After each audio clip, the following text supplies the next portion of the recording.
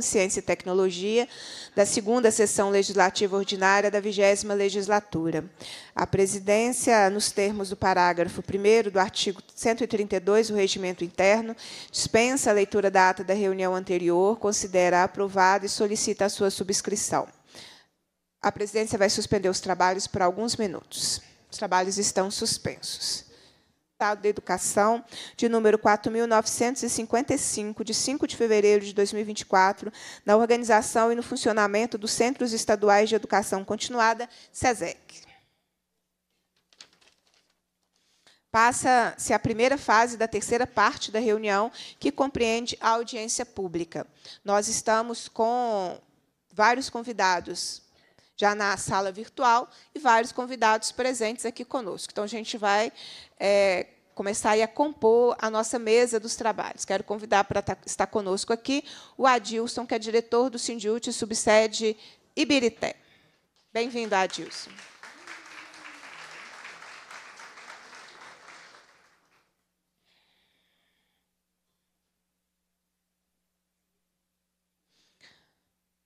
Convidar para estar conosco também a Roseli Lúcia de Lima, superintendente de políticas pedagógicas da Secretaria de Estado da Educação, representando o secretário Igor Alvarenga. Bem-vinda, Roseli.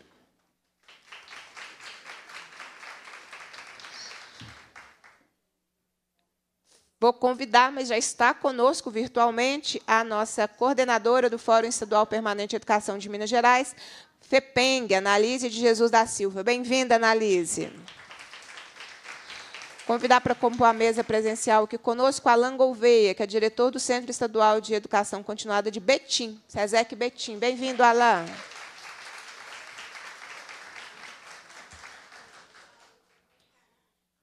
Convidar para compor a mesa está conosco virtualmente Andréia Márcia, que é diretora do Centro Estadual de Educação Continuada de Montes Claros. Bem-vinda, Andréia.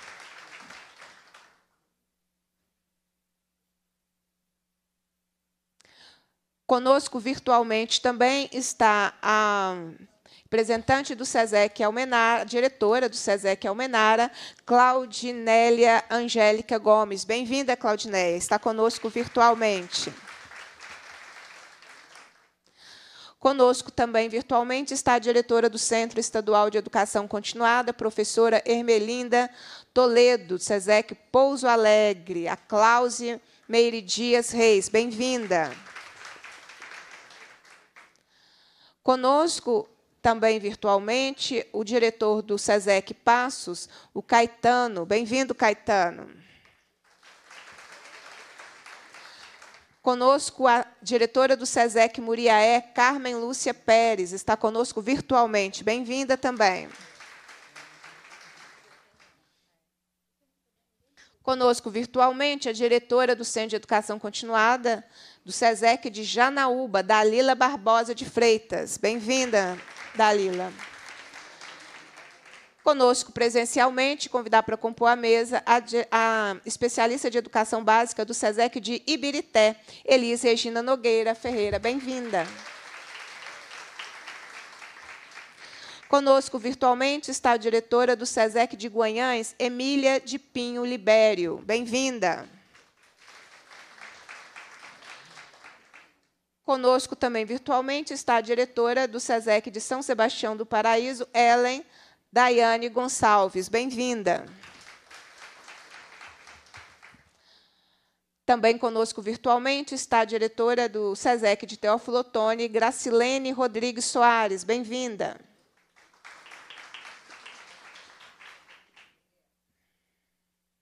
Conosco virtualmente está a diretora do SESEC de Itajubá, Gislene Aparecida Silva de Araújo Prudêncio. Bem-vinda, Gislene. Conosco também a diretora do SESEC Mantena, Jimena Francisco. Bem-vinda, está na nossa sala virtual. Também conosco a diretora do, o diretor, desculpa, do SESEC de Manhuaçu, Gelson Lírio, está conosco virtualmente.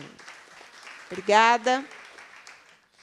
Conosco presencialmente, convido para compor a mesa a professora do SESEC de Vespasiano, representando o diretor da instituição, a Andréia Carla Ferreira de Assis. Bem-vinda, Andréia. Conosco também a professora do SESEC de Venda Nova, representando o diretor, a Shirley Santos Oliveira. Está aqui presencialmente, não é isso? Cadê a Shirley? Bem-vinda. Conosco virtualmente está a diretora do SESEC de Viçosa, Lídia Davi Miranda. Bem-vinda, Lídia. Conosco também virtualmente está a diretora do SESEC de Governador Valadares, Liélia Cacilda Neves. Bem-vinda. A diretora do SESEC de. A diretora? Não, diretor, né? Diretor diretor do SESEC de Divinópolis, está aqui conosco presencialmente. Convido para compor a mesa o Leandro Ferreira de Moraes. Conosco virtualmente está a diretora do SESEC Campo Belo, Lidiane Heloísa. Bem-vinda. Também virtualmente conosco a diretora do SESEC de Uberaba, Lucimari da Cruz Lacerda. Bem-vinda. Também virtualmente está a diretora do SESEC Monte Carmelo, Maria José Silveira Batista. Bem-vinda. Conosco também a diretora do SESEC Patrocínio, Marcilene Conceição do Amaral. Está na nossa sala virtual. Bem-vinda. Conosco, convido para compor a mesa presencialmente aqui no auditório Zé de Alencar, o vice-diretor do SESEC de Ibirité, Edson Luiz de Oliveira Preto. Bem-vindo. Conosco também a diretora do SESEC de Poços de Caldas, Virgínia Madureira, que está na nossa sala virtual. Bem-vinda. Também na nossa sala virtual está o diretor do SESEC de Santa Maria do Suaçuí, William Aguiar. Bem-vindo. Gente, às vezes pode ter nos escapado, então eu vou perguntar se tem algum membro do SESEC que eu não convidei para compor a mesa, que está aqui.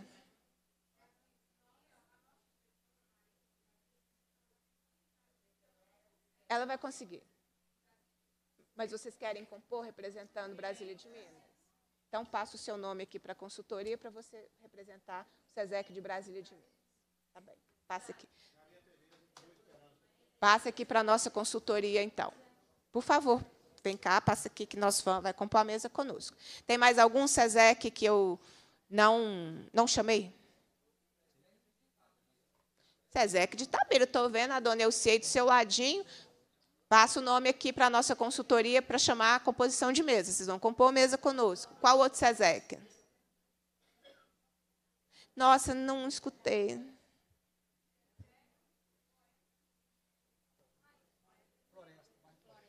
Floresta, pode passar o nome aqui para a consultoria para compor a mesa conosco. Agora estamos todos? Então, acho que podemos. Me passar os nomes aí que eu já faço a composição da mesa nesse exato momento. Vamos guardar só um minutinho, então.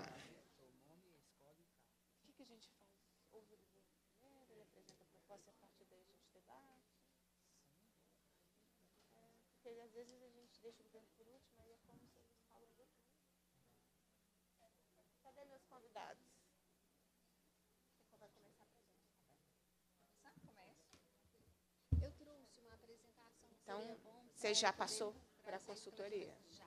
Então, então, perfeito. Então, vai estar no ponto. Cadê os, cadê os nomes?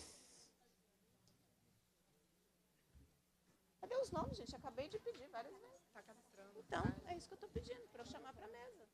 É isso que eu estou pedindo.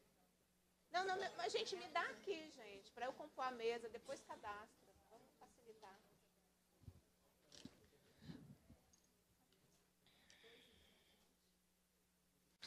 Olha, vamos, vamos. Mas é de que cidade é esse SESEC, gente? Todo, todo SESEC é de uma cidade. Preciso do.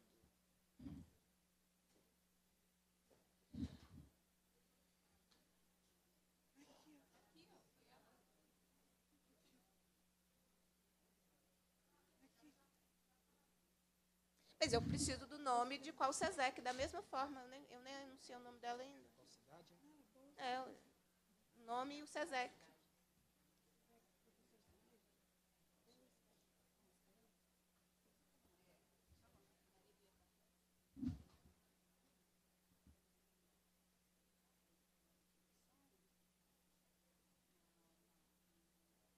Cadê os outros, gente?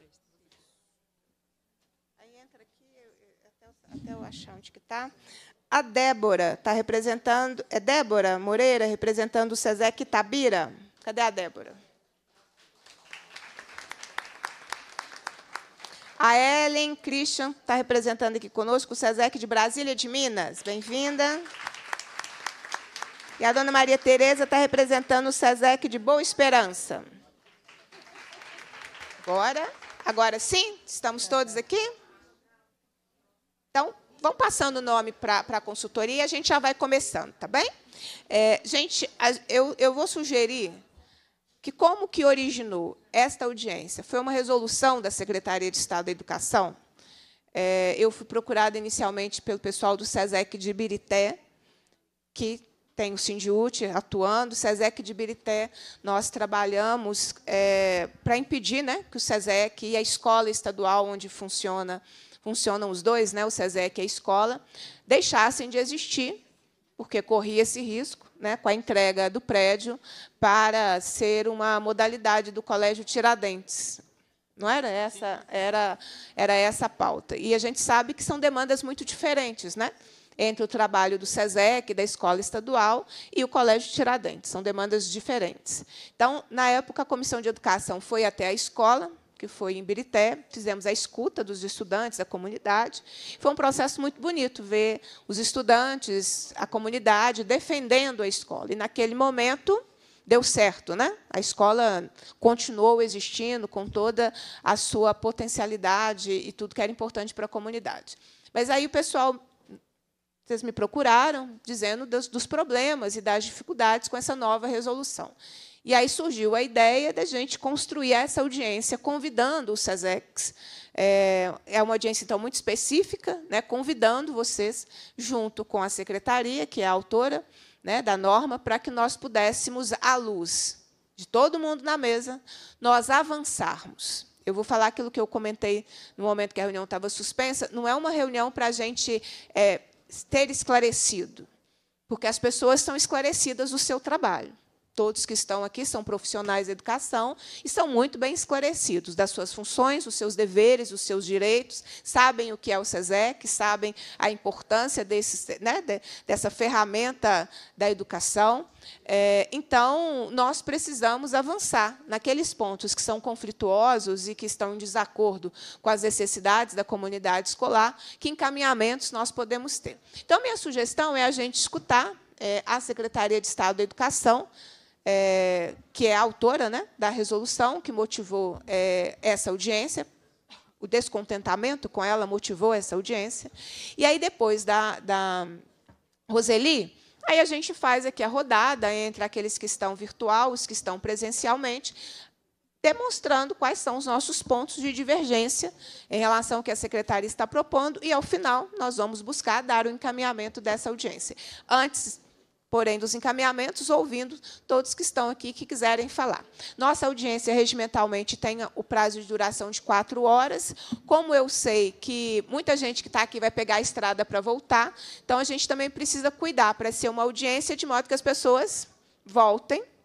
É, voltem né, para suas cidades, que tem gente que pegou a estrada a noite toda e vai voltar pegando a estrada a noite toda para trabalhar amanhã, não é isso? Que amanhã Amanhã é uma sexta-feira, todo mundo trabalha, e, e aí eu sei dessa, dessa, desse corre, né? como, como diriam os jovens em relação é, às nossas necessidades. É, podemos fazer dessa forma? Enquanto isso, a gente já vai começar a recolher inscrições das pessoas que estão presentes.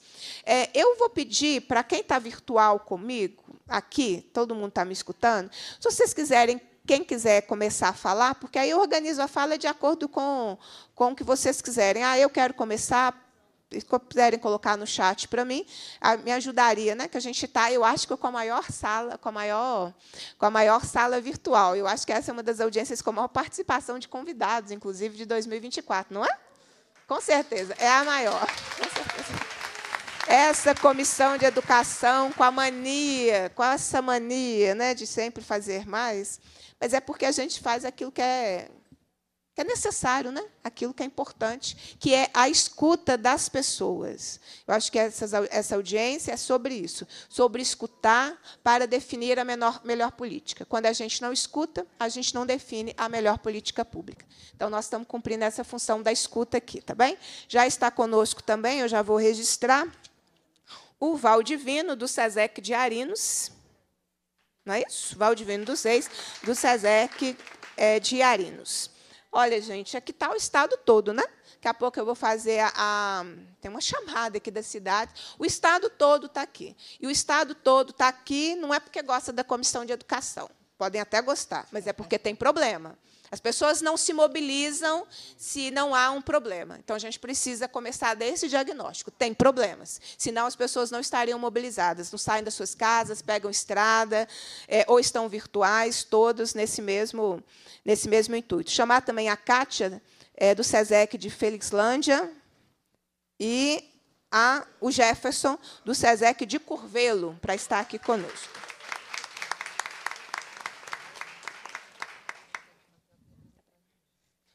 Vamos começar, então, com a secretaria. Você precisa de quanto tempo? Ok, 15 minutos. Tem a apresentação. Você tem a apresentação ou é só ela? Então, a apresentação que está aí é da Roseli, é, é a nossa primeira fala. É, então, vamos, é a, a, apresentação da Secretaria de Educação.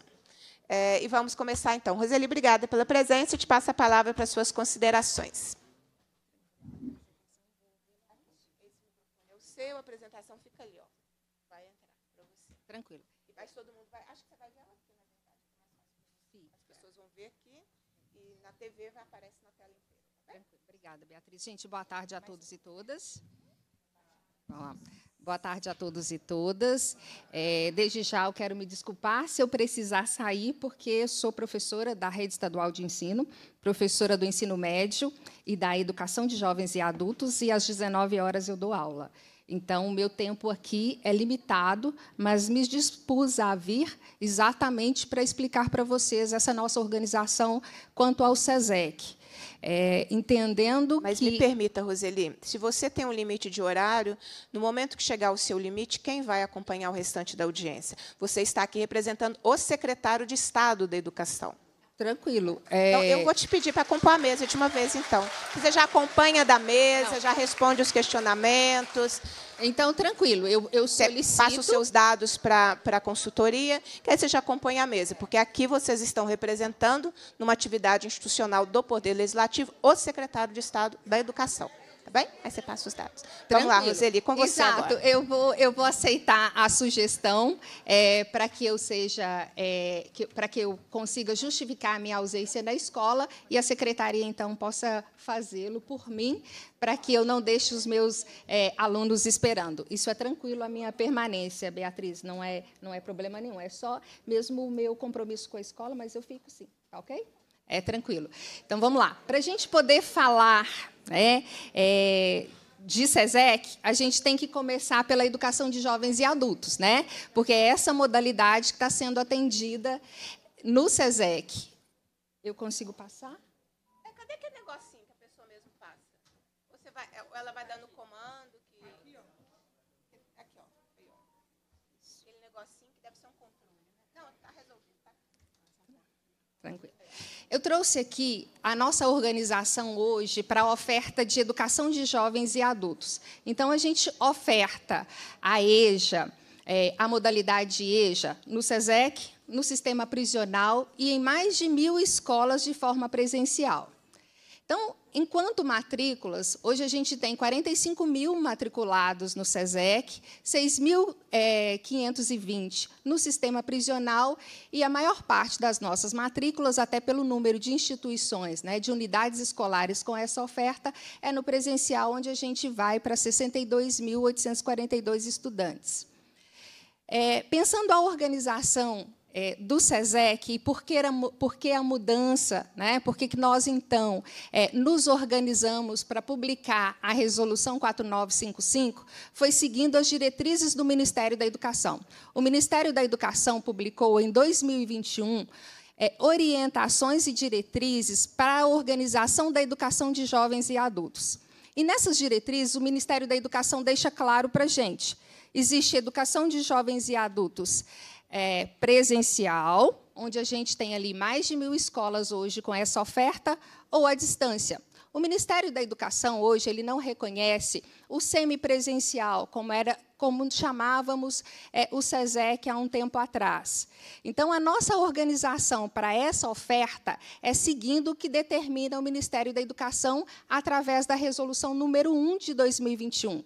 Então, a secretaria, para se adequar a essas diretrizes do Ministério da Educação, ela então chamou oito diretores.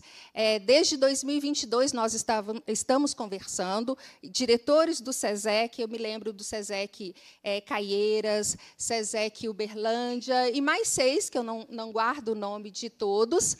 Mas esses diretores, junto comigo, tá? À época eu estava é, na diretoria de ensino médio para que a gente pudesse fazer adequação quanto às normativas do Ministério da Educação e atendendo também às mudanças do ensino médio. Por quê? Porque a resolução do Ministério da Educação ela trazia isso, uma adequação quanto à política nacional de alfabetização, as diretrizes do ensino médio e a base nacional comum curricular. Então, a secretaria teve que fazer essas mudanças exatamente para atender às diretrizes do Ministério da Educação. Foi quando, então, nós publicamos a Resolução 4955. Nessa organização, eu já falei desse grupo de trabalho que a gente iniciou o diálogo em 2022, é, entendendo que era necessário ouvir a especificidade do SESEC e aquilo que os diretores então nos apontavam não é possível, porque a gente às vezes tem sim algumas, é, algumas ideias e apontamentos pensando o melhor para o estudante, mas acaba que é necessário ouvir quem está operacionalizando, né, quem está fazendo isso lá na ponta, no dia a dia do SESEC, e nós então trouxemos os diretores para que a gente pudesse ouvir e discutir é, essas mudanças que iriam acontecer.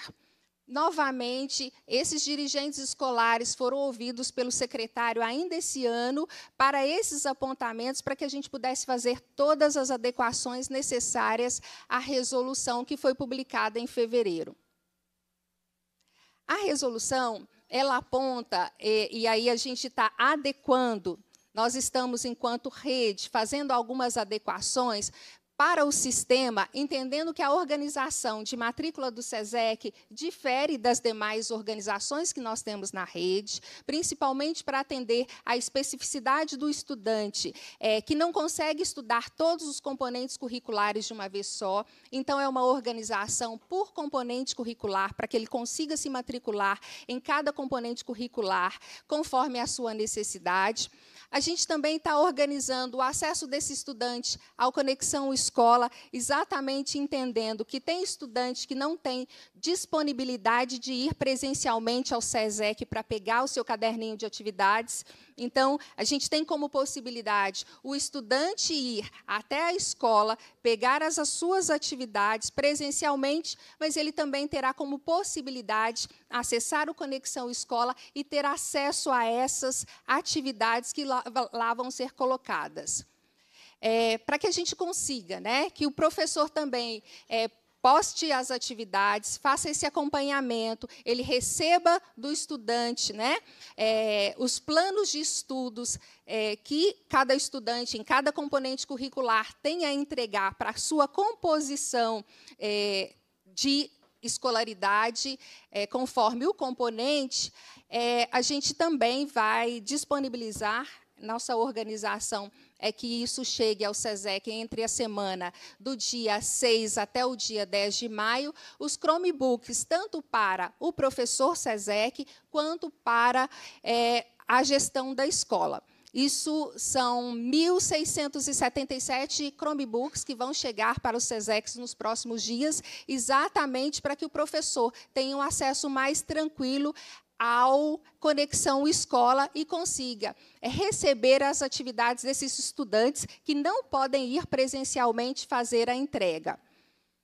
Ainda nessa organização, conforme as diretrizes do Ministério da Educação, que nos aponta a necessidade de uma organização onde o estudante consiga transitar da EJA presencial para o SESEC ou do SESEC para a EJA presencial, nós tivemos que fazer nos mesmos moldes a nossa organização. Então, estabeleceu-se carga horária igualmente da EJA presencial, 1.600 horas para a EJA anos finais, 1.200 horas para a EJA ensino médio, exatamente conforme acontece a oferta presencial.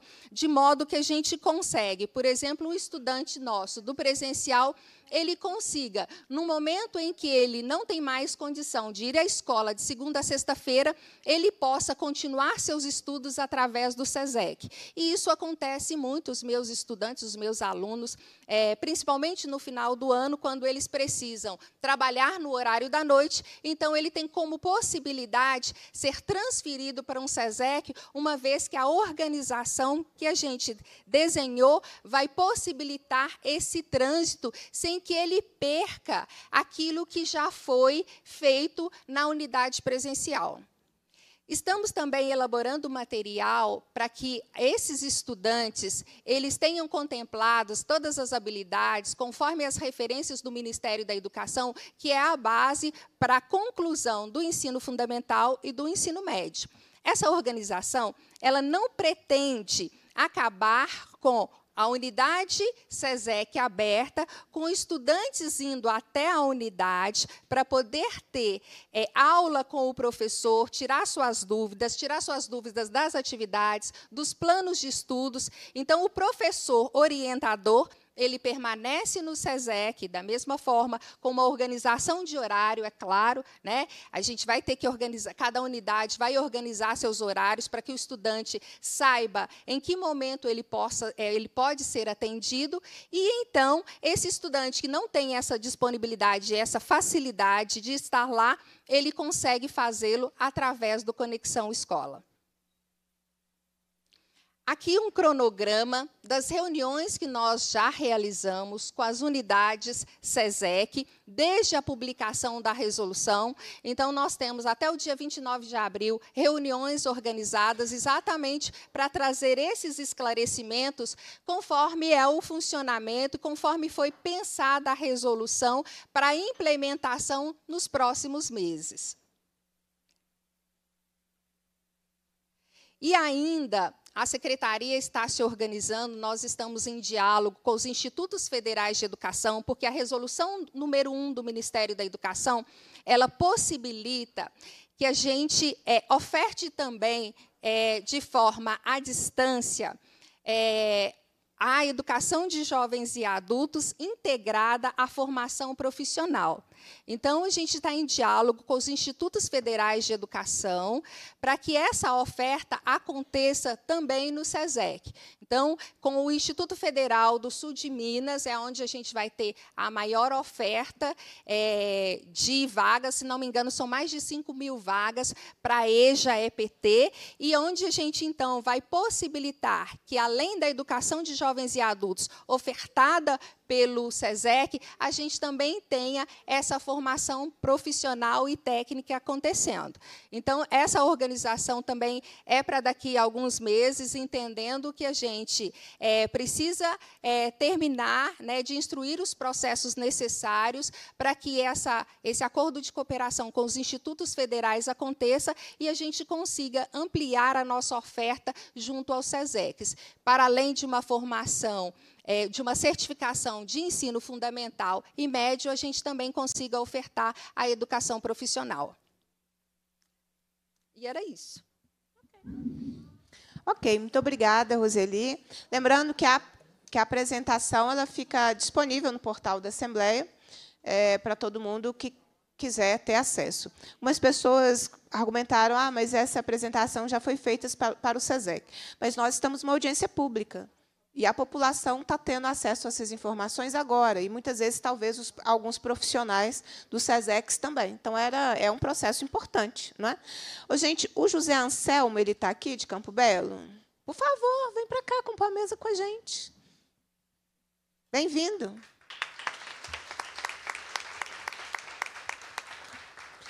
Nós vamos ouvir nossa primeira convidada, que é a coordenadora do Fórum Estadual Permanente de Educação, FEPENG, Analise. Analise, ela está conosco virtualmente. E eu vou te, te passo a palavra, Analise, para você trazer sua contribuição nessa discussão e propostas de encaminhamento também.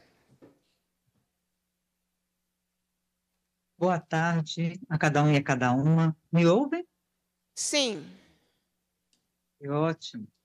Eu agradeço o convite da Comissão de Educação da Assembleia, em nome da deputada Beatriz Cerqueira, e, e esse agradecimento é em nome do FEPENG, o Fórum Estadual Permanente de Educação de Minas Gerais. Para alguém que nunca ouviu falar é, de nós, nós somos um órgão de Estado, de controle social, ah, responsável pela educação em todo o território de Minas Gerais, da creche até a pós-graduação, nas redes públicas, no setor privado, filantrópico, comunitário, enfim, tudo que se relaciona com a garantia do direito à educação em Minas Gerais.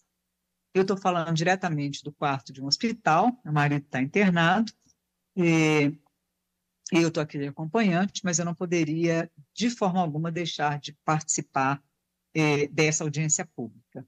Porque falar sobre a resolução ah, da Secretaria de Estado de Educação, essa 4.955, é, é fundamental na nossa avaliação do FEPENG, porque como essa portaria se propõe a dispor sobre tanto a organização quanto o funcionamento do ensino nos SESECs, nos Centros Estaduais de Educação Continuada, a gente avalia que ah, essa resolução, em vários pontos, ela desconsidera o direito constitucional uh, das pessoas jovens, adultas idosas com 15 anos ou mais e que, quando eram crianças uh, e adolescentes, já tiveram seu direito à escolarização negado. Eu vou tentar aqui, com poucos artigos, dizer o que, é que nós estamos chamando de desconsideração quanto ao direito constitucional. Se no artigo 2 da resolução está informado que cabe ao SESEC atender a esses sujeitos, garantindo a esses sujeitos acesso, permanência, continuidade dos estudos, isso fica totalmente contraditório quando o governo estadual não ofereceu até aqui dispositivos e acesso gratuito tanto aos trabalhadores quanto aos estudantes e aos seus familiares para que eles possam realizar o trabalho com as atividades à distância. Uma vez que as atividades propostas até aqui pelo governo, por meio dessa resolução, demandam aí ser mediadas por tecnologias que devem ser democratizadas, com acesso livre à internet, de qualidade banda larga, e ao acesso a outros meios tecnológicos que possibilitem aí as interações criativas, não somente na internet, mas também na televisão, mas também no rádio, né? Inclusive considerando-se que o programa pela televisão não atende aos 853 municípios, ele, ele pega somente 262, né? E, e, e aí também considerando que 1.639 é, Chromebooks não vão fazer nem cosquinha para o tanto de estudantes, para o tanto de trabalhadores que temos no SESEX. Então, será necessário que efetivamente se tenha ah, compromisso né, com o resgate desse direito constitucional dos estudantes e das estudantes ah, do SESEX e de seus é, trabalhadores. Bom, é, de novo, né, para falar um pouco do que, que é essa negação do direito constitucional, lá no artigo 5 diz que os SESECs devem funcionar em dois ou três turnos para atender os estudantes, priorizando o atendimento no noturno, mas que o funcionamento no diurno não deve implicar acréscimo de servidores do quadro de pessoal. E aí eu pergunto como? Eu, exemplo, tá? Professora de história do SESEC ah, capote amarelo, eu estou vendo um capote ali amarelo, tá? É, eu deveria atender as turmas da manhã, da tarde e da noite, é isso? Ou os estudantes que são trabalhadores, que estudam, isso é importantíssimo a gente conseguir entender, nós não estamos falando de estudante que trabalha, nós estamos falando de trabalhador que estuda. Os estudantes trabalhadores que estudam é que terão que se adequar à falta de outros professores de história para os turnos em que eles, os estudantes trabalhadores, possam?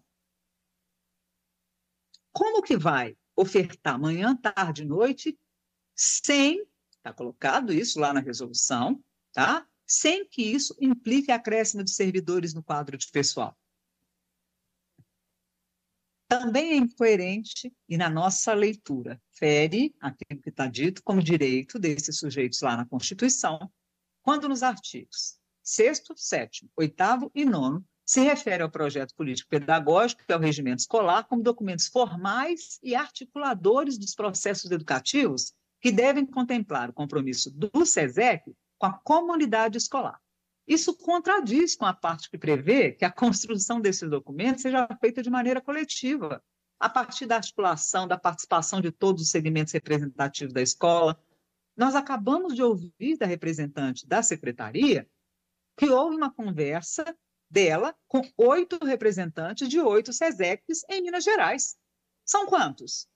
Além disso, os outros segmentos do SESEC foram também chamados à conversa? É fundamental que a costureira dê palpite sobre qual é o tecido que eu devo utilizar na confecção do meu vestido novo. Mas é fundamental também que eu, que sou quem vai usar o vestido, diga a ela quais são as minhas alergias, para que ela então possa pensar qual será o tipo de tecido. Ou ela vai simplesmente tirar da cabeça dela e aí eu não estou aqui desmerecendo as oito pessoas que estiveram lá, que se dedicaram, que se empenharam para poder propor o melhor, tá? O que eu estou dizendo aqui é que se a gente pretende fazer gestão democrática, então vamos fazer a sério. Então vamos chamar todos os segmentos, igual está escrito lá no documento, tá? Para poder elaborar essas, estas, uh, essa normativa. Bom, Neste momento, não me parece que a Secretaria de Estado de Educação, o governo do Estado, esteja fazendo uma opção pela gestão democrática. Neste momento, me parece que se está fazendo uma proposta que vai muito mais de, de, de encontro aos interesses privatistas. Haja visto o que tem acontecido com a EJA, isso é, o fechamento de turmas inteiras, a exemplo daquelas lá das escolas piloto do projeto Somar. Eu considero que é muito importante que a gente fique atento a todo esse movimento. Hoje, gente, o IBGE divulgou, é, é, deputado, já, já, estou aqui caminhando, tá, para concluir. Hoje o IBGE divulgou uma pesquisa em que se comprova que um a cada quatro domicílios no Brasil não teve duas refeições ao dia, que a fome atinge 20 milhões de pessoas no Brasil, que a insegurança alimentar atinge 28% dos lares em nosso país. E que para 4% da nossa população essa situação é grave. Ah, e o que, que isso tem a ver com EJA EAD no SESEC? São lares chefiados, a pesquisa que aponta isso também, por mulheres pretas ou pardas, e que a escolaridade das pessoas desses lares os coloca como sujeitos da EJA, porque eles são pessoas que têm só um minuto, gente. Vocês estão me ouvindo? Parece que eu sumi aqui. Sim, estamos te ouvindo, muito bem. Então, ah, então tá ótimo. É, eles são pessoas que. É, gente, é porque aparece um negocinho aqui para mim falando áudio fechado, mas vocês estão me ouvindo, né? Sim, então, tá, estamos te ouvindo e te vendo. Então tá bom. Então tá ótimo. Vamos lá. É, são pessoas que têm 15 anos ou mais e que não são alfabetizadas, que não têm ensino fundamental completo, que têm 18 anos ou mais e que não têm ensino médio completo. Então, no FEPENG, gente, eu represento a UFMG, onde eu sou professora e pesquisadora. E uma das pesquisas que eu coordeno no FEPENG é um banco de dados sobre a EJA em Minas Gerais. Lá a gente tem dados da demanda da EJA nos 853 municípios.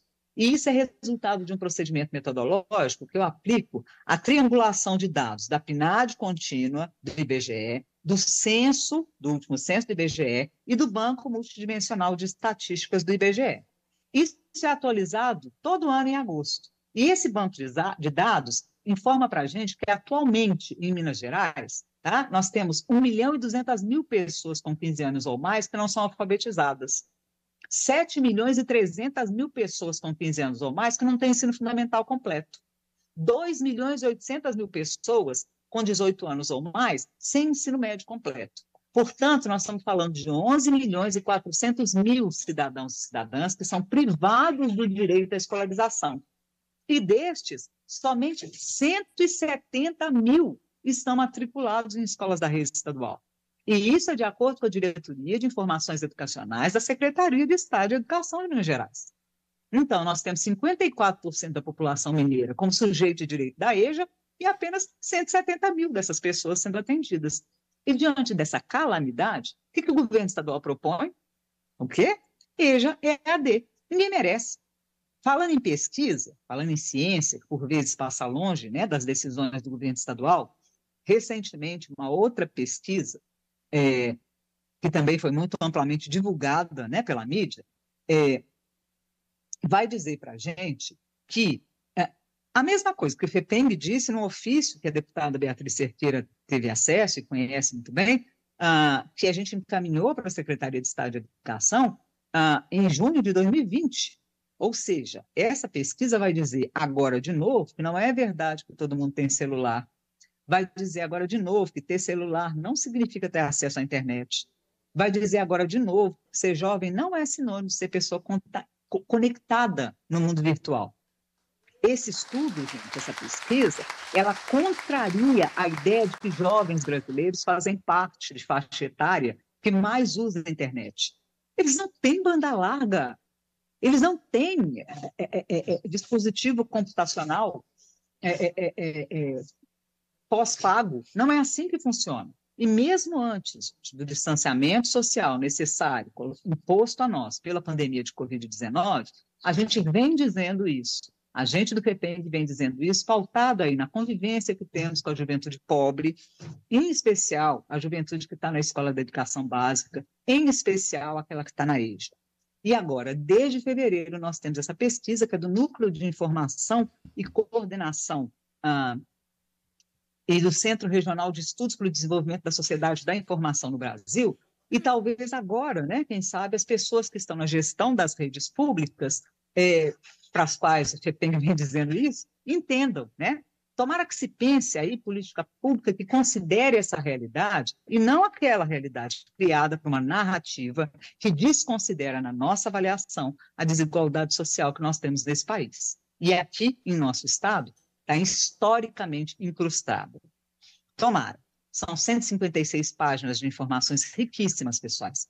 Pessoal, que confirmam aí que ainda que 84% da população brasileira tem acesso à internet, somente 22% das pessoas que têm celular têm condições de utilizar a internet de forma satisfatória, enquanto que a maioria, 57%, a realidade é bem menos positiva. Bom, e aí, caminhando então para fechar, né, o que, que a gente propõe?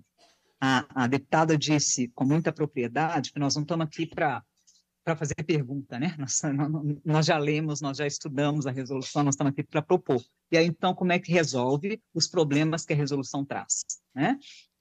Uma das questões que a gente do FEPENG avalia, né, é que eh, e aí a gente avalia isso a partir daquilo que está colocado como uma das nossas atribuições, né? que é participar do processo de concepção, de implementação e de avaliação da política estadual de educação.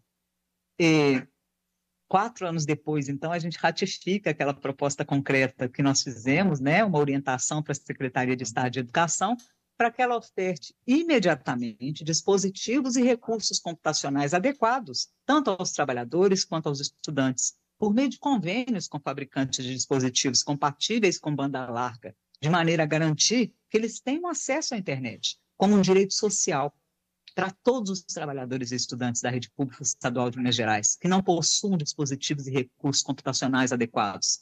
Isso pode ser selecionado por cruzamento de dados feito pelo IBGE sobre acesso por região do estado de Minas Gerais. E aí não precisa pagar.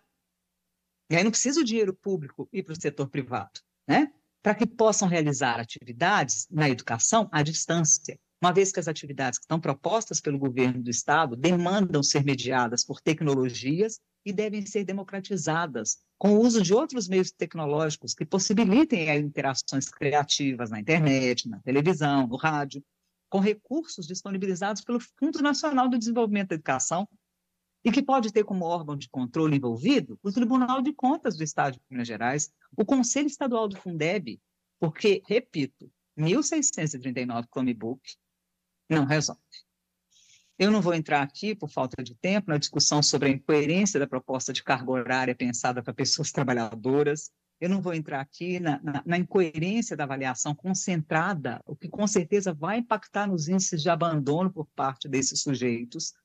Tá? E encerrando, eu vou só reafirmar também a nossa expectativa, ah, como órgão de Estado de controle social, de que o governo estadual que faz parte do FEPEM, diga-se de passagem, né? assim como a Comissão de Educação da Assembleia Legislativa de Minas Gerais, é, que ele invista a verba pública necessária em educação pública, para que se garanta que toda e qualquer escola pública seja local de acolhimento e de aprendizagem, e que tenha alimentação nutritiva, laboratório de ciência, número adequado de estudantes por turma, número adequado de profissionais para atender a demanda real, aquela questão de que não pode ter aumento de gente nas turmas de, de, de SESEC, mas que tem que oferecer SESEC manhã, tarde e noite, olha, gente, é brincadeira.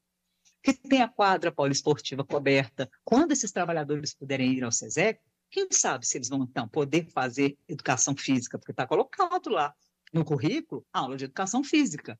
Tá? Eu espero que elas não sejam dadas dentro das salinhas do SESEC, né? Que elas sejam dadas em quadras esportivas cobertas bibliotecas, transporte escolar e professor recebendo piso, né? E com uma política de carreira assegurada, conforme prevê a legislação. Enfim, que o governo do Estado de Minas Gerais invista para que as nossas escolas tenham gente feliz e com seus direitos assegurados por compartilhar educação de qualidade social.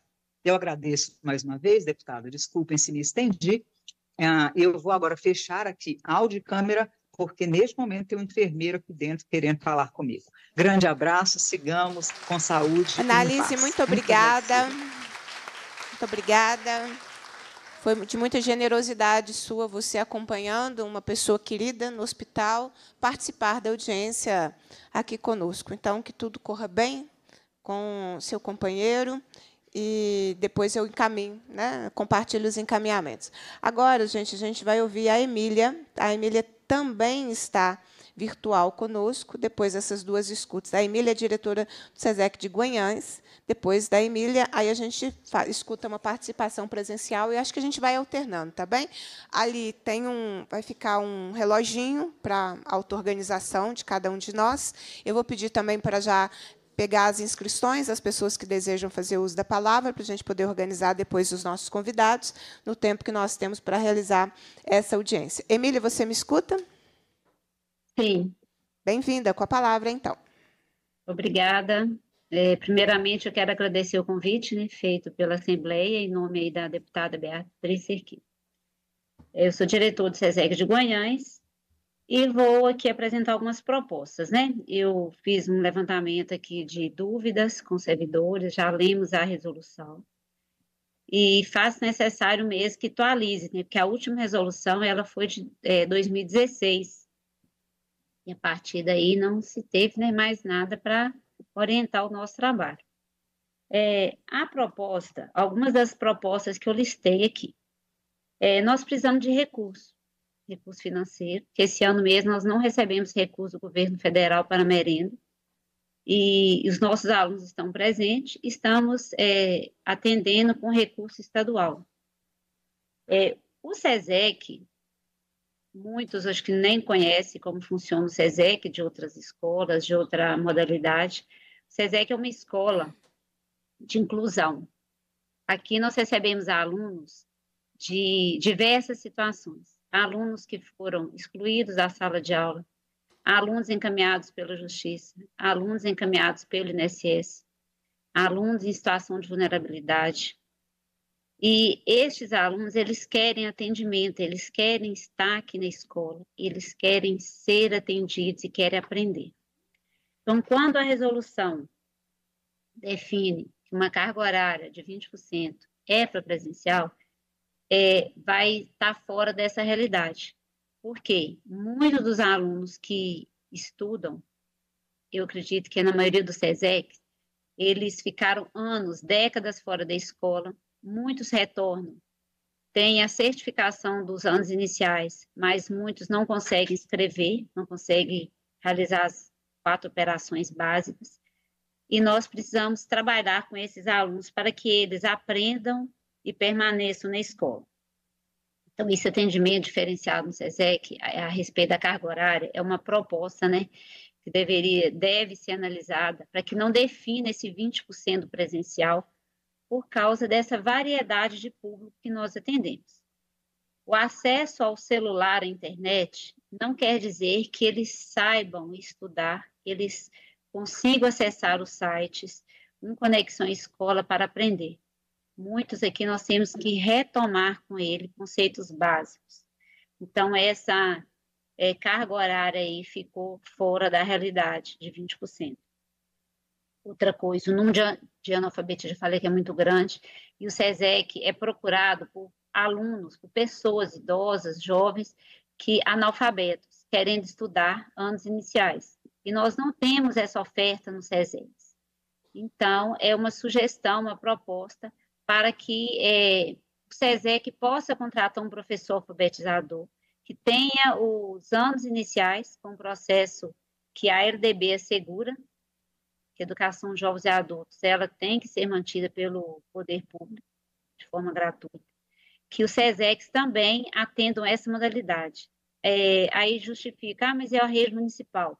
Nem toda rede municipal oferta educação de jovens e adultos. E quando oferta, muitas vezes é no noturno, e essas pessoas não podem deslocar. A respeito do deslocamento, uma proposta é o seguinte: é, vários municípios procuram SESEX mais próximos para é, trazer os alunos. E eles alegam que não recebem recurso para a EJA, para vir para o SESEC. Então, fica mais difícil. Muitos alunos têm que custear as próprias despesas para estar frequentando o SESEC mais próximo. É, outra coisa que eu anotei, o quadro da escola. A resolução não define qual profissional precisa trabalhar no SESEC. Ele define a área, define os componentes e não define qual professor. Agora, com a mudança da resolução, teve é, componentes que teve o número de módulos aumentado, teve outros diminuído. Aí a gente gostaria de saber qual professor que pode trabalhar no SESEC. O professor, ele vai dar aula de qual componente? Porque isso não está claro na resolução de 2016 e nessa também não está. Fala em números, não fala em quantidade. Aí cai em contradição de ter mais professores é, de um componente do que do outro no SESEC. O SESEC não tem vice-diretor. O número de SESEC é grande e para nós conseguirmos hoje um vice-diretor é impossível, porque o número de alunos pela rotatividade ele muda todos os dias e a gente não vai conseguir alcançar o que na resolução prevê um vice. É um diretor que responde por todas as áreas e não tem um vice baseado no quadro pessoal. Professor, uma outra proposta. O professor de SESEC não pode ter extensão da carga horária. Isso é claro, não, não tem. A banca permanente de avaliação, ela precisa ter acesso ao banco de itens, para que eles possam elaborar os itens, elaborar as avaliações e aplicar as avaliações. E não tem. Nós estamos sem acesso ao banco de itens. A matrícula, a matrícula semestral, também é, fica fora da realidade, porque se ele vai estudar por componente, como que ele vai matricular por semestre? Então, vai ficar mais, mais complicado aí para esse aluno. Porque o que, que a gente percebe? Que os alunos que procuram o SESEC são alunos que querem, talvez aqui eu sempre reúno e falo, gente, aqui está sendo o último lugar para que esse aluno consiga ter acesso a uma educação de qualidade. E como que nós vamos atender esse aluno de forma à distância, sendo que a maioria é, deles não tem conhecimento, não tem acesso a, a um banco de dados, a, o próprio Conexão Escola para aprender. Eles querem que o professor dê aula, que o professor explique. E como é, hoje funciona sem presencial, os alunos têm sim uma parte de trabalho que eles fazem em casa. Mas, à distância, para ele realizar mais da metade das atividades online, é, vai ser uma forma de exclusão. Então, são pontos assim que nós observamos, né? São vários, vai ter outros diretores aí que estão tá complementando, mas são pontos que precisam ser é, ser analisados e uma proposta que atenda a escola, que atenda ao nosso público. Porque sempre o SESEC não entra nas resoluções, o SESEC não entra nas orientações, é uma, uma modalidade à parte. Aí depois explica, isso a gente vai procurar informar, e fica, fica passando, vai passando dias, décadas, e só de uma resolução, quase 10 anos para ela ser reformulada, a gente observa que não há uma atenção no SESEC, né? Então, uma modalidade que atende inúmeros alunos, né? Jovens e adultos que foram excluídos aí da sala de aula e do direito à educação. Então, as nossas propostas aqui no momento são essas. Eu encaminhei algumas dúvidas para a coordenação é, e gostaria que, é, que fosse assim analisadas e olhar a realidade realmente da, desse atendimento que é feito aqui conosco.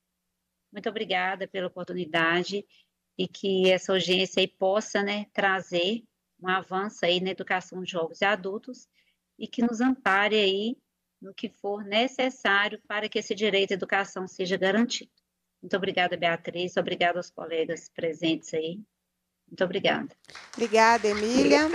Nós vamos voltar aqui agora para participações presenciais. Enquanto isso, gente, no chat, quem quiser ser a próxima fala virtual, vai me orientando aí, tá bem? Só dizer que quer falar. É, eu vou passar agora para o Adilson. O Adilson, que é do Sindiúte de Ibirité é, para que ele traga a sua contribuição ao debate.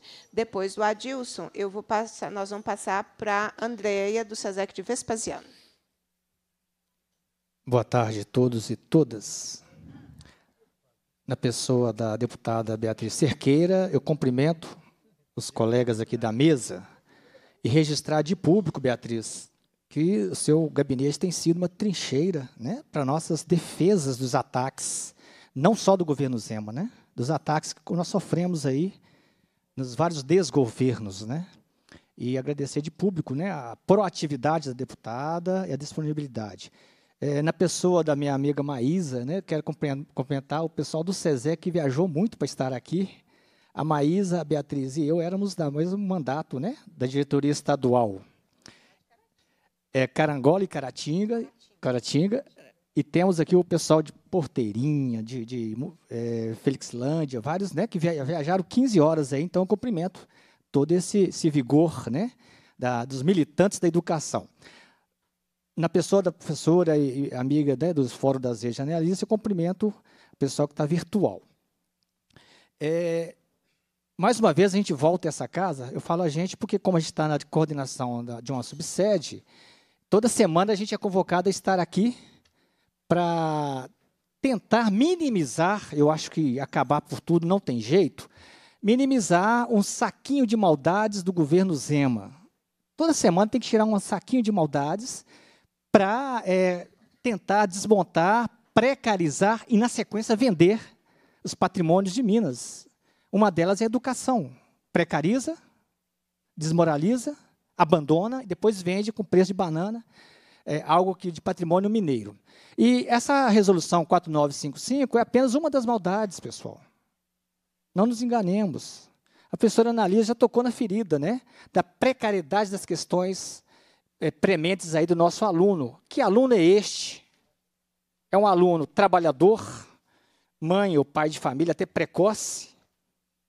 É um aluno é, que lhe foi tirada a oportunidade de estudos na época correta cronologia versus experiência de vida. E também o aluno da terceira idade. Quando nós vemos nessa, nessa resolução maléfica que, e não estou exagerando, leiam lá nas entrelinhas, 80% da carga horária é AD, A representante da Secretaria de Educação parece que desconheceu aí a lição do Covid, né? Do isolamento social. Alunos subindo em árvore para tentar pegar sinal de internet. Alunos que têm internet, mas também não sabem usar porque está na terceira idade, né? Da, da geração que não foi lhe dada essas tais habilidades. Então, nós estamos aí tornando uma estrutura que, a nosso ver, que estamos, né, eu estou falando enquanto sindicalista, mas que fique claro que eu estou no chão do SESEC também, né, do SESEC de Birité, e vejo lá no dia a dia é, o quanto que há de inclusão na estrutura que aí está. Inclusão. Você tem, então, um aluno, nosso objeto maior que esse aluno, essa aluna, que foi-lhes tirado várias oportunidades. Nós seríamos a última chance deles se formarem, se qualificarem, estarem no mercado de trabalho e até mesmo fazer faculdade, enfrentar curso superior aí, não é? é eu não quero aqui ensinar é, padres a rezar missa, que nós todos aqui somos do espaço escolar do SESEC, mas como deputada está sendo filmado e colocado ao vivo, né, para a comunidade, para a sociedade em geral, na prática, pessoal, como tem sido e como que nós imaginamos que vai ser? Tem sido professores plantonistas, em turnos diferenciados, tá certo? Esse aluno leva material pedagógico para casa, apostilas. Quando necessidade, quando está premente as suas dúvidas, tem ali o professor plantonista, com poucos alunos, à disposição, bem ali formado, qualificado para atendê-lo. E quando a resolução fala, né, primeiro, que vai ser EAD 80%, essa premissa já não existe. Quando fala né, que é, a diminuição, né, vamos dizer assim, do compota, perdendo alunos, nós temos muito menos funcionários. Aí vai vir a precarização desses funcionários, do atendimento à comunidade. O professor vai atender tanto o ensino médio como fundamental, tanto uma matéria afim e outras mais, tanto EAD como presencial. Vai ter que fazer um clone de cada professor, é isso? Se não fizer, isso vai ser embutido no salário que já é negado o piso salarial, o governo Zema nos deve, no mínimo, 75%, que se diga isso, né? De reajuste do Asfundeb, que ele não repassa. Por isso que eu falei que essa resolução maléfica é a ponta de um iceberg maior, pessoal. Ontem teve um terror aqui da questão do IPSENG, dos companheiros contratados. E no público em geral, ele está triplicando as contribuições que a gente tem que pagar lá no imposto do IPSENG. Está penalizando ainda mais o aposentado, porque aumentou lá a tributação também. Está tirando de nossos filhos o direito de ter uma, um IPSENG, uma, uma seguridade, uma, uma atendimento de saúde digna. Então, vamos soltar, então, a questão do, do, do maléfico, né, da maléfica resolução. Vai ser precarização, exploração do professor e a exclusão do aluno, nosso objeto maior. Esse aluno, aluno da terceira idade, esse aluno da zona rural, esse aluno trabalhador, como é que ele vai fazer se a última luz que foi acendida no fim do túnel está sendo apagada pela resolução 4955? Isso a sociedade tem que estar sabendo isso. Tá certo? Porque aí vai vender barato, né? Vai falar, vai julgar, igual fizeram por mãos dadas, trilhas do futuro. Tá certo? Está julgando para o sistema S, para as empresas um patrimônio cultural pagos com nossos impostos. Está jogando para os empresários para depois fazer bonito e querer candidatar a presidente, é isso? Eu tenho que concluir aqui, mas a consideração final, eu vou usar o lema do governo Zema, que aí eu tenho que concordar, mas com trocadilho. Governo diferente, Estado eficiente. Governo diferente, o Estado está deficiente, muito deficiente. Obrigada. Vou passar agora as considerações da Andréia Ferreira, do SESEC de Vespasiano. Mas antes, André, me permita convidar a Adriene, do SESEC de Contagem, para compor a mesa de trabalho conosco. É, Andréia, com a palavra. Bem-vinda. Boa tarde a todas e todos. Meu nome é Andréia, sou professora de Sociologia do SESEC Conjunto Habitacional Caieiras, em Vespasiano. Em Vespasiano, nós temos dois SESECs. Primeiro, eu gostaria de cumprimentar a deputada pela grande e maravilhosa vitória ontem, que foi a derrubada do veto do governador Romeu Zema ao direito aos trabalhadores aposentados que eram contratados a questão da saúde, né, o direito à IPSEM, foi uma vitória muito grande, uma vitória dos servidores, dos aposentados. Parabéns. E gostaria também gostaria também de traçar uma pequena trajetória, porque eu acho que muitos vão se identificar em relação à questão do SESEC. Eu entrei no SESEC Conjunto Caieiras em 2001, ainda quando eu era designada. Eu lembro que quando eu fui para a designação, eu escutei pessoas dizendo para mim o seguinte: olha, moça, não pega no SESEC, que eles vão chamar, era SESEC já. Não pega porque vai fechar. Você vai ficar sem escola. Eu escutei isso em 2001. E durante muito tempo, eu escutei essa frase. Passei no concurso, batalhei muito para ser é, é, transferida para o SESEC, porque me apaixonei pela metodologia. É maravilhoso atender a educação de jovens e adultos na metodologia do SESEC. Mas foi difícil voltar para lá, porque não se transferia para o SESEC. Não sei se vocês se lembram. No, é, é remoção, mudança de lotação do SESEC era quase impossível. E naquela época, o meu SESEC funcionava em coabitação com uma escola de séries iniciais da prefeitura de Vespasiano. Tudo era muito precário. A gente tinha uma pequena salinha à noite, apenas o turno noturno funcionava. Era a secretaria, uma outra pequena salinha que era a cantina, onde se fazia merenda e atendia os alunos, e as salas eram divididas para atender várias matérias, várias áreas de conhecimento. Tudo muito precário. E com muita luta, gente, nós conquistamos muito, muita luta da nossa comunidade escolar. Outra coisa que eu queria dizer era o profundo desconhecimento da Secretaria de Educação, da Superintendência em relação às SESEX. Na época, é, o, o, nosso diretor ia nas reuniões que eram plantão das inspetoras e as inspetoras não entendiam, não sabiam que, que era a SESEC, não conseguia orientar a contento. Isso era um problema que nós tínhamos e talvez ainda seja um problema concreto. Melhorou, mas ainda acredito que esse problema exista. E com muita luta, nós conquistamos o nosso prédio próprio, foi muito difícil. Nós conquistamos o direito a ter professores efetivos. Hoje, graças a essa mobilização, 98% dos nossos professores são efetivos, abraçam o SESEC, vestem a camisa, mas continua sendo difícil. Porque o lema do SESEC é se vire nos 30. O material didático nosso é todo elaborado por nós. Toda a organização, escrituração, livro, caderno, porque a gente não tem DED, né? agora vai, parece que vamos ter acesso e não sabemos nem como vai funcionar. É tudo era elaborado graças às nossas reuniões, quebrando cabeça, experimentando aqui, experimentando ali, e conseguimos organizar. O nosso SESEC, ele é muito organizado. Mas existem problemas que nunca desapareceram. O principal deles é a evasão escolar.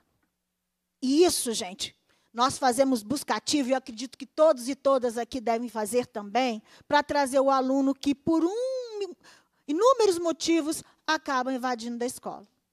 E a gente quer esse aluno conosco, ele quer que esse aluno conclua os módulos, faça o fundamental, faça o médio e conquiste a vitória de se formar. Mas é muito difícil porque os percalços são muito grandes. E todo aluno que evade dói no nosso coração. Mas mesmo assim a gente continua batalhando e sempre solicitamos melhorias em relação ao SESEC do estado todo prédio próprio, mais recursos, como bem disse a diretora. Está difícil até oferecer merenda, né, porque a verba federal não vem. E outras questões que são colocadas no dia a dia do SESEC, que só quem está no SESEC sabe do que é. Então, queremos sim mudanças, mas queremos mudanças que avancem em relação à questão do SESEC. Não que retrocedam, não que ampliem a evasão. Porque, se for analisar, durante a pandemia, nós atendemos os alunos nos recursos que eles tinham, pelo WhatsApp, os que tinham acesso ao e-mail recebiam material por e-mail, mas o WhatsApp, que a maioria, pelo menos dos alunos que a gente atendeu na pandemia, tinha acesso, recebia material, tirava dúvida com a gente, era tudo pelo WhatsApp. Mas muitos não têm acesso nem ao WhatsApp. E nós atendíamos alunos de Baldim, Matozinhos, São José da Lapa, Lagoa Santa, que são municípios ao mesmo tempo próximos, mas ao mesmo tempo distantes. Será garantido a esses alunos o transporte escolar para a questão da carga horária presencial? Porque passagem de ônibus, gente, é um absurdo. Eu moro em Belo Horizonte e vou todos os dias para Vespasiano. A passagem Belo Horizonte-Vespasiano, que é bem próximo à cidade, é R$ 8,50. Ida, só da ida. 8, e de volta, quase 17 reais. Imagina para um aluno que mora mais distante. Como é que vai ficar? Como é que vai ser? E aquele aluno que não tem acesso à internet? Ou tem um, um acesso precário à internet? Nós queremos avanços em relação ao SESEC, é uma reivindicação extremamente legítima, que queremos sempre aprimorar o nosso fazer pedagógico e atender a contento nossos alunos e a comunidade escolar. Mas tem questões que têm que ser respondidas e definidas agora, de imediato, para que a gente garanta, para que a gente garanta o melhor atendimento e principalmente reduza significativamente a nossa principal dificuldade, que é a questão da evasão. Desculpa, gente, por passar do tempo.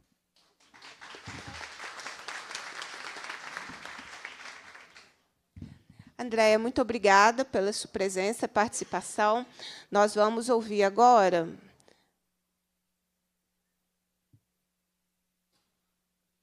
Vamos ouvir a Shirley, de Sesec Venda Nova?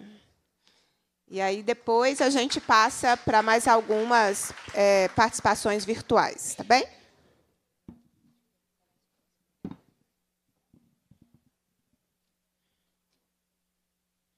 Boa noite a todos. Boa noite, boa noite, já é boa tarde, né? Boa tarde mesmo, boa tarde a todos os colegas do SESEC, inclusive aos nossos queridos alunos que estão aqui presentes. Muito obrigada pela presença de vocês. Bacana. É muito importante nesse momento. Estou aqui com a dona Selma. Dona Selma, a senhora, a senhora poderia mostrar para a gente o seu cartaz? Foi feito com tanto carinho, por gentileza. Dona Selma, vou tentar ler daqui, Dona Selma. Demorei 50 anos para voltar a estudar. E agora o Zema quer tirar meu direito de frequentar o meu SESEC.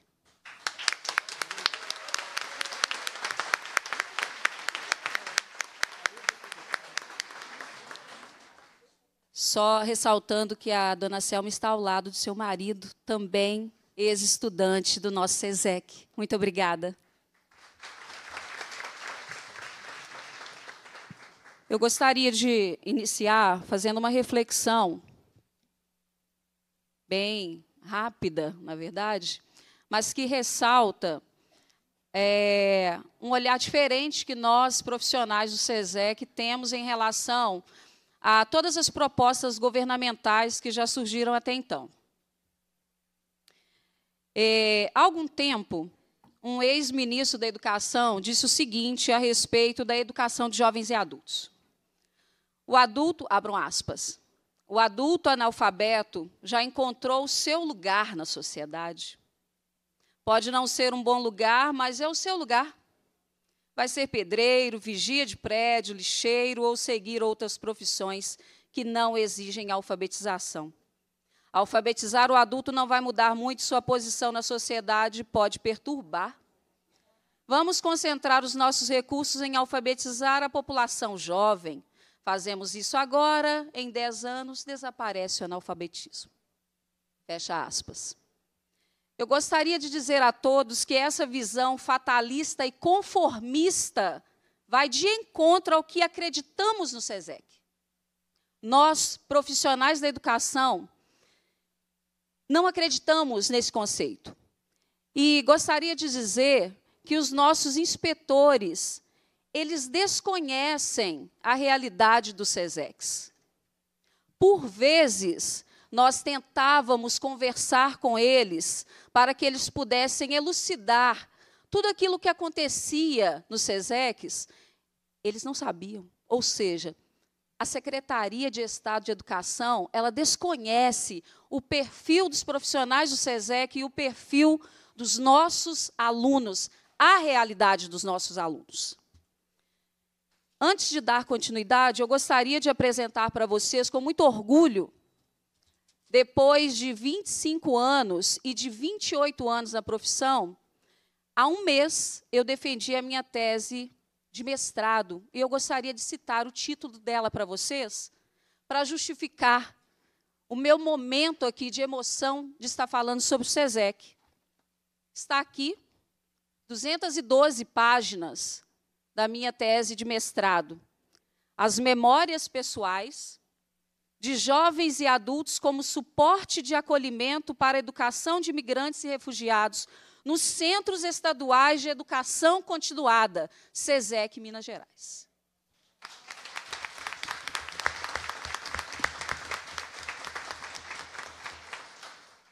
Esse meu trabalho, ele, ele foi um trabalho que inicialmente, ele nasceu da, do amor, do acolhimento que eu tive nessa instituição pelos meus alunos, pelos meus colegas de trabalho, mas principalmente pelos meus alunos.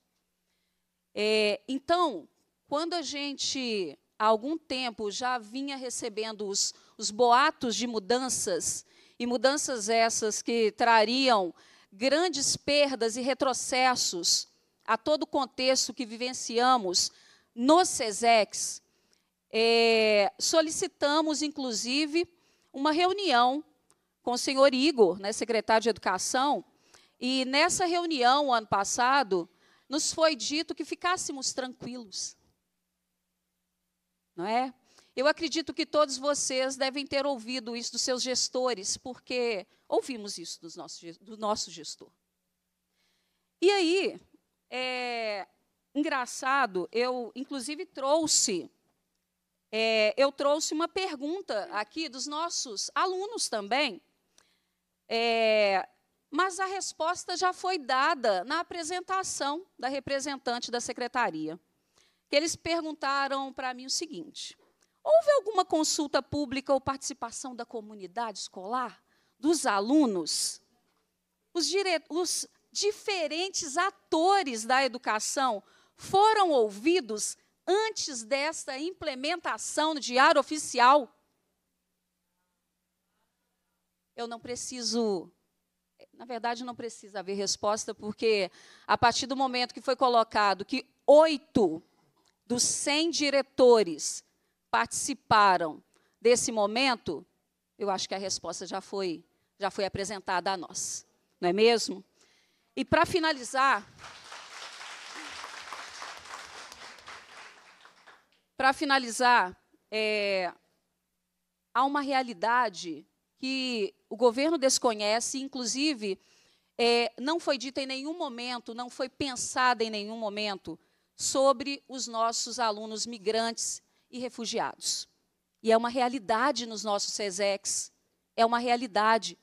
Atualmente, eu tenho três alunos que são migrantes.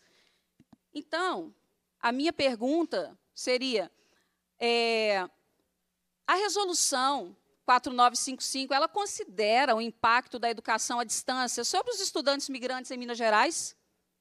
Existem medidas específicas para garantir que esses estudantes tenham acesso equitativo à educação e possam superar possíveis barreiras linguísticas culturais, tecnológicas, durante o processo de ensino, desse ensino remoto, que nós sabemos muito bem como ele funcionou.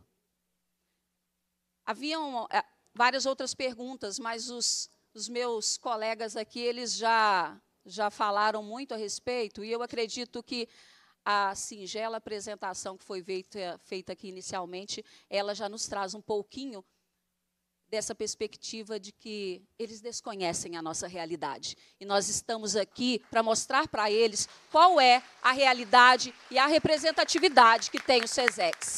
Obrigada. Eu que te agradeço, Shirley. Vamos ouvir o Leandro. O Leandro é diretor do SESEC de Divinópolis, está aqui conosco presencialmente. É, olá, gostaria de agradecer a presença de todos e todas, né, é, agradecer o convite por estar compondo a mesa e poder falar um pouquinho do, do SESEC, né? Eu sou diretor do SESEC em Divinópolis, né? Eu preparei uma, uma apresentação com algumas fotos do SESEC, mais para mostrar alguns, é, alguns projetos que a gente desenvolve na escola, porque acho que é importante a gente mostrar. Ah, tá. Gente, aqui, ó, eu, por que, que eu trouxe essas fotos? É, muita gente às vezes enxerga, né? Às vezes, muitas vezes a secretária enxerga o SESEC como uma unidade de certificação. É simplesmente o local onde o aluno vai chegar lá, vai tirar o diploma do ensino fundamental e ensino médio. O SESEC ele cumpre uma função social importantíssima. Né? Nós estamos lá, muitas vezes, para acolher esse aluno. Igual vocês colocaram aqui, alunos que estão, às vezes, 20, 30 anos. Né? Igual a colega ali colocou, 50 anos sem estudar. Então, o primeiro contato que ele tem, a luz, né? a decisão mais difícil da vida dele, ele tomou na medida que ele foi lá e fez a sua matrícula e, e vai realizar o sonho muitas vezes. A pessoa nem lembrava como era pisar numa sala de aula. Né? Então a gente tenta trazer para o aluno essa experiência que foi oportunizada para aqueles que puderam estudar dentro do tempo, mas para aqueles que foi negado a educação no tempo oportuno, a gente poder oferecer isso para eles também. Então, assim, sem demagogia, antes de apresentar as fotos, eu gostaria de dizer que eu amo a minha escola amo os meus alunos e os meus colegas de trabalho. E eu temo pela sobrevivência do CESE com esse novo modelo. Então, vou estar tá passando aqui para vocês. Então, o que? Mais do que o acúmulo de informações transmitidas por um professor, a educação presencial é a construção coletiva do conhecimento e desenvolvimento de habilidades emocionais e intelectuais. A educação presencial é crucial para os alunos que desenvolvem senso de coletividade e aprendizado para a vida. Durante o dia a dia, até mesmo pequenos conflitos e impasses podem ser oportunidades de aprendizagem, pois os alunos precisam construir soluções coletivas para garantir a convivência harmoniosa. Além disso, a interação com colegas e professores é fundamental para o desenvolvimento social e emocional dos estudantes, muito diferente de uma tela fria de computador ou do celular.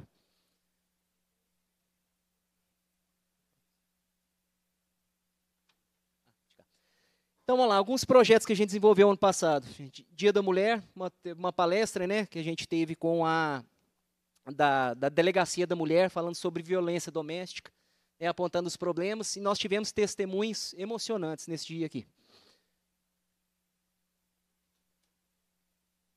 Aqui é, é, nós fizemos um evento sobre a cultura de paz nas escolas, né, com estudantes e profissionais da escola. Aqui, no Dia das Mães, homenagem ao Dia das Mães, tivemos show na escola, homenagens, leitura de poesias, palestra motivacional, desfile do aniversário da cidade, tivemos presente no desfile. Esse projeto, gente, projeto de matemática, jogando com a matemática, sensacional. Levamos os alunos até o FMG, no Museu da Matemática, depois desenvolvemos jogos matemáticos. Os alunos construíram os jogos dentro da escola. Né? Qual que é a oportunidade que o aluno teria que fazer? Isso aí no sistema online. Projeto solidário, fizemos parceria com as entidades filantrópicas, recolhendo doações de roupas, cobertores, sapatos, alimentos. Né? Então, o projeto social né, envolvendo os alunos, profissionais da escola. Festa junina, momento de interação com a comunidade. Está aqui na resolução. Né? A resolução não prevê essa questão da participação da comunidade. Qual que é a participação que a comunidade tem no sistema online? Produção de cartazes motivacionais. Gente, é um trabalho que a gente faz muito na escola. Trabalho motivacional, muitos dos nossos alunos chegam com a autoestima muito baixa, por anos sem estudo. Né, muitos acham, se acham inferiores a outras pessoas, e esse, esse trabalho do professor de sentar individualmente com o aluno, conversar com ele, incentivar esse aluno a continuar. Tinha aluno que queria desistir na primeira prova, que foi reprovado logo no início. Terminou ensino fundamental e o médio no SESEC e hoje está na faculdade. E muitos já passaram em concurso público. Mostra de talentos. A gente dá oportunidade para os alunos mostrarem seus talentos. Música, né, dança. Teve até uma menina que fez embaixadinha, tudo, né? É, apresentação de poesia. Participamos da caminhada, né, da, da Semana Inclusiva da Pessoa com Deficiência. Oficina de Libras, né? Nós temos, né? Está até aqui presente a professora daí, nosso professor, intérprete de Libras do SESEC, coordenou uma oficina junto com professores e alunos. SESEC no teatro, levamos os alunos, contratamos peça teatral para os alunos poderem ir lá acompanhar. Muitos alunos nunca tinham entrado no teatro. A gente ofereceu essa oportunidade para eles.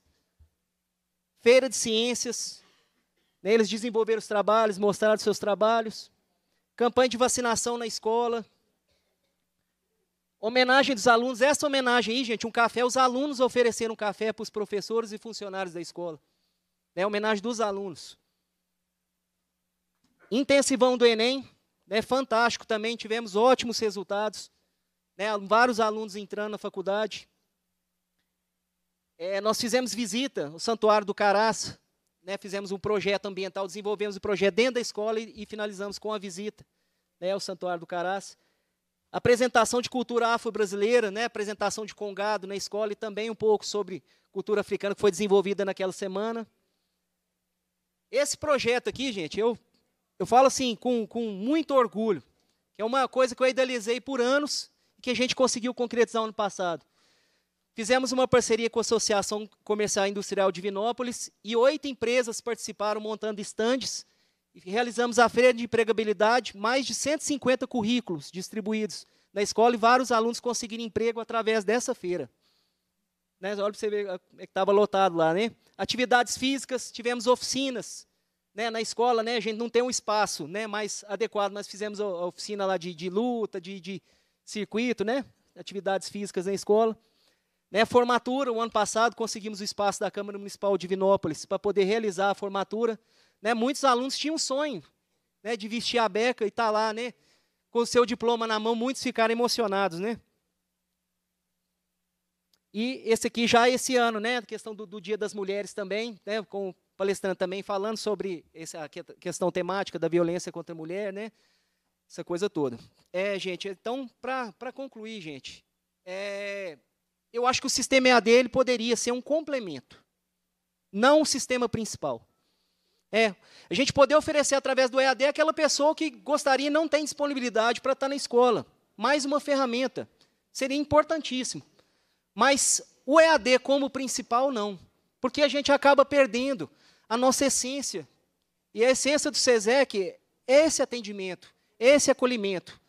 Né? Então, eu gostaria muito que isso continuasse né, que a gente não perdesse essa oportunidade que a gente oferece aos nossos alunos. Obrigado. Muito obrigada. Eu vou passar agora as considerações da Ellen, que é do SESEC de Brasília de Minas. Aí, depois da Ellen, a gente volta para uma participação virtual aqui da nossa sala remota. Boa Ellen. tarde. É uma satisfação, não só para mim, mas acredito para todos os meus colegas estarem aqui hoje. E eu queria agradecer a todos, mas em especial a nossa deputada Beatriz Cerqueira, hoje de manhã, mais cedo na fala, quando ouvimos a falar. E aí eu paro para pensar que essa casa é nossa. Infelizmente, o povo não consegue estar e legislar todos juntos. Então, os nossos deputados são a nossa voz. Cabe a eles falar as angústias, os desejos, os anseios que nós, povo, nós, população, temos. Entendemos também que é inerente ao Estado atender os interesses coletivos de todos, mas especialmente daqueles que estão em vulnerabilidade, que em algum momento pelas discrepâncias, pelas desigualdades, foram impedidos o acesso à educação, saúde, moradia. Essa audiência é de educação, e nós sabemos, nós professores carregamos um peso de uma frase de um professor que guia o nosso trabalho. Educação não muda o mundo. Educação não transforma o mundo, educação transforma pessoas. Pessoas transformam o mundo. E nós, professores, transformamos vidas e pessoas.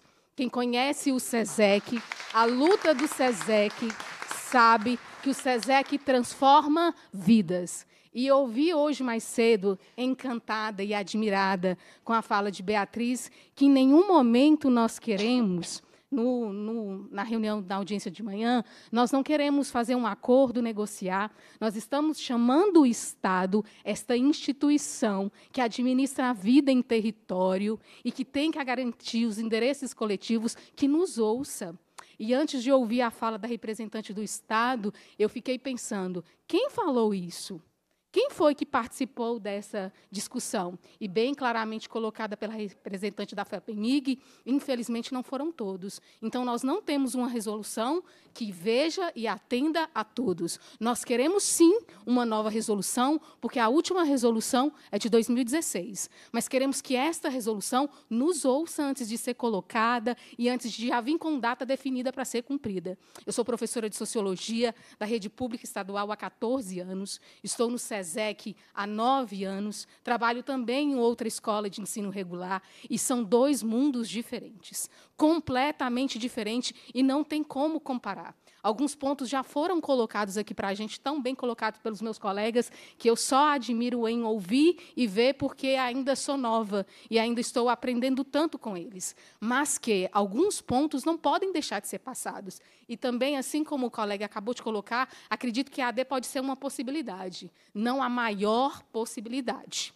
porque nós tratamos de pessoas com sérias dificuldades. Eu vou dar um exemplo que eu sei que é exemplo de vários. Na cidade de Brasília de Minas, é a cidade do norte de Minas. O SESEC de Brasília de Minas atende as cidades de Ubaí, Campo Azul, Lontra, Japonvá, São Francisco, é, Ponto Chique, Luislândia, Icaraí e todos os distritos do município de Brasília de Minas. E nós temos história de alunos que veem no SESEC a possibilidade de uma vida melhor. E assim como a colega falou da questão do prédio, nós também já estivemos nessa casa, através da nossa diretora, para lutar pela conquista de um prédio. E agora nós estamos em prédio próprio, lutando para que esse SESEC não seja precarizado, para que todos tenham oportunidade, especialmente aqueles que mais precisam de este apoio do Estado para atender os seus interesses. Essa aluna, ela mora no município, no distrito de Paracatu.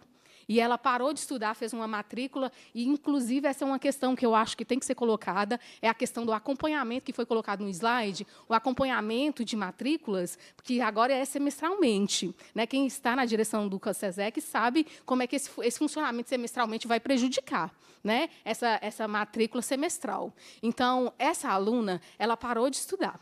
Né? Ela ia, quando podia, conseguir um emprego numa grande rede de supermercado que foi para a nossa cidade. E ela trabalha, vem no ônibus, trabalha cedo, e ela tem um horário de almoço para ir no SESEC fazer a sua prova. E aí ela vai rápido, leva já o plano de estudos pronto. A gente, eu falo porque ela está comigo agora em sociologia, faz a prova e vai embora porque ela precisa bater o ponto para ir. Aí vocês falam assim, ela poderia estudar na EJA regular. Mas uma pessoa que acorda às 5 horas da manhã para estar às 7 no trabalho e que sai de lá às 21 quando não faz depois do horário às 22, qual o tempo que ele vai ter para frequentar uma EJA regular, que o mínimo de frequência é 75%? Então, para esta aluna, a possibilidade dela é o SESEC. Ah, mas se colocar EAD, ela vai conseguir, porque ela vai colocar os trabalhos. EAD é uma ilusão. Nós vimos isso na pandemia com Conexão Escola, com ferramentas defasadas que muitos de nós, professores, não dávamos conta de usar. Muito menos o nosso aluno muito menos o nosso aluno. E cabe aqui também que foi passado para nós e orientado que nós deveríamos fazer o curso Google for Education, é, não é isso? Que todos nós estamos fazendo, tenho certeza aqui, porque foi colocado para a gente. E aí, eu que sou uma curiosa em tecnologia, consigo algumas coisas. Mas quem não tem essa curiosidade, essa facilidade, professor, não dá conta de aprender por aquele curso. Cadê uma formação presencial para ensinar a ligar o computador e mexer? Nós aprendemos na época da pandemia a lidar com conexão escola na marra, na força. E diferentemente do que alguns políticos em outros estados falam que professor trabalha por amor, nós não trabalhamos por amor, nós trabalhamos por dinheiro, mas com amor. E quando falamos de SESEC, falamos, além de vocação, de, pro, é, de profissionalismo, nós também falamos de um amor. Porque quando chega o aluno até a nós, vem um aluno que está desmotivado, um aluno que é, se sente com a baixa estima lá embaixo, que quer desistir e aí a gente é um atendimento individualizado, nós damos é, nós somos orientadores de aprendizagem, nós damos é plantão. Muitas vezes um aluno, minhas colegas estão aqui junto comigo, guerreiras, e sabem que tem aluno que muitas vezes precisa que a gente pega na mão dele. Nós temos o exemplo de Dona Maria e seu Antônio na cidade de Brasília de Minas, que eram analfabetos e conheceram o SESEC e hoje sabem ler e escrever e foram fundamental. Como pegar seu Antônio e Dona Maria do Carmo que querem aprender a ler e escrever para atuar na comunidade em que eles fazem parte da associação de um distrito, que ele ligue um computador e ele dê conta disso. E aí, a carga horária nossa? Quem é que vai pagar mais? Nós não temos direito à extensão no SESEC. E aí, como é que isso vai acontecer? Essas matrículas, o que esse aluno fez? Ele não deu conta. Eu vou dar outro exemplo com propriedade. Esse eu posso citar o nome Valdney. Ele é um caminhoneiro, parou de estudar. O sonho dele é passar em um concurso, só que ele não tem o ensino fundamental nem o ensino médio. Então ele viaja três meses, chega, faz uma semana que ele fica no, na cidade, ele faz as provas e os trabalhos que ele dá conta. Viaja mais três meses, depois ele volta. Nesse tempo, pode dar esse semestralmente, essa renovação de matrícula. E esse conteúdo que ele fez? E essas disciplinas que ele concluiu ou que está pela metade? Como é que isso vai ser colocado? Então, é, a representante do Estado que aqui está, nós não estamos aqui não querendo é, que sejam feitas modificações. Nós queremos, inclusive temos sugestões e palpites, mas que essa resolução seja feita ouvindo a todos, professores, alunos, ATBs, ASBs, diretor, toda a comunidade escolar, porque o SESEC é sim uma importante instituição que ajuda a diminuir a evasão escolar, inclusive para um projeto do governo que é Trilhas de Futuro, que houve hoje uma demanda muito grande, não sei se os colegas daqui conseguem é, notar essa demanda, porque eles queriam matricular no curso e para isso eles teriam que ter o ensino médio ou então estar cursando o ensino médio.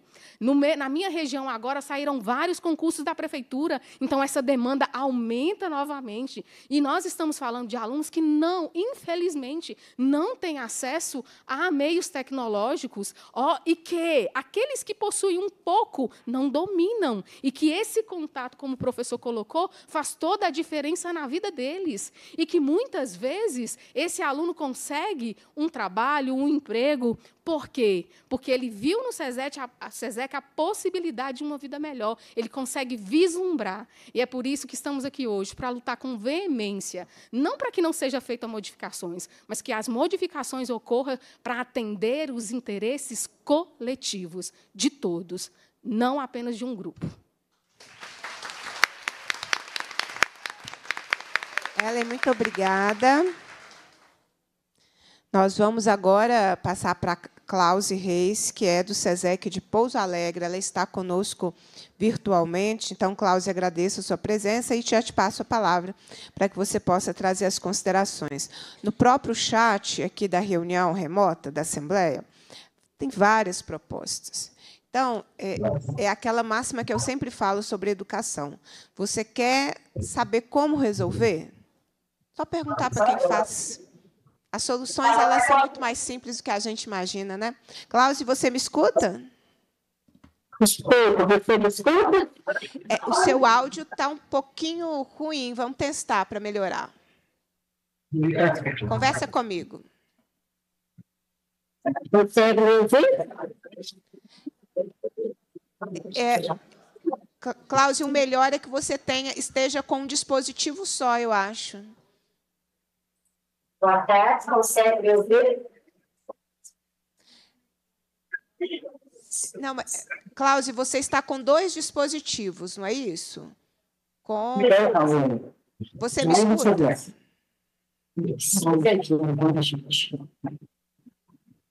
Gente, ninguém vai me ajudar aqui, não? Ó, a falta... É, Cláudio, você, está, você saiu do celular? Você está só no, no, no, no, computador? Boa tarde. Oi, Cláudia. É, fica só no dispositivo, ou celular ou computador, para a gente conseguir te escutar bem. Por favor.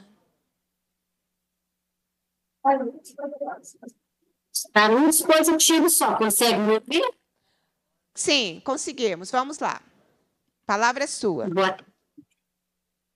Gostaria de agradecer a oportunidade. É, assino embaixo tudo que os colegas falaram a respeito do CISEX, né, tudo isso realmente. É, o nosso trabalho de inclusão desses alunos é um trabalho muito grande. A gente recebe as pessoas aqui na escola e, ao final é, da conclusão deles, a gente os alunos falando para a gente que ganharam uma nova vida ao terminar, né, ao passar pela escola, que eles não ficaram muito tempo fora de sala de aula, né, longe da escola, e que todo esse convívio com, com a escola é muito importante, muito bom para eles.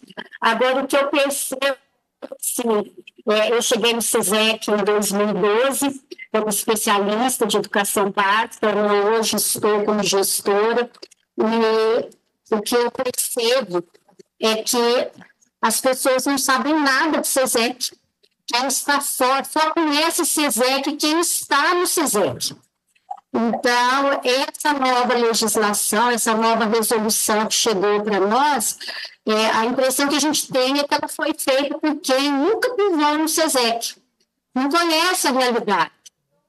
Porque no SESEC é tudo muito diferente do que acontece na escola regular. Nada é pensado na Secretaria Estadual de Educação, nada é pensado na realidade do SESEX. Então, tudo que se pensa, pensa no formato para a escola regular. E o SESEC vai ficando de lado para tudo. É, para se ter uma ideia, o SESEC, onde eu trabalho, ele funcionava bem no centro da cidade, próximo aos pontos de ônibus, né, de transporte coletivo, uma facilidade de acesso enorme para os alunos, tanto da cidade quanto das cidades vizinhas, porque a gente recebe aqui alunos de, de toda a, a, região aqui ao redor de Pouso Alegre, e, de repente, é, para a economia de gastos, o SESEC foi colocado para coabitar com uma outra escola no bairro da cidade, né? E aí a gente viu simplesmente o nosso número de alunos despencar de mais de 3 mil alunos para mil e poucos, 1.500, 1.600 alunos. Então foi uma redução drástica por conta disso daí. Então a gente vê que não se pensa no CESEX. Né? E agora, com esse EAD, a gente está chegando aí, né, a, a, gente fica pensando, o SESEC vai acabar, esses alunos vão ficar sem a oportunidade de estudar, porque eles buscam o SESEC, porque o emprego está cobrando dele, ele chega aqui e fala, preciso estudar, porque senão eu vou perder o meu emprego. Eu tive uma oportunidade melhor na minha empresa onde trabalho, mas eu não tenho ensino médio, então eu preciso fazer um ensino médio para conseguir conquistar essa oportunidade melhor dentro do mercado de trabalho. E a gente está vendo que isso daí vai né, tudo por água abaixo, porque a gente está vendo que o SESEC está caminhando para o final, para fechar as portas realmente. Né? Tudo no SESEC parece que é mais difícil. Eu estou vendo um colega que colocou ali né, na questão de é, vice-diretor. É, as escolas regulares, elas têm direito ao vice-diretor. Nós temos mais de 1.500 alunos matriculados, mas para ter direito a um vice-diretor, a gente precisa ter mais de 3 mil alunos. Então, por que, que para os SESECs tudo é mais difícil? Então, eu acho que essa resolução é, foi feita, mas as pessoas não pensaram como isso ia ser colocado em prática. Simplesmente fizeram a resolução, né, publicaram, vamos colocar em prática a partir de 2025, mas ninguém pensou como é que aquilo ali ia funcionar na prática. E aí a, a resolução chega, né, e a gente vai ler, estudar a resolução e a gente vê que é praticamente tudo que está sendo colocado ali é enviado de funcionar na prática. Então, é, é, a gente gostaria, né, o CESEC de Pouso Alegre, é, gostaria de deixar aí é, registrado é, a meu ver, essa resolução, ela precisava ter esses pontos que, que precisam ser mudados, ela precisava ela ser revogada mesmo, e se pensar uma outra resolução que fosse viável de ser aplicada, mas ouvindo né, o que a colega falou, todos os CESEX, que cada um possa dar sua contribuição, que seja uma, uma resolução que seja possível de ser colocada em prática, senão não adianta nada.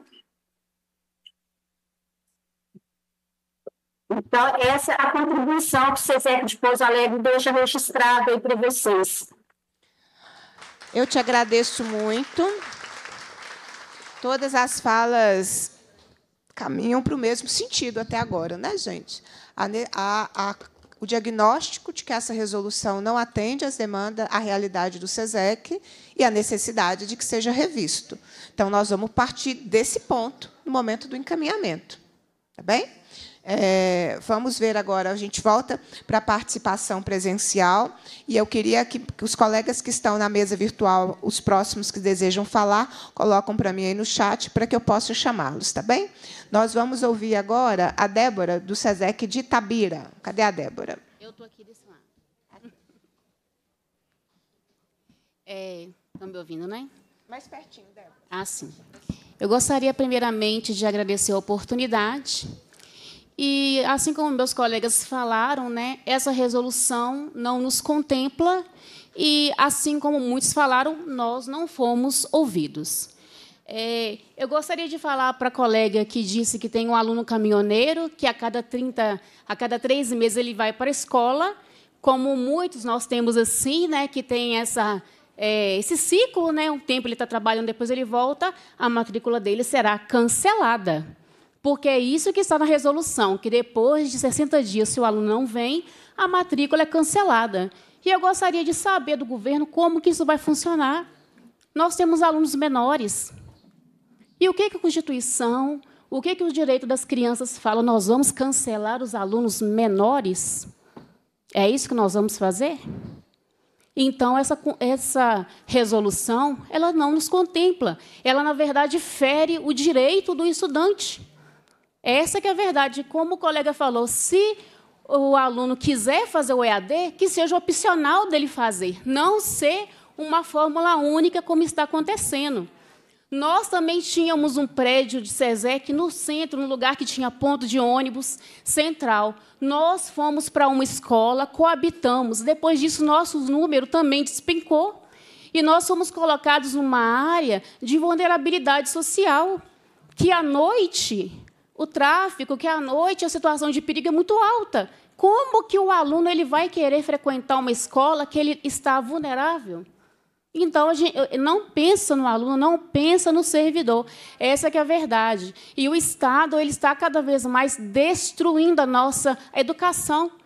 É fazer mais com menos. E quando no, no, no mês passado, o nosso número pela, pela resolução era de termos um quadro de nove professores, porque hoje o nosso número reduziu tanto que nós temos direito a nove. E aí, o gestor ele fez com que a gente dispensasse um professor e falou que nós vamos trabalhar agora é por área, não é mais por componente curricular.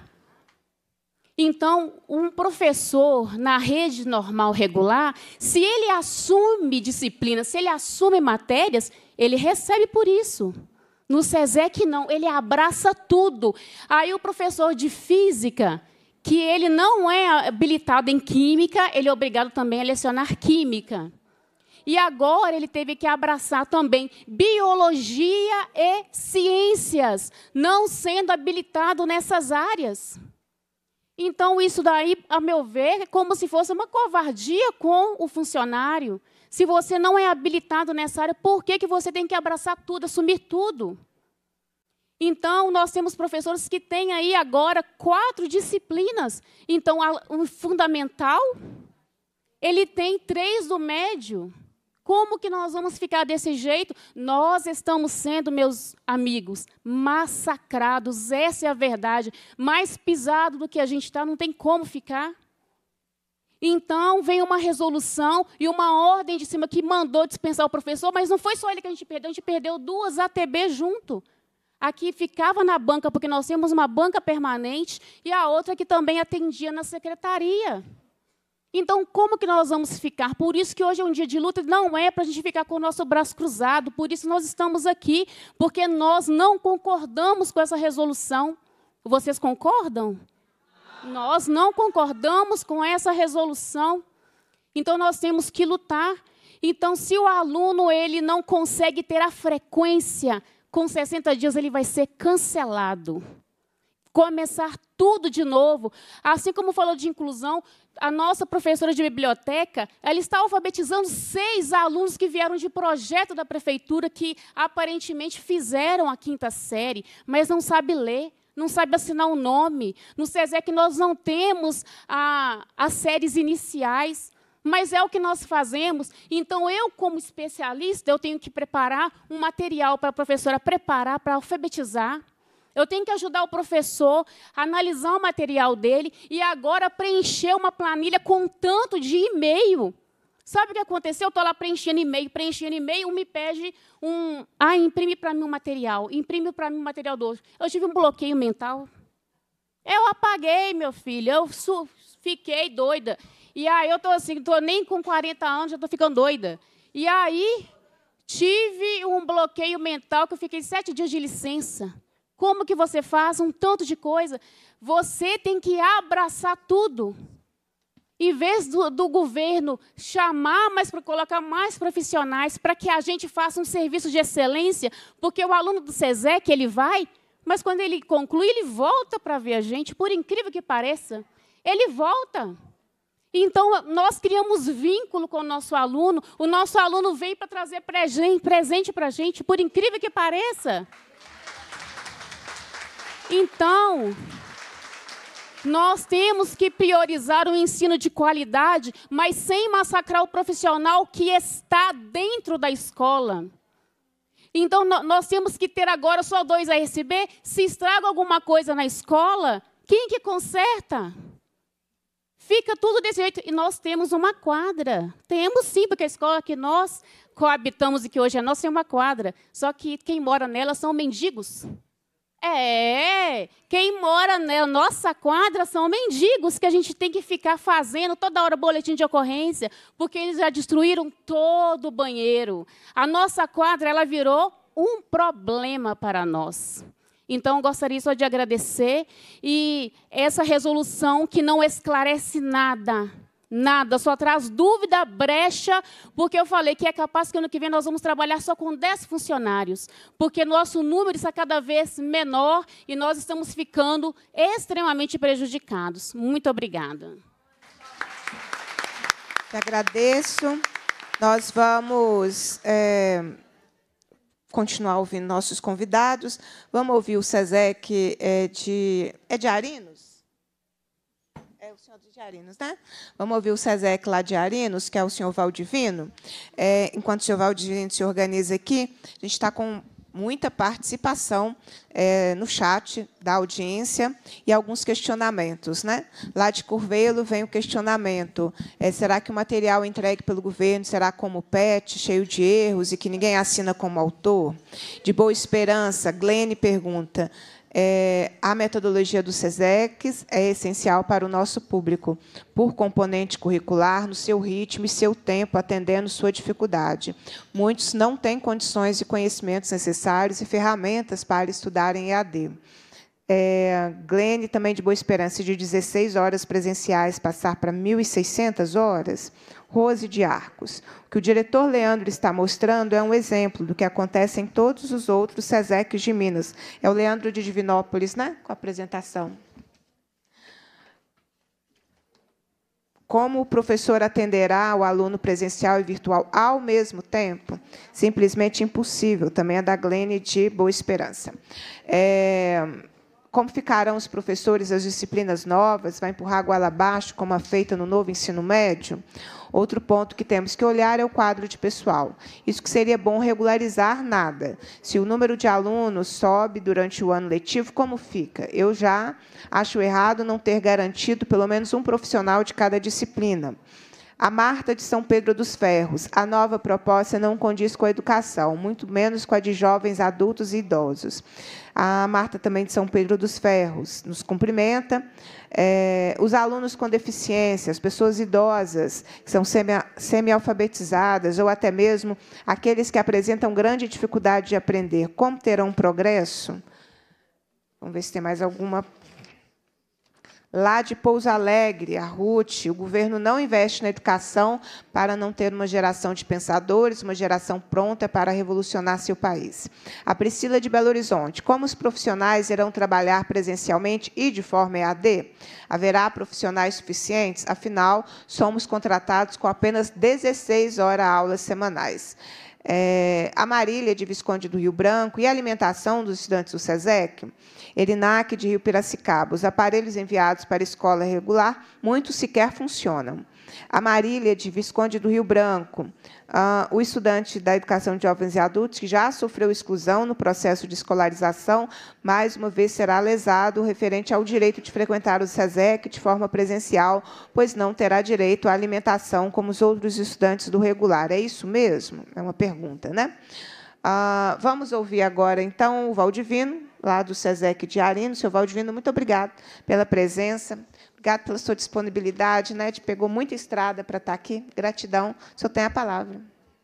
Obrigado, boa noite a todos. E eu queria agradecer é, é, a mesa, em nome da Beatriz, por ter aberto esse espaço para a discussão sobre o SESEX, porque esse espaço não existia, né? em primeiro lugar. Em segundo lugar, falar o seguinte, já foi se falado muito aqui, eu não vou estender minhas palavras. Né? é, cumprimentar ela mais uma vez, não só por isso, mas pelo empoderamento da, da mesa, né? empoderamento feminino. Parabéns a todas as mulheres aí. Né? É, as minhas propostas vão ser poucas, né? Vou falar o seguinte: o SESEC ele dá muito, aliás, a educação como um todo, ela prioriza mais disciplinas para saberes. Ela não prioriza disciplinas para conhecimento, para criticidade do ser humano. Então, a, a, a, as disciplinas da área de humanas e artes, elas contam com muito poucas horas de atividade. E isso faz com que o indivíduo não tenha poder de luta, poder de barganha, poder de palavra, poder falar o que ele sente, poder é, ser um sujeito de si, ser um sujeito crítico, com cognição. Então, é, é preciso que aumente um pouco é, o, o, as horas aulas para essas atividades, principalmente 10 horas aulas para o ensino médio de humanas e artes, é brincadeira, 10 horas aulas presenciais. Né? Isso é brincadeira. Tá? É, a gente propõe que, que, se aumente essa quantidade. Tá? É, no mínimo, que volte para o que era, né? mas de preferência que seja mais. Tá? É, uma coisa que eu não gostaria de, de que fosse levado para o lado errado é a questão da, das horas que os professores cumprem no, nos SESECAS. Né? Elas é, são bem maiores, são bem, a carga horária é bem maior do que os professores do ensino regular. Né? Então, é, a gente tem que olhar muito isso, porque é, a gente tem que ter horas de atividade para atendimento aos alunos mas a gente tem que ver que a gente também tem que ter direitos. E as 16 horas que a gente tem é 16 horas corridas, não é horas aula como o ensino regular, né? É bom que isso fique frisado e, e, e, o nosso horário de intervalo é a mais, são 50 minutos a mais além disso, né? É bom frisar essas coisas, porque o que você tem falado aí já, já foi suficiente para é, levantar o debate. Eu não quero aumentar muito isso aqui para não estender o tempo né, a, a, todos. Né? É só isso mesmo. Muito obrigado. Nós que agradecemos. Pessoal, tem vários questionamentos, né? É, que, segundo a Roseli, ela, ela teria alguns esclarecimentos. Eu vou passar para ela, para esses esclarecimentos iniciais, até porque pode subsidiar as próximas falas das pessoas que estão aqui, inclusive. Né? Então, vou, aqueles esclarecimentos que você quiser fazer, é, dos pontos né, que, Não. segundo ela, são de esclarecimentos, e a gente continua a escutar os nossos convidados, se for necessário, te passo de novo, e assim a gente vai finalizando, até finalizar a nossa audiência. É, tranquilo, obrigada, Beatriz. Eu venho trazer aqui alguns esclarecimentos. É, frente àquilo que eu anotei, que eu vi que era dúvida. É, por exemplo, quando eu falei dos Chromebooks, eu não estava falando de é, Chromebook para o estudante, entendendo que nós temos hoje no SESEC mais de 40 mil matrículas e realmente 1.677 não atenderiam, mas nós temos hoje é, no sistema 1.577 professores. Daí a, o quantitativo é referente né, ao número de profissionais que nós temos atuando no SESEC, um para cada professor, de modo a facilitar essa organização até para a postagem do plano de estudo no sistema. Essa é a, a nossa organização. Quando vocês falam, e houve o diretor que falou, eu não sei se foi a professora aqui, da, do opcional quanto ao EAD, é exatamente isso.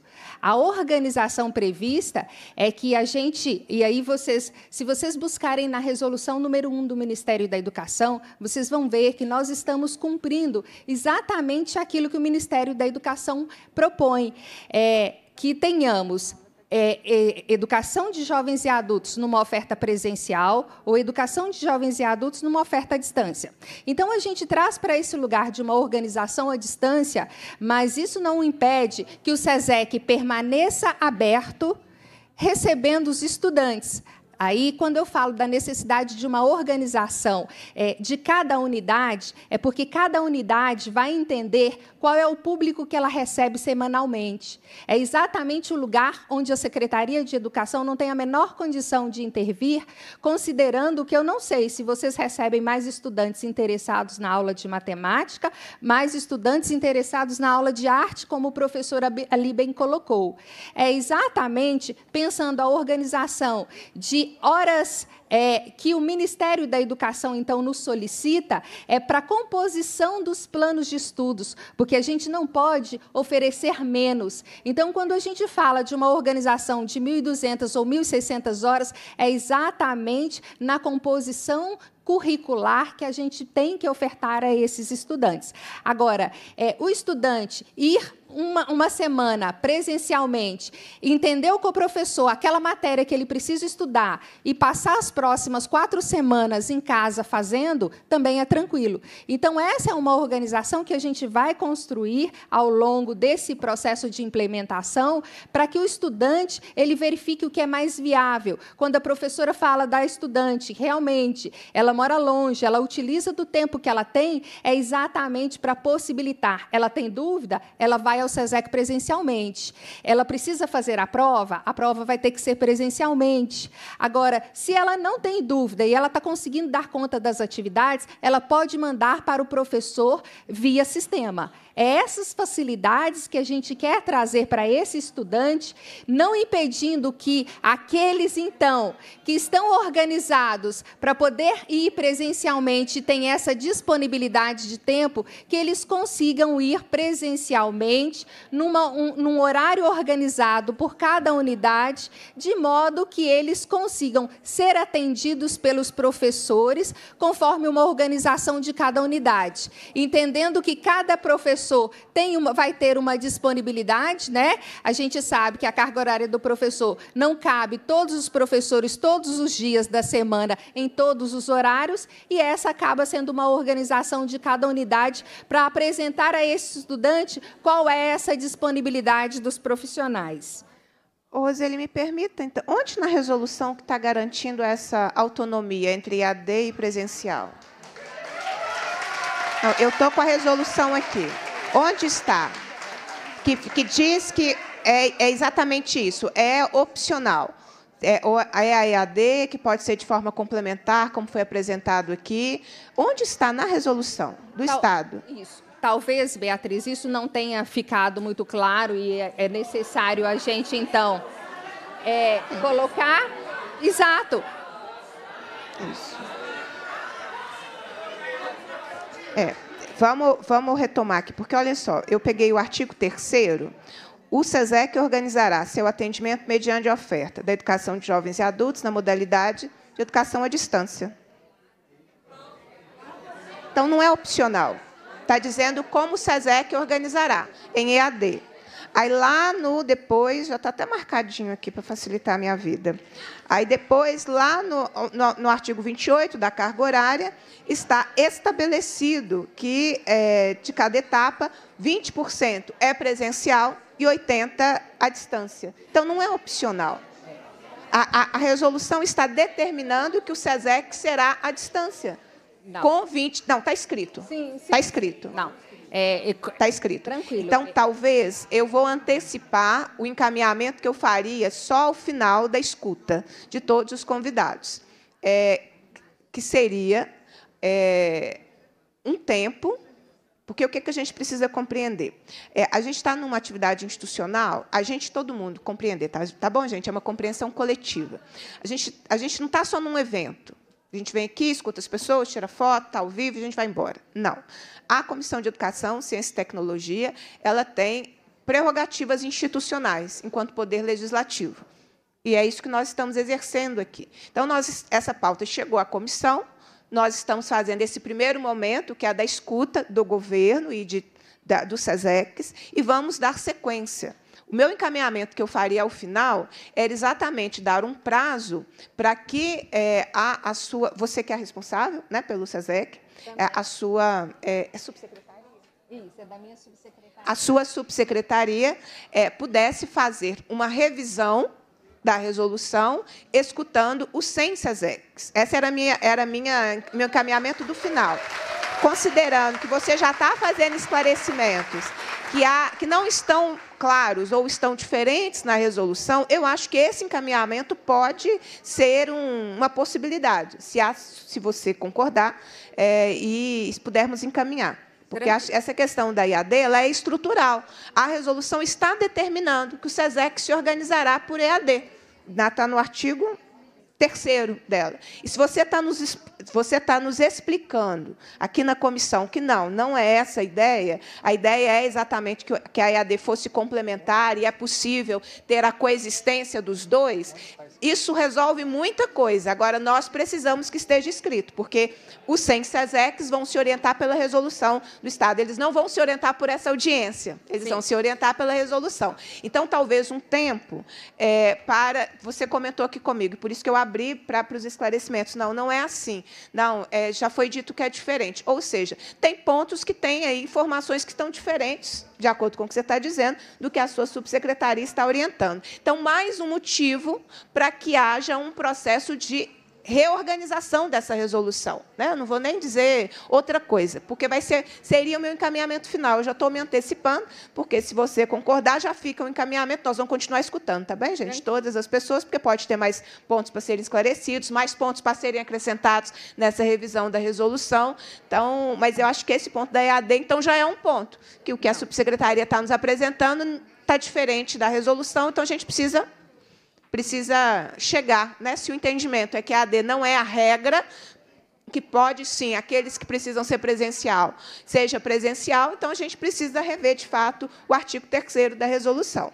Tranquilo, é, tá Beatriz. E aí, continuando essa, essa, é, essa orientação até do Ministério da Educação, na hora que as, as, o SESEC forem é, informar no Educacenso, eles vão ver que no Educacenso só existe a possibilidade da informação presencial, com 75% da carga horária cumprida, ou EAD. Então, o SESEC é, principalmente nos, é, no Educacenso, essa informação vai ser de educação à distância.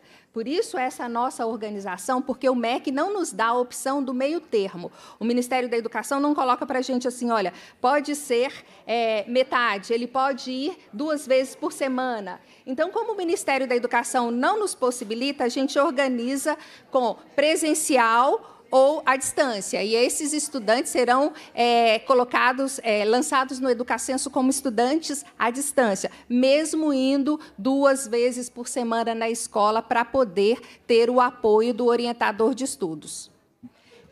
Mas a gente não poderia chamar o MEC e pedir para rever isso, não? Podemos. Vamos. Eu acho que é um outro encaminhamento. Assim, ó,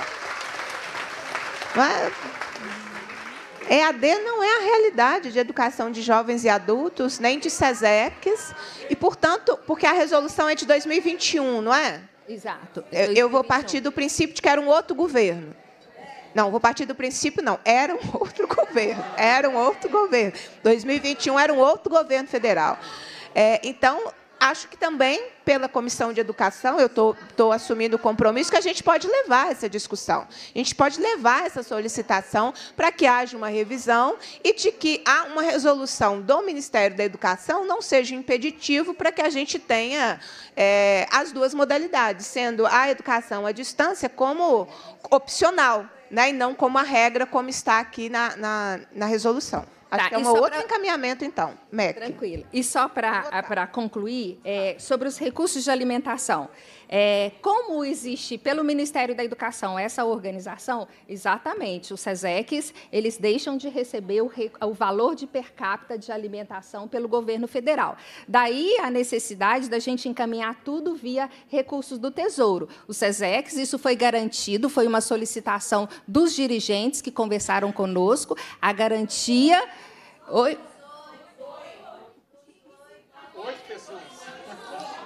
A garantia. Ah, eu entendi o que o pessoal está dizendo, que quando você fala é, dos dirigentes que, que dialogaram com você, eles estão lembrando que foram oito SESECs em 100. Isso. É isso, ah. não é? Oito em 100. Mas vamos lá. É, nessa organização para apresentação das para apresentação das é, dessa resolução, nós não conversamos ainda, se não me engano, com apenas 10. Com os outros 90 dirigentes, nós tivemos ao longo do mês de abril, eu apresentei é, o quadro é, com as reuniões que nós fizemos, com, se não me engano, 90 SESEC já. Agora falta apenas no dia 26 é, e no dia 29. Mas a pessoa, o que o pessoal está lembrando dos oito não quis dizer a esse momento que vocês estão informando os SESECs da nova resolução. Quis dizer, acho que do início da sua fala, quando você nos disse que para construir, para, para elaborar essa resolução, teve a participação de dirigentes de oito SESECs. Aí você sim, disse sim. com quais foram Exato. dialogados. Fizemos, é desse momento é. antes da resolução, porque agora você, você, o governo, a secretaria, está indo pedindo ao SESEX apresentar a resolução. Então, é um momento posterior da regra já estabelecida. Então, essa é a, é a divergência ali. Não, tranquilo. E aí, é, só para esclarecer que os recursos de alimentação eles permanecem, eles não foram, é, as escolas não vão deixar, o SESEC não vão deixar de receber os recursos de alimentação. E quanto ao desenho de quadro de pessoal, que a professora também ali questionou, esse desenho ele não existe. A gente tem um quadro de pessoal desenhado é, na resolução do ano passado e o de 2025 ele ainda não está é, é feito, professora. Então, é, essa é uma organização de quadro de pessoal que a gente ainda está, é, vai desenhar exatamente para atender todas essas especificidades conforme essa nova organização. Eu preciso que você pergunte no microfone, porque senão é como nem tá, é importante falar? que seja ah, microfone. É, então, eu gostaria de saber por que, que o superintendente dispensou o nosso professor junto com mais dois servidores, já que não está em vigor. Porque no dia que a gente teve uma reunião, nós falamos na reunião, não está em vigor, e ele falou que estava. Então, ele dispensou, fez a gente dispensar a professora junto com mais duas ATBs. Então, uma resolução que tem tantas dúvidas e que nem os superintendentes estão entendendo, não dá para entender o que está acontecendo. Deixa eu só acrescentar uma dúvida que me surgiu. Essa resolução que nós estamos debatendo aqui na audiência, ela está em vigor? Ainda não. Não. Gente, mas vamos lá. Então, ela entra em vigor quando? 25. Olha só. Não, é uma pergunta para você. Essa resolução entra em vigor quando? É uma Pessoal, pergunta objetiva. toda, toda a organização ela está sendo construída exatamente agora, porque para tudo isso que a gente trouxe, é, a gente tem que ter sistemas que funcionem, onde esses cadastros podem ser feitos, dar acesso aos estudantes, dar acesso aos professores. Então, a implementação ela vai acontecer de forma gradativa, mas em 2025 é que ela passa a vigorar nessa organização. Roseli, onde está escrito isso? Está escrito. Deixa Sim, é, é, gente, mas é porque é um processo, a gente precisa ir avançando. Qual artigo da resolução que tem esse calendário de progressividade?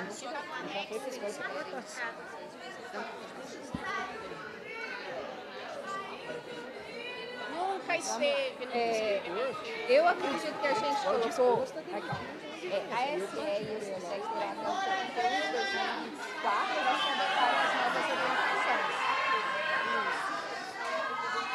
Sua publicação. Por isso, a adequação de sistema, de organização. Mas até 31 de dezembro, a gente, eles vão poder se organizar. Ela está mostrando aqui o artigo 74 da resolução, que a, a Secretaria e o SESEX terão até o 31 de dezembro de 2024 para se adequarem às novas orientações dispostas nessa resolução. Mas esta resolução, ela entrou em vigor no dia 5 de fevereiro de 2024, porque é por isso que eu fiz a pergunta. É, essa resolução ela está em vigor. Sim. Ponto. Como é que eu sei sobre isso? Porque o artigo 77 da resolução, que é assinada pelo secretário de Estado da Educação, está escrito: esta resolução entra em vigor na data da sua publicação. Qual foi a publicação?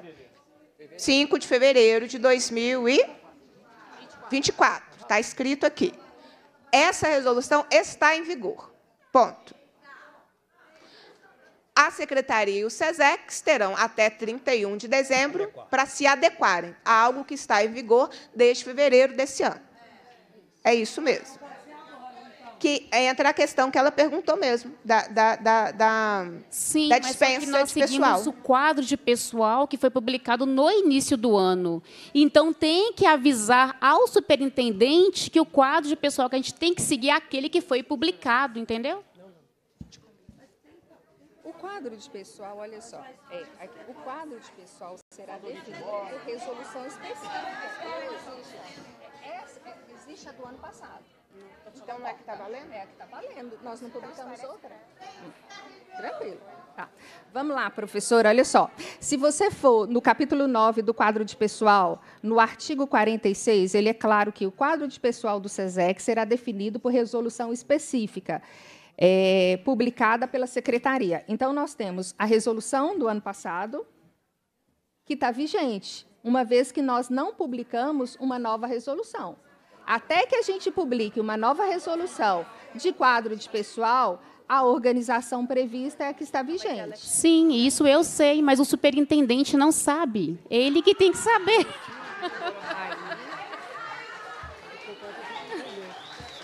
Isso tem que ser avisado para o superintendente da SRE de Nova Era, porque ele que falou que não era essa resolução que deveria seguir.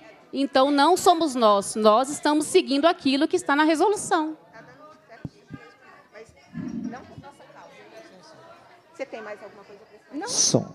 Gente, vamos continuar, porque eu acho que as, os esclarecimentos nos deu subsídios aí para continuar com as próximas intervenções mesmo, tá bem? É, vamos ouvir agora. Gente, eu vou perguntar para o pessoal que está na, na, sala virtual, quem deseja fazer uso da palavra. Enquanto isso, é, a gente vai chamar aqui o José Anselmo, que é do SESEC de Campo Belo. Cadê o José Anselmo? Por favor. Depois, Adriana. Boa tarde a todos. Tá?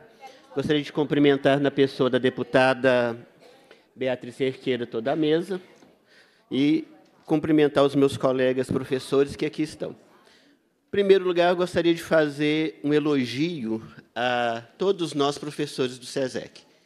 A minha gestora ela diz que nós somos professores por excelência, porque na escola regular eu preparo uma aula, eu preparo conteúdo para aquele dia e ali, entre aspas, eu dou um show. Eu falo, eu explico aquele conteúdo que eu preparei. Nós, professores do SESEC, temos que estar preparados para todos os conteúdos da nossa matéria. Todos. Porque chega um aluno num módulo, chega outro aluno no outro módulo, chega outro aluno no outro módulo, e a gente tem que estar preparado ali para sanar aquela dúvida.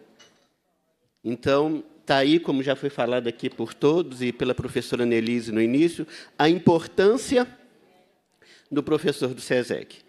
Gostaria de referendar essa importância também das aulas presenciais, porque nossa cidade, Campo Belo, uma cidade de médio porte, nós atendemos várias cidades no entorno e muitas pessoas da zona rural, que às vezes sai lá do seu trabalho depois de um dia de tarefa e vai para a escola para poder aprender alguma coisa e sim mudar a sua vida. Né? Alguns questionamentos que foram feitos à representante da secretaria, e eu gostaria de deixar assim essa grande preocupação, né? Porque hoje, como a colega que é especialista aqui disse, nós também lá em Campo Belo não foi permitido a gente contratar mais professores. Eu sou professor de português, estou atendendo inglês, estou atendendo artes, no momento que eu estou na sala de aula. E aí como que fica? E tem dia que, dependendo do número de alunos que vão presencialmente, eu fico sem saber o que, é que eu atendo primeiro. E ainda vou ter que atender virtualmente, dentro da sala de aula, né? com o Chromebook. No tempo da pandemia, nós tínhamos, nós atendemos os alunos, eu atendi com o meu celular, o governo Zema, o governo, a Secretaria de Educação, não deu celular e não pagou a internet para a gente. E tinha aluno que mandava mensagem no domingo, 8 horas da noite, se eu não respondesse, ele mandava uma mensagem para a superintendência denunciando que o professor não quis atendê-lo. No domingo, 8 horas da noite. Nós vamos voltar a isso? Nós vamos voltar, e, e a internet era minha. Né? Nós, nós vamos voltar a isso com, essa, com, com esse EAD? Bom, a história esclareceu em um ponto, porque quando eu li, eu vi que realmente era ponto pacífico. 80% do, do atendimento só é AD e 20% normal. Só está falando agora que não, que vai haver uma, uma flexibilidade nisso. Mas isso não está presente no que está escrito. Bom, eu, como professor de português, acho que eu sei interpretar bem. E eu não consegui entender essa flexibilização.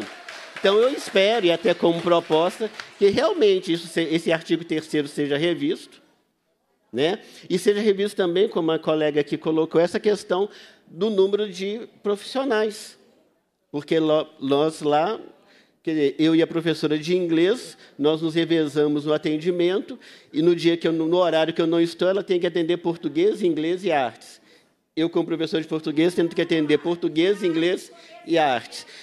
Se o, se o, aluno chega lá, eu não tenho habilidade no inglês, não tenho habilitação, entendo um pouco, mas se o aluno chega lá e me pergunta, eu não sei responder.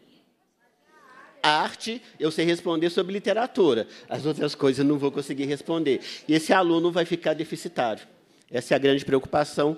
Muito obrigado. Acho que te agradecemos muito. É, pessoal, vamos seguir aqui. Agora a gente vai ouvir Vamos ouvir o Jefferson de Curvelo. Cadê o Jefferson? Curvelo. Bem-vindo, Jefferson. Oh, eu ia falar que era. Eu, eu, eu troco, gente. É um Boa noite a todos. É, agradeço mais uma vez, na pessoa da deputada Beatriz Cerqueira, por ter aberto essa oportunidade. É, acho que de toda, toda a história do SESEC, o SESEC nunca foi ouvido e, e essa, falava com os colegas, essa é a grande oportunidade para que o SESEC se manifestem. Nós hoje estamos ouvindo, é, quem, tá, quem não conhece o SESEC, hoje está tendo a oportunidade de saber qual é a realidade do SESEC. É, as resoluções são feitas por pessoas que não que desconhecem o chão do SESEC, as, as orientações são feitas por pessoas que sequer passaram nas, na porta de uma escola onde o, o pessoal do SESEC trabalha, onde os alunos do SESEC estudam. Estamos vendo situações é, tristes de coabitação, é, escolas foram mandadas para a periferia. Não que a escola não tenha que estar na periferia, a escola tem que atender a todos, mas precisamos também olhar a questão do acesso, acessibilidade dos alunos. Meu SESEC, o nosso SESEC lá em Curvelo, nós estávamos na periferia e nós fomos levados para o centro. Nosso caminho foi o contrário. Porém, de uma forma onde as duas escolas elas não conseguem se entender, porque é como se uma estivesse tirando o espaço da outra. Então, a coabitação ela é um, um, um pesadelo na vida dos SESECs. Então, nós temos essas diversas situações. Mas aqui, né, gostaria de enfatizar duas coisas que eu gostaria muito que a deputada pudesse colocar enquanto encaminhamento. A primeira é a revisão não só do artigo 3 mas a revisão total dessa resolução, ouvindo os SESECs, ouvindo os profissionais, ouvindo os professores, os alunos. Aqui também de Curvelo nós temos dois alunos que vieram conosco, estão aqui nos dando apoio. É, no ano de 2022, é, nós foi falado aqui, né, de, de pessoas, de alunos é, já na terceira idade estudando. No SESEC de Curvelo formou no ensino médio um senhor com 86 anos. Em 2022. Inclusive, foi para a mídia. No ano passado, a Secretaria de Estado esteve lá em Curvelo fazendo uma reportagem com um aluno da zona rural, e foi destaque para o governo. Né?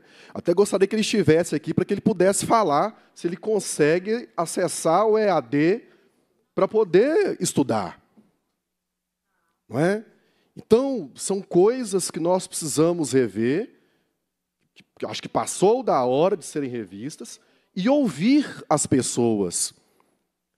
Os oito diretores que foram ouvidos, é, eu conheço alguns que disseram assim: as propostas que nós levamos não foram lidas.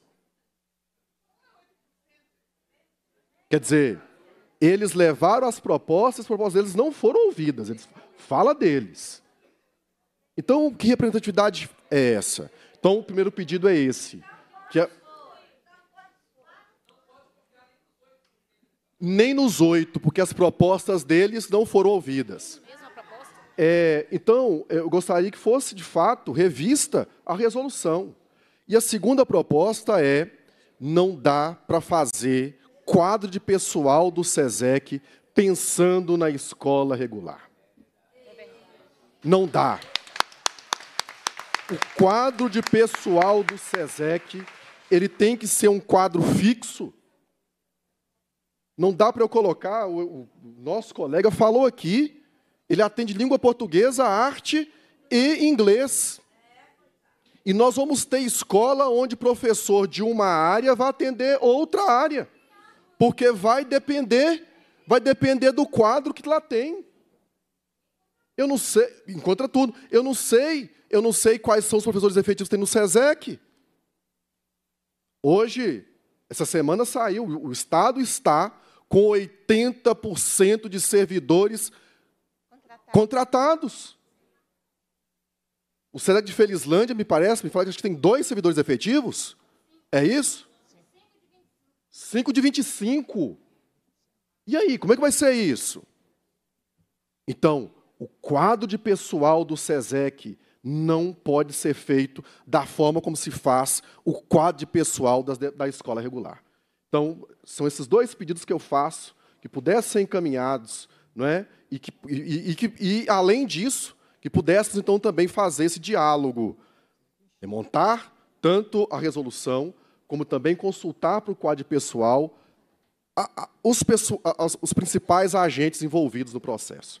Muito obrigado. Obrigada. Eu que te agradeço. Nós vamos ouvir agora a Pode ser a Kátia, lá do SESEC de Felixlândia. Gente, enquanto isso, eu vou fazer a pergunta de novo. Se tem mais alguém que está com a gente virtualmente, que gostaria de fazer uso da palavra, me conta aqui no chat, ou levanta aquela mãozinha virtual, para a gente passar a palavra também, tá bem? Boa tarde a todos presentes. cumprimento a mesa na pessoa da Beatriz. E eu gostaria de iniciar fazendo uma pergunta. A senhora Roseli, representante do governo, ah, eu há 20 anos, desde que eu pisei o solo da educação, com 23 anos, eu trabalho com educação de jovens e adultos. No SESEC, eu estou desde 2015. Hipoteticamente, se a senhora estivesse dando aula e chegasse um aluno, você iria falar para ele: olha, a sua carga horária de 25% completou, vai embora? Você falaria isso com o aluno? De aula presencial? Você falaria isso para ele? Porque na resolução está aqui que o aluno ele vai ter direito só a 20% presencial. Na realidade, gente, o que, que ocorre? O governo sabe que os alunos não irão fazer nada na conexão. Vai aumentar a carga de trabalho nosso, enquanto educador. Porque os alunos eles irão todos os dias para a escola e nós não iremos poder falar para eles que os 20% que diz direito a eles, eles terão que ir embora. Nós vamos afugentar o nosso aluno? A nossa diretora vai afugentar esse aluno? Porque aqui está aqui, ó. Eu sou professora de geografia do ensino fundamental, geografia do médio e de sociologia. Eu tenho 15 planos de estudos. 15, são cinco de cada um. Lá. Porque uma das coisas que eu peço à senhora para rever com o governo, esse artigo 46, tem que rever do plano de cargo do nosso SESEX. Não existe isso, gente. Em contrapartida, eu tenho colegas que estão apenas com um conteúdo. Porque eu sou da área de humanas. Aposentou um servidor lá. Tudo está indicando que o ano que vem vai vir para mim. E na resolução, aí vai vir mais filosofia do fundamental, do médio. Esse ano tentaram, eu briguei, não aceitei, eles convocaram uma pessoa. E eu fui afastada, porque eu estou cursando mestrado agora, eu fui afastada esse ano. Que eu falei que eu não aceitava mais um componente curricular para mim. Porque na resolução fala que é por área. Mas na prática, no solo do SESEC, não tem nada de área. Você tem que fazer um plano de estudo para a geografia do fundamental, um plano de estudo para a geografia do médio, para a sociologia. Na prática, é por componente curricular. Eu já tive 15 alunos atendendo ao mesmo tempo presencial no SESEC. Eu assisti uma live da Denise, inclusive a diretora do SESEC Valadares fez uma pergunta para ela, o seguinte. É, esses novos componentes curriculares, projeto de vida, eletivas, como que vai acontecer? Sabe o que, que ela respondeu? Eu fiquei super indignada. Ah, mas é só uma atividade, não custa nada o professor fazer. No regular, no regular, esses conteúdos eles entram como extensão de carga horária. Para qualquer professor que eu também trabalho no regular. Agora, para nós, o SESEC tem, Beatriz, também uma cláusula que fala os servidores do SESEC, professores orientadores de aprendizagem, não se aplica extensão de carga horária. Lá fala que é por área. Por área, mas se eu ficar doente, eles vão lá e convocam um professor de sociologia ou de geografia. Mas, para mim, eu tenho que estar lá com aquele componente todo. É isso que eu não consigo entender. Então, na prática, os alunos não irão acessar nada de conexão, vai ser um ou outro. Mas nós vamos ter que estar tá colocando atividade lá, porque é obrigatório estar lá. Nós vamos ter que estar tá alimentando o DED e atendendo um aluno presencial. E outra coisa, porque no pensamento da secretaria de muitas pessoas que nós não temos alunos do SESEC, que professor de SESEC não trabalha. Eu tenho uma aluna, eu não, né? Agora a pessoa que está é, me substituindo, ela iniciou lá aprendendo a ler e escrever. Ela está no ensino médio, igual a colega colocou aqui. Ela vai para a aula todos os dias. Todos os dias. E quando ela pode, ainda vai de manhã. Aí eu vou chegar para ela e falar assim: olha, mas a carga horária da senhora é 80% online. 80% é AD, então senhora vai fazer tudo em casa. A senhora vai que, sem tirar dúvida, ela, ano passado, comigo, ela conseguiu fazer dois módulos. Ela gastou umas 80 horas. Aqui em horas aulas de geografia, está aqui, se não me engano, 20 horas aulas. E antes nós dávamos, né, era 16 horas aulas relógio, com confusão isso, né? 16 horas relógio, do regular é horas aulas. Que por isso que diz que nós não podemos ficar cada um com um componente curricular. Então tem que rever essa questão do quadro de horário aí. Eu sou habilitada, concursei para SESEC Geografia. Não, mas aqui é a área, você vai pegar tudo isso, você assinou a remoção e você vai pegar tudo isso aqui. Outra coisa, Beatriz, é a maior dificuldade. Não está ocorrendo a remoção de SESEC. Meu SESEC só tem professor efetivo três. Não estou fazendo remoção. Isso é ruim para nós, enquanto SESEC, para darmos continuidade ao nosso trabalho. Um ano tem um professor, no outro é outro professor, outro é outro professor, especialista também. Então, há um sucateamento da educação e do ensino no SESEX. Tem que dar continuidade, tem que ter servidor efetivo, sim, no SESEX. Educação de jovens e adultos, que tem que ter esse acompanhamento, sim, é uma realidade. Então, assim, a, a, o meu questionamento é esse rever quadro de, de, de, de, servidores, porque a resolução, Beatriz, fala o seguinte, que é por número de alunos, até 250 alunos, oito servidores, que eu li esse trem de cima a baixo. A partir de 301 alunos, nove servidores, não professores, desculpa, estou falando do magistério. Nove professores. E aí vai aposentando, igual lá no meu que vai aposentando, não, agora vai para você, que eu tô, tá lá, dizendo que eu vou receber história e filosofia. É por área, mas na prática, não. Beleza, é por área? Então vou fazer só um plano de ciências humanas, ótimo. Aí, beleza. Então, beleza, eu vou fazer um plano, igual vem no Enem, no Enseja, o plano de ciências humanas. Não coloca para mim componentes curriculares, porque eu estou lá lotada como por área, segundo a secretaria, né? Então, eu acho que tem que rever essa questão toda aí. Era só isso. Muito obrigada. Vamos ouvir agora a Adriene, que é do SESEC de Contagem. Depois eu vou passar para a Marcilene, que está conosco virtualmente, tá bem? Adriene, bem-vinda. Obrigada. Deixa eu só achar aqui uma coisinha. Olá, pessoal. Meu nome é Adriene. Mais pertinho, mais pertinho. Mais perto, que eu já falo baixo, né? Meu nome é Adriene. É, eu sou professora de História do SESEC Clemente Faria, que fica aqui pertinho, né? Considerando a todas as outras regiões do Estado em contagem. Né?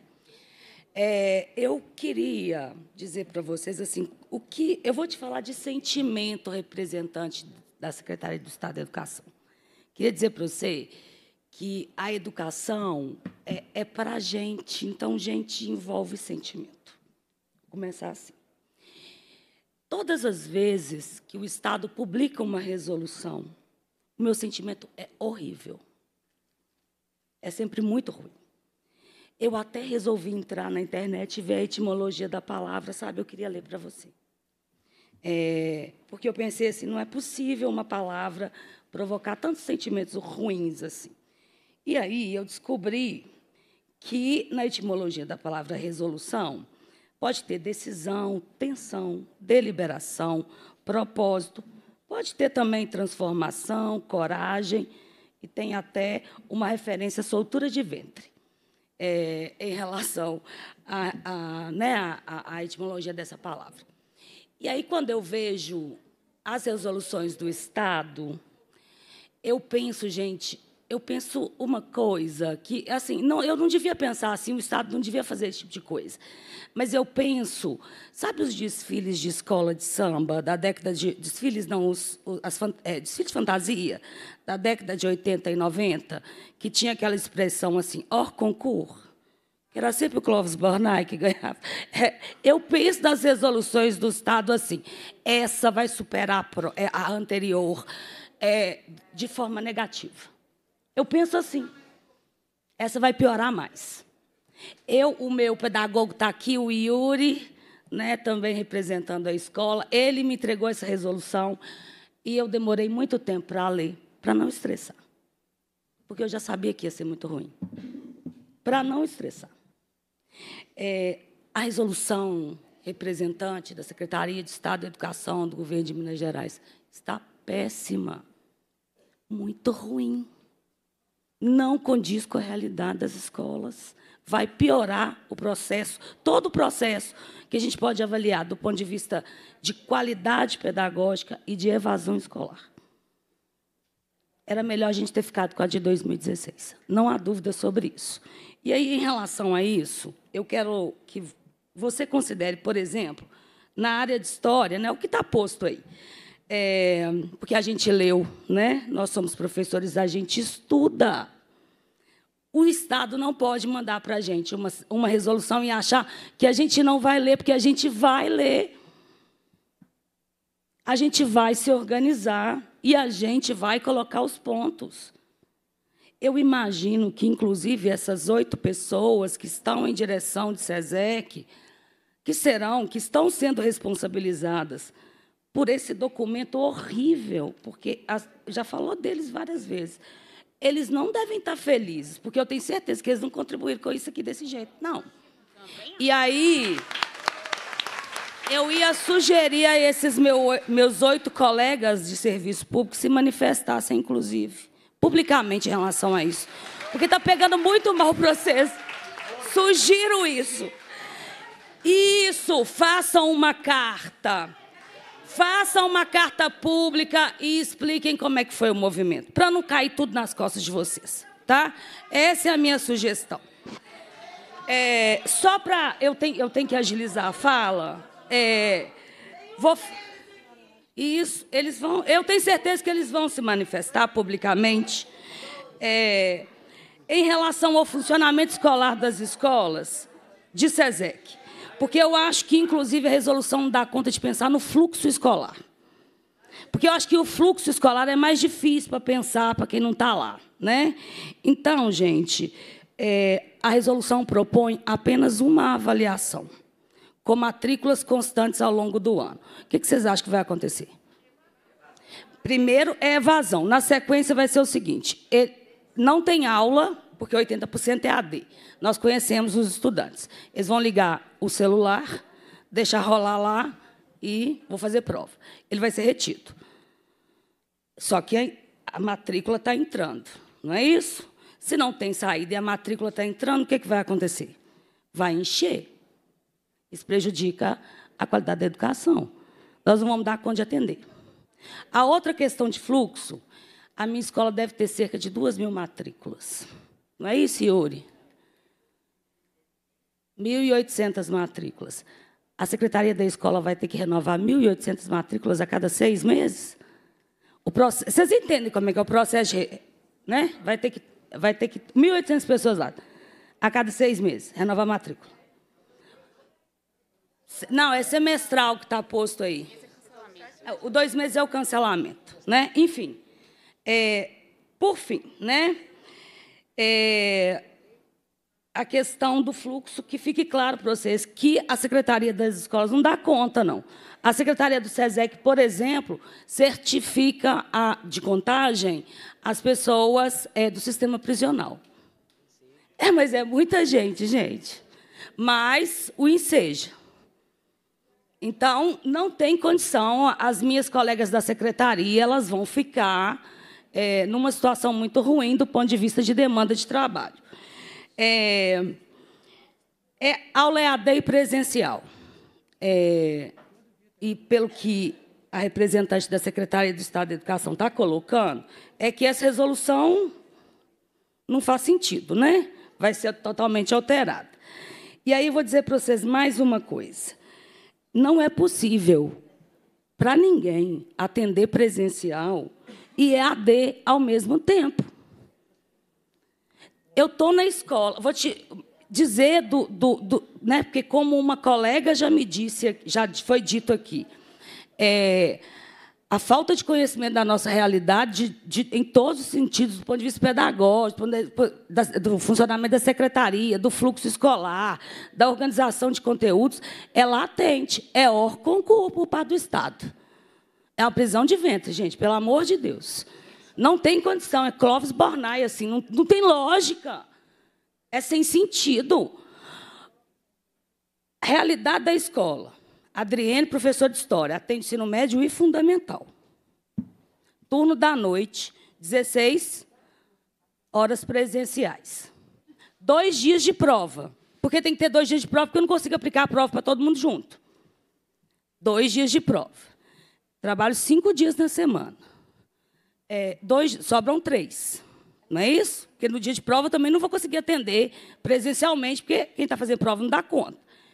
Sobram três dias. Se eu tirar um dia para atender AD, com mil e tantas horas, esse estudante não vai formar nunca. Né? É isso.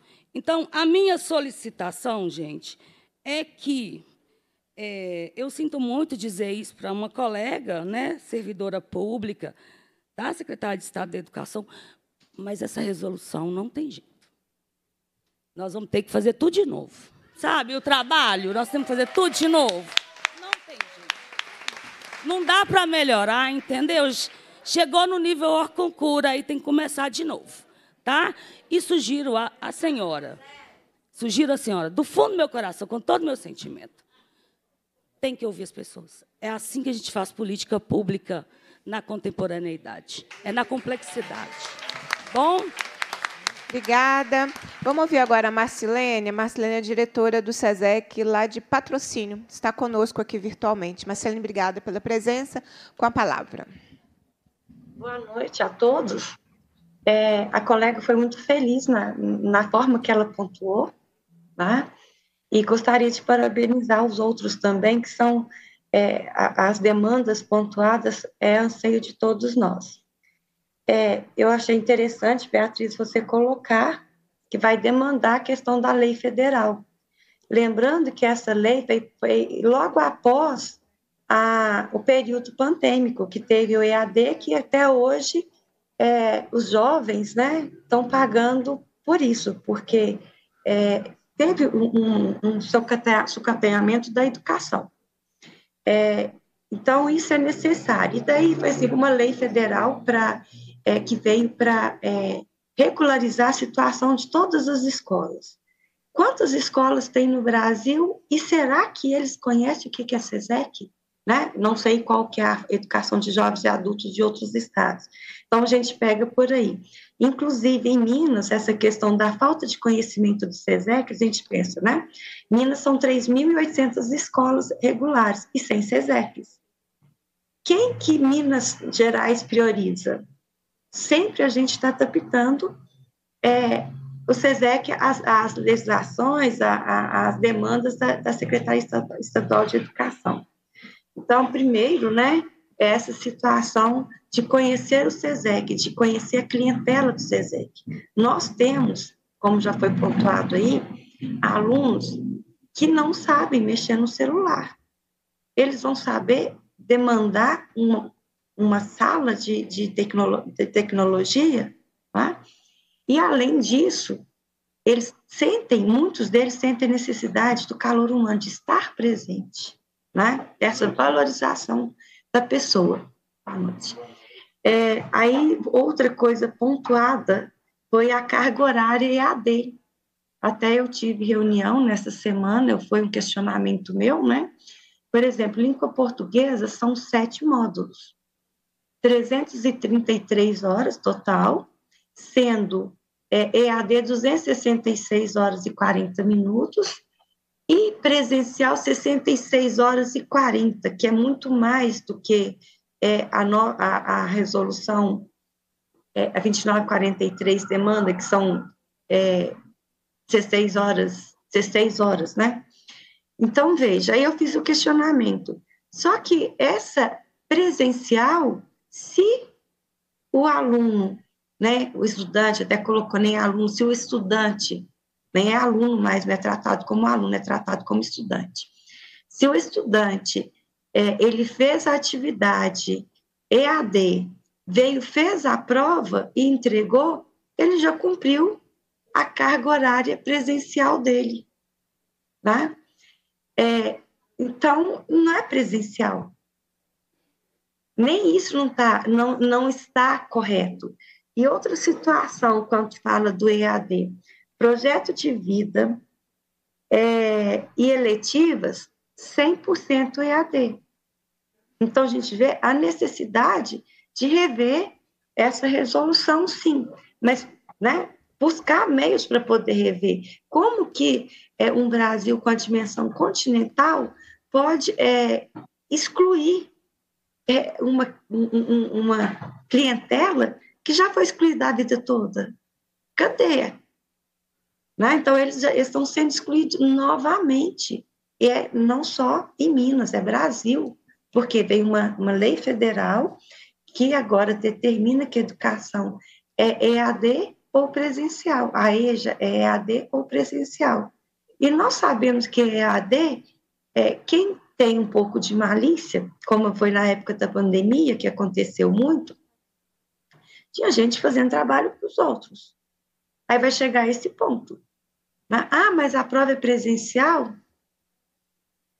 Mas não funciona. Né? E teve esse questionamento também, né? foi, falado, foi, foi nos dito que poderia ser tanto EAD quanto presencial, que nós a gente não pode é, impedir do estudante frequentar o SESEC. Não haverá impedimento, né, gente? Não haverá impedimento. Mas como que vai ser normatizado isso? Se na resolução já está falando EAD, né, 80% de carga horária EAD, 20% presencial, dos quais o 20% não é carga horária direta, igual a gente tem atualmente, não. Né? Fez a prova, entregou o trabalho, cumpriu, a 66 horas e 40 minutos de carga horária presencial. Né? Então, a gente está vendo que tem alguma tem muita coisa que precisa ser é, definido melhor, né? E não esquecer dos alunos que nós recebemos, que hoje eu acredito que a grande maioria dos SESECs estão recebendo alunos especiais, foram alunos que ficaram no ensino regular uma vida e não ficou, né, e não conseguiram é, melhorar em termos de conhecimento, atingir os objetivos. Então, vem o SESEC, que é um, um atendimento individual, personalizado, ele percebe que ele consegue aprender, como as colegas aí já deram testemunho de alunos que chegaram no SESEC sem saber ler e escrever e estão hoje no ensino médio. Acredito que todos os SESECs já aconteceram isso. Então, a reivindicação é que essa resolução realmente seja revista, principalmente na questão é, do semipresencial. Então, se a, a lei federal não permite, vamos buscar meios na lei federal para que essa permissão seja possível. E aproveitando a fala também, o colega, né, do, do o professor João Vitor, de São João do Rei, diretor do SESEC de São João do Rei, ele pediu que fizesse um questionamento sobre os alunos com deficiência que estão se matriculando no SESEC. Garantimos o direito à matrícula, mas nós não conseguimos o direito desse aluno ao atendimento educacional especializado, indo contra a legislação federal e a própria resolução estadual que versa sobre a questão. Outro ponto é que temos que lutar para que, para esta resolução, a garantia desse direito.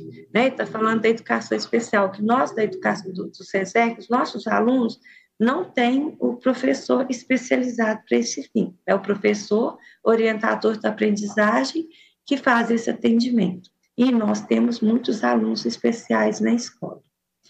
É, então, são essas, o que eu gost... isso né, que eu gostaria de pontuar.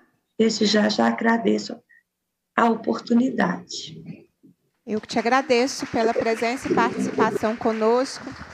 Gente, a, a justificativa para a resolução, conforme a Uzeli nos apresentou, ter tornado a educação à distância uma regra, é de uma resolução do MEC de 2021. Nós estamos em 2024. Não, mais do que outro governo, se nós ficamos de 2021, a, é, a, a Marcelene foi falando, eu fui pensando aqui, nós ficamos de 2021 a 2024 com a mesma resolução do SESEC. Por que não ter esperado um pouco mais para construir uma resolução mais de acordo com as necessidades do aluno, dialogando com o MEC a necessidade da revisão dessa regra, ou educação à distância ou presencial? Nós ficamos de 2021 até agora com, com uma regra do jogo, mesmo tendo outra resolução da, do, do, do, MEC, né? que foi o argumento para esta resolução EAD. Mas por que, que não esperou mais um pouco? Por que, que agora essa resolução do MEC está sendo a justificativa para mudanças estruturais que não aconteceram em 2022, que não aconteceram em 2023? mas serão para 2025. É, é, é, é, um, é, cria o conflito, o desgaste, a exaustão, você ter que batalhar pelo mínimo, pelo básico, você ter que defender a escola para ver o que, que a gente consegue mediar. Essa lógica da Secretaria de Estado da Educação ela é uma lógica adoecedora. Adoecedora.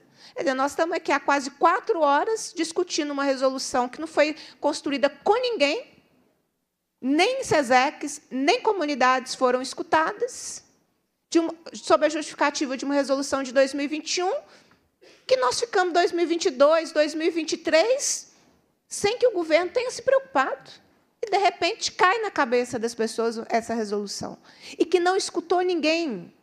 Desculpa, tem uma discrepância entre o Instagram da secretaria, sim, eu, eu, eu acompanho, e a realidade.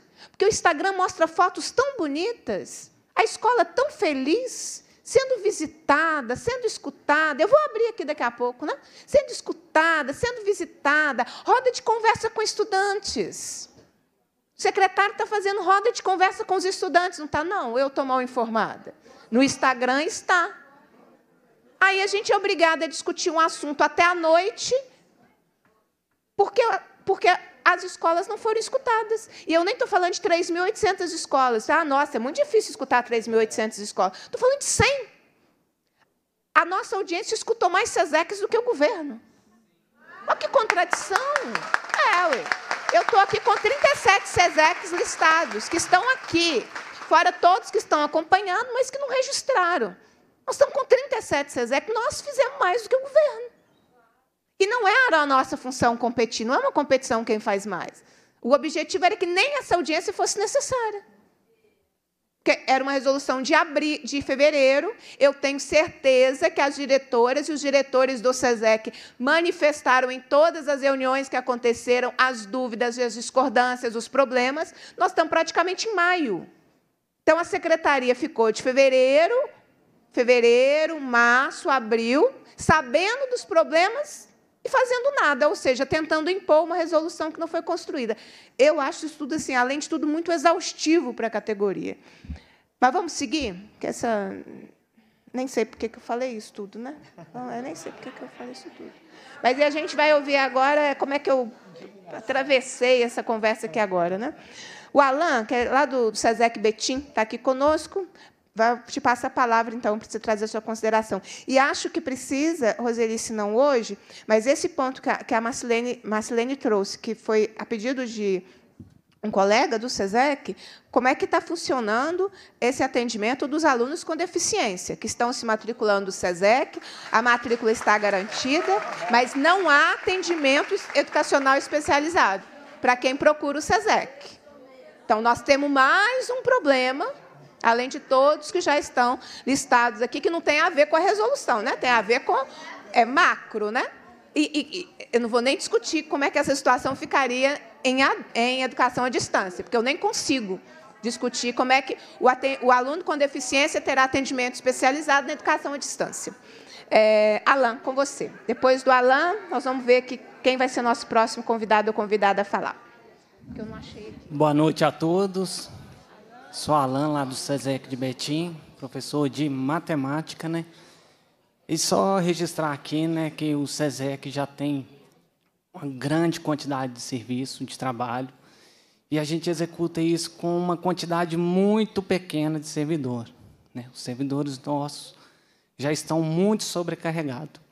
E aí vem uma resolução né, que não contempla a nossa realidade, e o pior ainda está por vir, né, que é a resolução do quadro pessoal, que provavelmente vai ser né, enxugar mais ainda esse quadro pessoal que nós temos.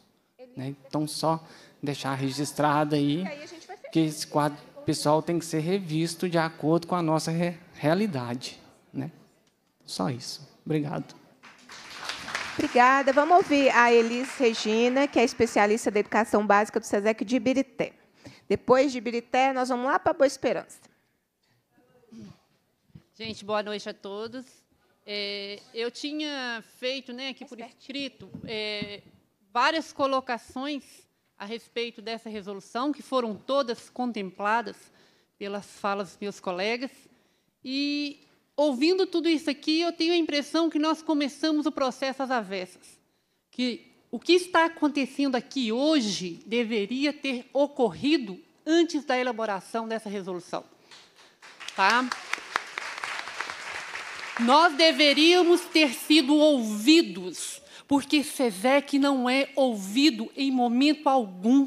Os SESEC são invisíveis à Secretaria de Educação.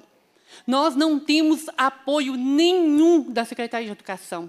Eu, enquanto especialista nas reuniões pedagógicas convocadas pela Metropolitana B, em momento algum eu recebo informação ou orientação referente à SESEC. E eu tenho certeza que as minhas colegas especialistas que aqui estão, estão com esse mesmo sentimento.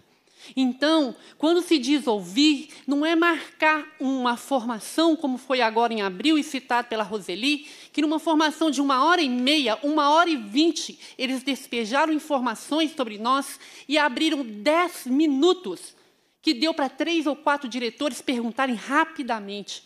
Ninguém foi ouvido, ninguém. Tá? O que foi foi um repasse de informações controversas, porque se fala uma coisa e quando se pergunta vai para outra.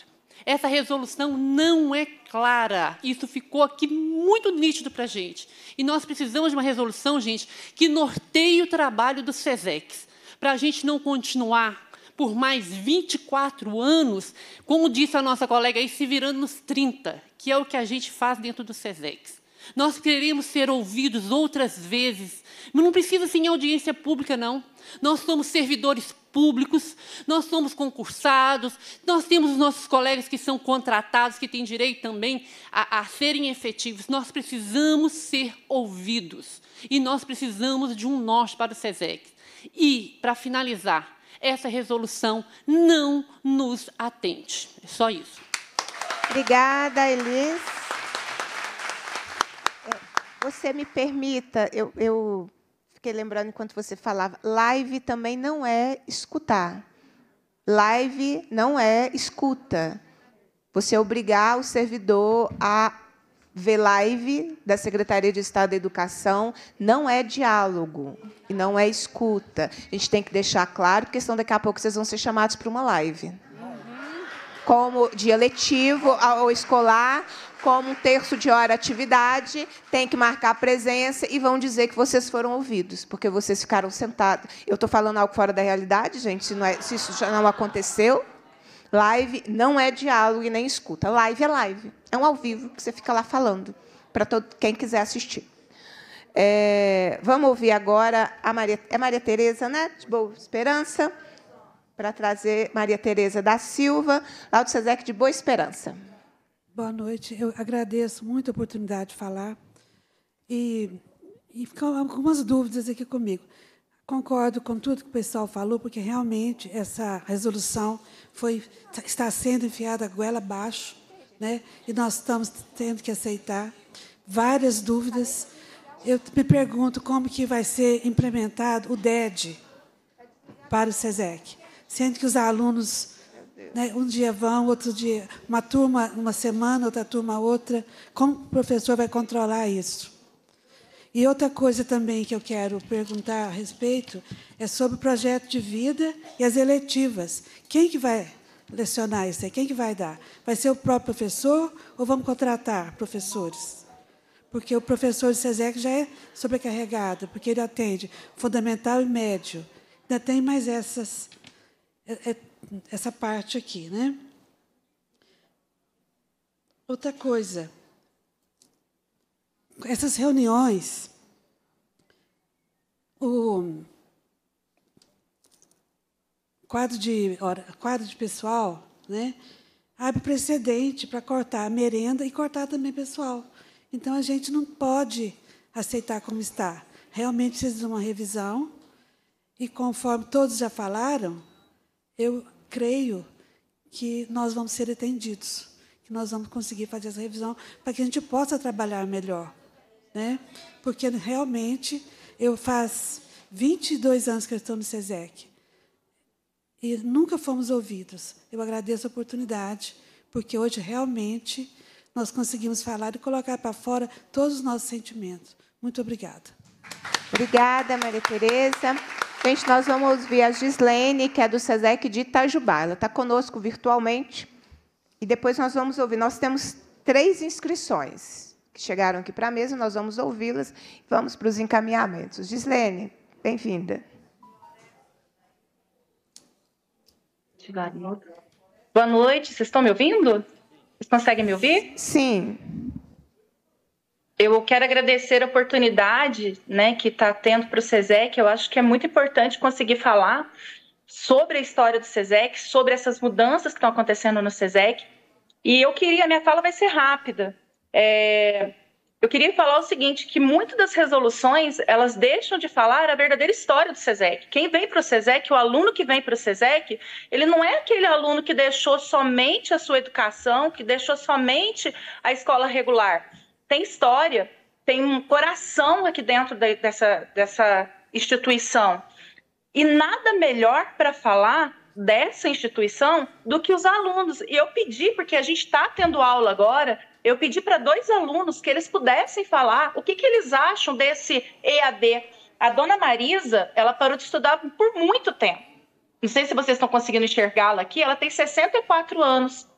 O seu José, ele tem 54 e ele parou de estudar por muitos anos. E eu perguntei para eles o que, que vocês acham da educação à distância. Vocês vão conseguir fazer as provas distantes? E eles não queria que vocês escutassem da dona Marisa o que, que ela acha de ter essa, essa é, aula, prova, né, estudar distante. O que, que a senhora acha, dona Marisa? A senhora acha que vai ser bom para a senhora, que ficou muito tempo? Ah, eu acho, não, não acho que vai ser bom não, porque a escola, é, vindo à escola, a gente aprende mais e, e online também a gente é muito ruim porque você vai fazer, não vai fazer igual você faz na escola, né? Você tem que ter oportunidade de estudar bem, é, seu ensino certinho. Eu acho que na escola é bem mais importante. E, e o senhor, seu José? Boa noite. Ah, eu acho assim que para a gente estudar online é muito difícil, porque eu estudei quando eu tinha oito anos de idade, aí depois eu tive que trabalhar, porque senão minha família passa fome. Primeiro que a gente passa fome, eu peguei e fui trabalhar. E hoje, que eu vou vir, depois, depois eu fiquei na adolescência, com, com 13, 14 anos, eu vou vir no oculismo, parei já faz 22 anos e agora voltei a estudar. E aqui o senhor tem atenção? Aqui eu tenho, aqui eu tenho atenção, tem tudo, mas para estudar online é difícil, porque a epidemia, a gente ficou a epidemia inteira estudando online, depois tivemos que repetir, porque é difícil para a gente entender. É muito, é muito complicado. Ai, obrigada, professor José. Eu, gente, eu estou quase chorando aqui, porque essa é a nossa realidade. Essa é a realidade do SESEX. Seu áudio fechou. Gislene, seu áudio fechou.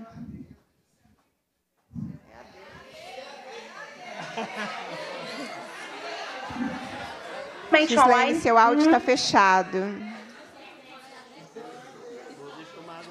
O meu está fechado? Estão me ouvindo? Agora estou te ouvindo. Ai, desculpa. O que, eu, o que eu acabei de falar foi o seguinte: a gente tem que estar tá no mundo tecnológico, a gente tem que sim abranger outros alunos, mas não pode ser só esse excludente. Excluir o seu José e a dona Marisa, que precisam da atenção do professor, que precisam da ajuda, que precisam de tempo para aprender, porque eles já ficaram muito tempo sem aprender, eles vão precisar desse apoio dos professores. E a parte do SESEC não é só educacional, é emocional também. É eles virem contar a história deles, eles voltarem para casa motivados a voltar amanhã. É isso, só isso. Obrigada pela oportunidade. E... Gislene, eu te agradeço muito, a dona Maria, seu José. Olha só, no estado todo a gente não consegue ir, mas escutando eles e também o casal de, de estudantes de Venda Nova aqui BH do SESEC, é, me surgiu uma ideia aqui que eu já vou compartilhar com vocês, exatamente para trabalhar contra essa invisibilidade, esse silenciamento que, que coloca um SESEC. Na região metropolitana, a gente consegue fazê-lo. Então, eu, eu posso propor para a região metropolitana que a gente realize visitas técnicas da Comissão de Educação para conhecer os SESECs, a sua metodologia, escutar as comunidades escolares e se nesse percurso ainda persistir essa ideia de EAD, escutar os estudantes sobre essa ideia de EAD. Então, na região metropolitana, eu, eu consigo fazê-lo e vou explicar por quê. Porque na região metropolitana nós não temos limite de visita técnica. É, as comissões, podemos fazer tantas quantas dermos conta e, de acordo com a disponibilidade de equipe da casa. Mas no interior, cada comissão só pode realizar duas atividades por ano. Então, não consigo visitar. É uma limitação técnica da casa. Mas aqui na região metropolitana, pode ser que seja uma possibilidade, né? uma, uma amostra do que é a potencialidade do SESEC. Porque aí a gente também não vai só para falar do problema, a gente vai falar de tudo que é bom e importante. Por que, que o SESEC é importante naquela comunidade? É a forma que a gente tem de contribuir sobre como é o SESEC e a sua importância. Tá bem? Então, já vou deixar aqui é, esse compromisso. Vamos ouvir agora é, toda a participação virtual. A Claudinélia tá, quer, é, quer falar? Claudinélia, deixa eu só lembrar de qual é o seu SESEC aqui que é de Almenara. Então, te passo a palavra e depois nós vamos ouvir as inscrições. Boa noite a todos. Primeiramente, gostaria de agradecer pela oportunidade. É, eu trabalho no SESEC de Almenara há 24 anos e é a primeira vez que participo, e acredito eu que os meus colegas também, de um momento tão importante, esclarecedor, é, especificamente para a SESEC. Obrigada. É, o meu questionamento é sobre o atendimento EAD. Né? O DIT, que é a Diretoria de Infraestrutura Tecnológica da Secretaria, ainda não autorizou a instalação né, de cabo de internet nas salas de aula. E também nós ainda não fomos contemplados com o projeto Wi-Fi na escola.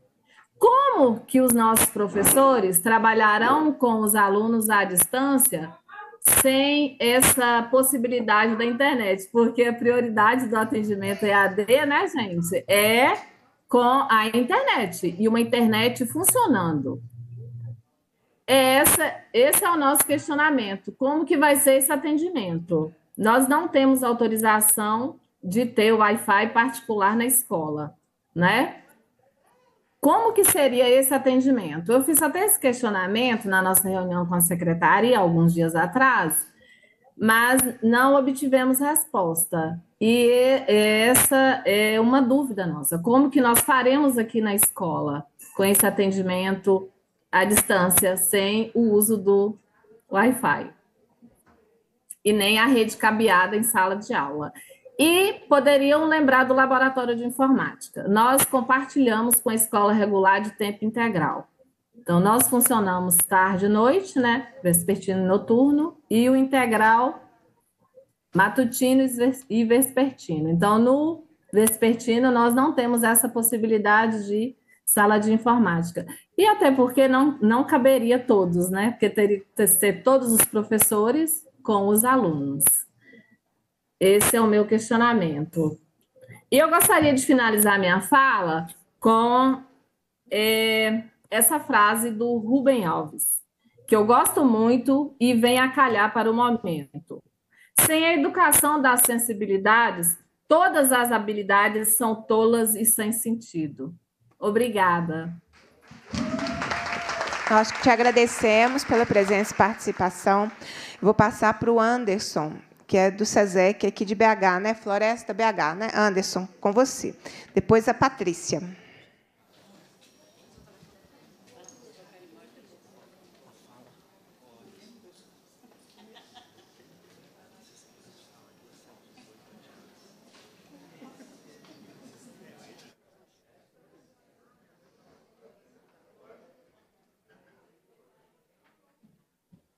É, primeiramente, né, dar uma boa noite a todos presentes. agradecer a Beatriz Cerqueira pela oportunidade de né, estarmos aqui hoje. Deputada, como alguém disse aí, né, mas tratamos ela como uma colega de trabalho. Né, e a oportunidade de todos nós estarmos aqui hoje debatendo essa resolução. É, eu e a Tereza né, constituímos parte da, do grupo, o GT, que teve vários encontros com a Secretaria de Educação ao longo de mais de um ano. Né, os trabalhos iniciaram, se não me engano, em 2021, 2022, 2023. É, inicialmente foi feita uma eleição com o SESEX para eleger cinco representantes. Depois estenderam para seis. Então, tinha que ter seis representantes de SESEC do estado inteiro para conversar com a Secretaria de Educação sobre a nova resolução a ser implantada. É, sentiram falta de representação da região metropolitana. Não tinha nenhum SESEC da região metropolitana no diálogo. Então, é, fizeram a votação na região metropolitana e me colocaram, né, representante aqui em Belo Horizonte, e também o SESEC de Vespasiano, o Caieiras, né, do Ebert, que não está aqui presente conosco hoje. Então, passou-se a ter oito diretores de SESEC representando, sim, a diversidade de SESECs. Por quê? SESEC com duas mil matrículas, 500 matrículas, SESEC de nível porte médio, grande, pequeno. Então, nós temos SESEC de BH, né, o poeta Murilo Mendes, né, BH, para todos daqui sabem, são dois SESECs, um em Venda Nova e o outro na região central. Temos, nesse grupo, SESEC de Patos de Minas, SESEC de Uberlândia, SESEC de Ferros, que é da Tininha aqui, temos o SESEC de Caldas, SESEC de Muriaé, deixa eu ver se estou faltando aqui, e Patos de Minas.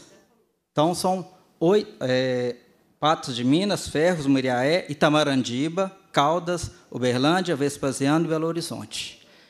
É, nos nossos diálogos, né, é, nós propomos para a secretaria, né, através um período foi com a Roseli que está aqui presente conosco, depois, é, o SESEC passou, mudou de diretoria dentro da Secretaria de Educação, saiu da diretoria de ensino médio, que é a diretoria da Roseli, né, da senhora Roseli aqui. Nós passamos para a diretoria de temáticas especiais, que entenderam que o SESEC entra nas temáticas especiais, sai da diretoria de ensino médio. Né? E continuamos o diálogo, tendo à frente dele da secretaria a senhora Denise né, que está na coordenação da educação de jovens e adultos. É, propomos por várias vezes, em várias reuniões, é, propostas que atenderiam né, às necessidades do SESEC de acordo com as nossas vivências. É, e muitas delas retornavam para a gente falando, olha, isso não pode, isso não pode, consultamos tal subsecretaria, isso não pode, isso não pode. Então, muitas das coisas que a gente tentou discutir, não foi para frente. Então, assim, houve é, esses momentos de diálogo, sim, mas aplicabilidade, muita coisa, muitos não foi para frente. Muitos não foram. É, eu mesmo, né, com a divulgação da resolução, quanto meus colegas, ficamos com muitas dúvidas na aplicabilidade dela. A minha reunião, conforme a Roseli mencionou, foi na segunda-feira a colega aqui de Ibirité falou que só teve três ou quatro que falaram. Realmente, foram quatro, acho, que falaram. Eu fui o segundo. O primeiro foi o do SESEC de Contagem. É, as duas perguntas, que eu me limitei a duas perguntas para dar espaço para mais colegas falarem. Eu perguntei sobre a questão do Conexão Escola, eu não tive uma resposta objetiva. E perguntei sobre a questão da banca itinerante, que tem vários, você com banca, banca itinerante, não quanto a edital na banca, que não foi nem discutido aqui, e nos foi dada a resposta que está sendo preparadas orientações. Então, nós ficamos com muitas dúvidas da aplicação da resolução. E eu até notei que durante a, essa audiência alguns pontos né, que eu gostaria de colocar aqui. A princípio, né, eu preferi não compor nem a mesa, por motivos que eu acredito que a maioria que vai saber o porquê. Né? Então, eu, tanto eu como a Tereza, né, está aqui, pedimos o direito de fala aqui para esclarecer que, às vezes, o coletivo do Ciências X pode pensar que nós, que fomos eleitos para representá-los, é, concordamos com o que está escrito nessa resolução. Nós não concordamos. Nós fomos ouvidos. Então, deixar claro que nós fomos ouvidos, mas o que nós pensamos não está sendo, não foi materializado nessa resolução. Algumas questões sim, outras não. Entendeu? Então, é, surgem para nós algumas dúvidas com a implantação dessa nova resolução. Quadro de pessoal para 2025. É, como que nós saberemos o nosso quadro de pessoal do ano que vem? Segundo informações da secretaria, somente quando publicar a resolução, que normalmente sai em novembro, dezembro. Se um servidor ficar excedente no SESEC, porque reduziu o quadro do ano que vem, ele vai ter que ir para onde sobrar a vaga ano que vem, porque ele não teve nem o direito de pedir uma remoção antes, porque ele não sabia. Então, nós temos receio, sim, de redução do quadro de pessoal com o EAD. Essa é uma preocupação do SESEC, acredito que sejam de todos. Redução do nosso quadro de pessoal com EAD.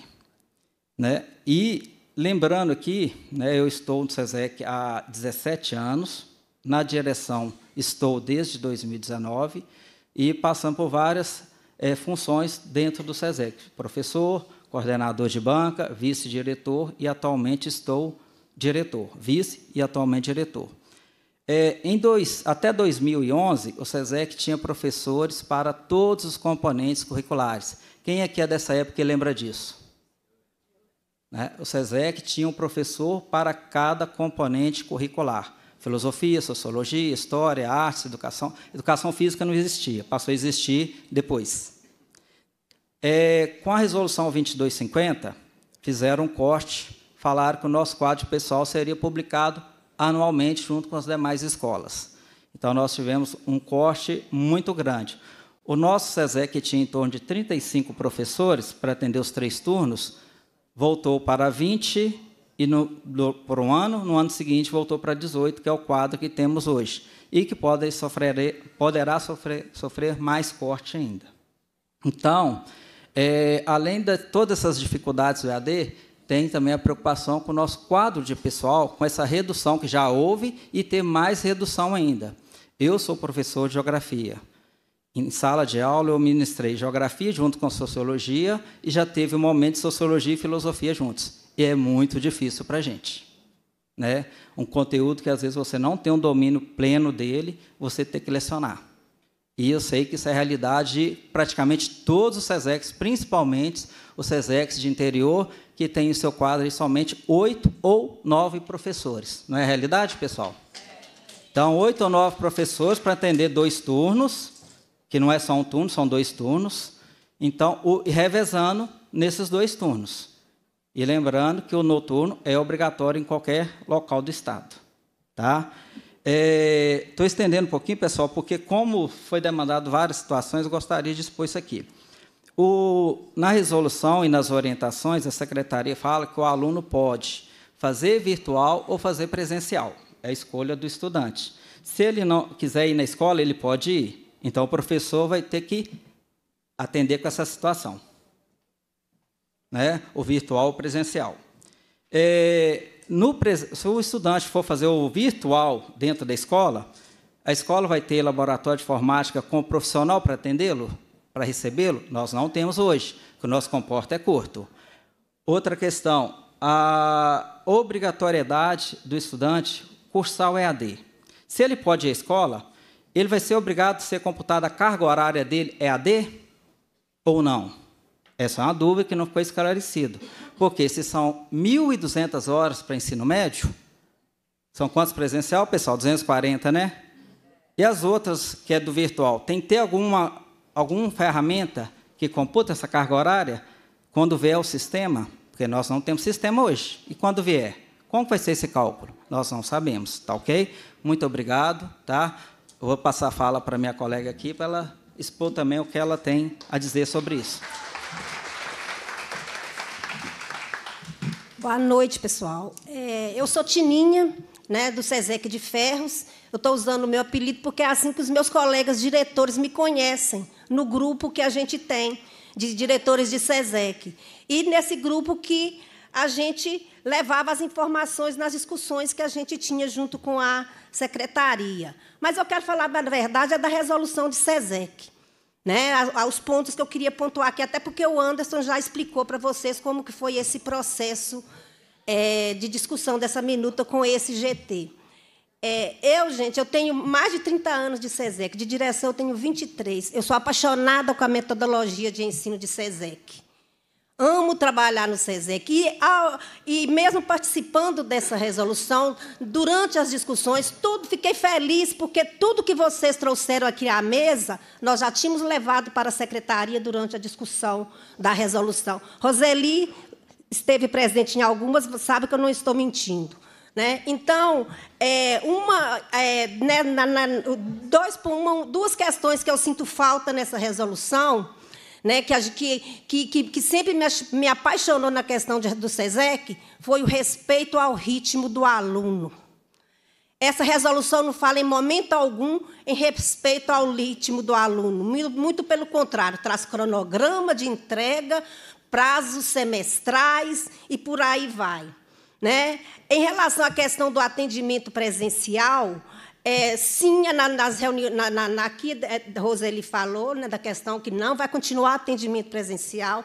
Conosco, nas, nas, rodas, nas reuniões que foram feitas com os demais diretores, nessas rodas que a secretaria tem feito agora, também não vai continuar. O EAD ele vai, vai ser mais uma forma de modalidade. Mas, na resolução, a questão do presencial ela é citada no artigo 29, que fala que o, o cronograma de entrega das atividades será por meio de ferramentas disponíveis no aplicativo Conexão Escola ou no SESEC, que, dependendo de interpretação, pode entender que o aluno só vai lá entregar. Né? E no artigo 45, que fala, na hora que fala das, do professor de, de orientador de aprendizagem, no inciso oitavo, que fala que um, um dos papéis do professor é acompanhar o cumprimento do cronograma de entrega, novamente o cronograma de entrega das atividades do plano de estudo do estudante por meio de ferramentas disponíveis no, no, no aplicativo Conexão Escola ou presencialmente. Então, também possível de diversas interpretações. Né? Então, nessa resolução, além dessa questão da, do artigo 3 né, que fala da organização, que não cita o presencial, tem que falar claramente. O professor de orientador de aprendizagem irá atender o aluno presencialmente para tirar dúvidas para isso e para aquilo, é a função dele. Isso tem que ficar claro na resolução, porque hoje a gente está ouvindo isso da secretaria, vai haver o presencial também. Mas a resolução não nos garante isso, não. Né? E outro ponto que eu queria colocar, essa que é, é hora, quando eu falo que, que o, a ausência né, da questão do respeito ao ritmo do aluno, o SESEC perde, de certa forma, a sua identidade, que esse é o diferencial do SESEC. Esta é a identidade do SESEC, né, o respeito ao ritmo do aluno. E a primeira vez que eu ouvi a expressão EAD, SESEC EAD, eu pensei, me veio na cabeça a minha, nossa aluna lá, a Silvana, que foi alfabetizada por um anjo, que ela fala isso com a gente. Beatriz, é uma outra questão. EJA, nos anos iniciais, a maioria dos municípios não tem. É uma carência, isso tem que ser é, buscado, tem que ser resolvida essa questão. Tem que ser obrigatório o EJA nos anos iniciais em todos os municípios. Porque nossos alunos da, é, é, dos anos iniciais da EJA também são, é, têm direito né, à, à educação. É, até falei, até me perdi da parte que eu ia, ia citar, para finalizar aqui. Ah, da Silvana com anjo. Silvana, como deu, Silvana, gente, ela foi alfabetizada por um anjo, a, que ela trabalhava. Aí ela fez a, a prova de certificação nos anos iniciais, foi para o SESEC. Hoje ela está fazendo o ensino médio. Aí, na hora que eu lembro assim, gente, como é que, como é que as Silvanas, as Marias, os Josés que chegaram na escola igual a Silvana, eles vão fazer AD? Que dias não dão conta de pegar o mouse? Eles não foram ali para aprender mexer no computador, não. Eles foram lá para buscar conhecimentos, aqueles que eles não tiveram na idade direito deles. Então, essa questão tem que ser levada em consideração. A EJA, eu não, eu, eu não vejo problema em atender a EAD para aqueles alunos que estão em condições, é mais uma possibilidade, mas não pode ser a forma principal de atendimento. É, Tereza, muito obrigada. Também muito obrigada ao Anderson. É, tem mais duas inscrições, que é a da. Cadê a Patrícia, que é estudante do SESEC? E a gente tem uma última inscrição, que é o Álvaro. E aí a gente tenta encaminhar, tá bem, gente? Fica firme aí que. Quando, depois que a gente. Me permita antes, porque eu vou ter que, talvez eu tenha que interromper alguém, a presidência prorroga os trabalhos da comissão.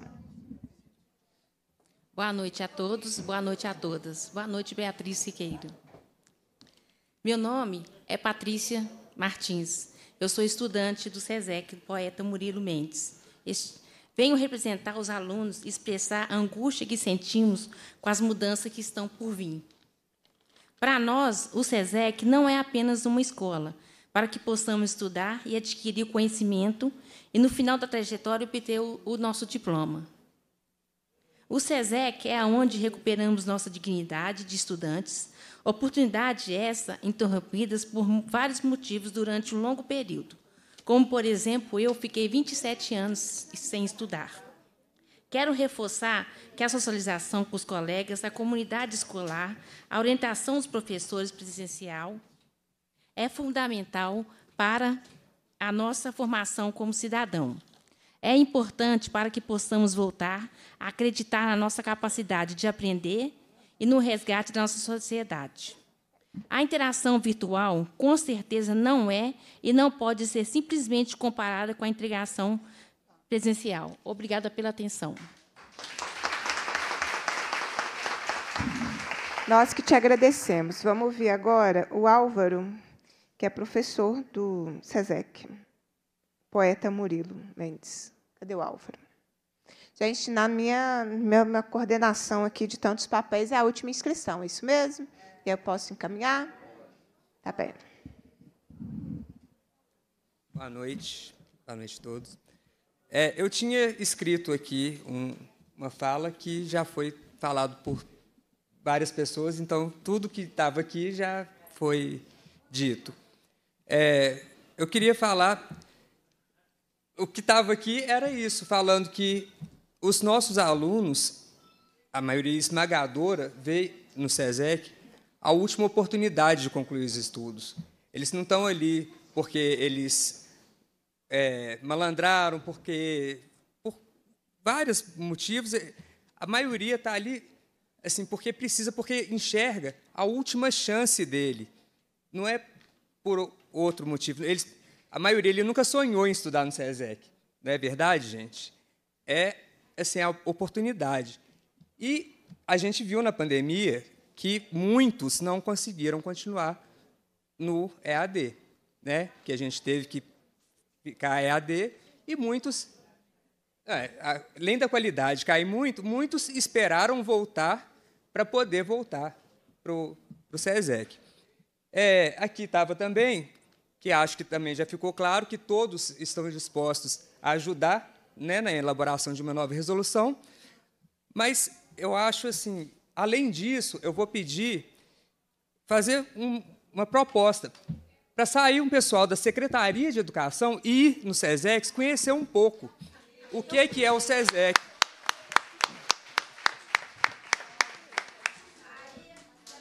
Né, pegar que sejam uma, duas pessoas da secretaria e de cada metropolitana e passar uma semana, duas dentro do SESEC para ver o funcionamento do SESEC, como que é feito, como a dinâmica do SESEC, como que é. Porque parece, parece não, né? Quem fez uma resolução dessa não conhece nada de SESEC, não conhece nada de como que funciona.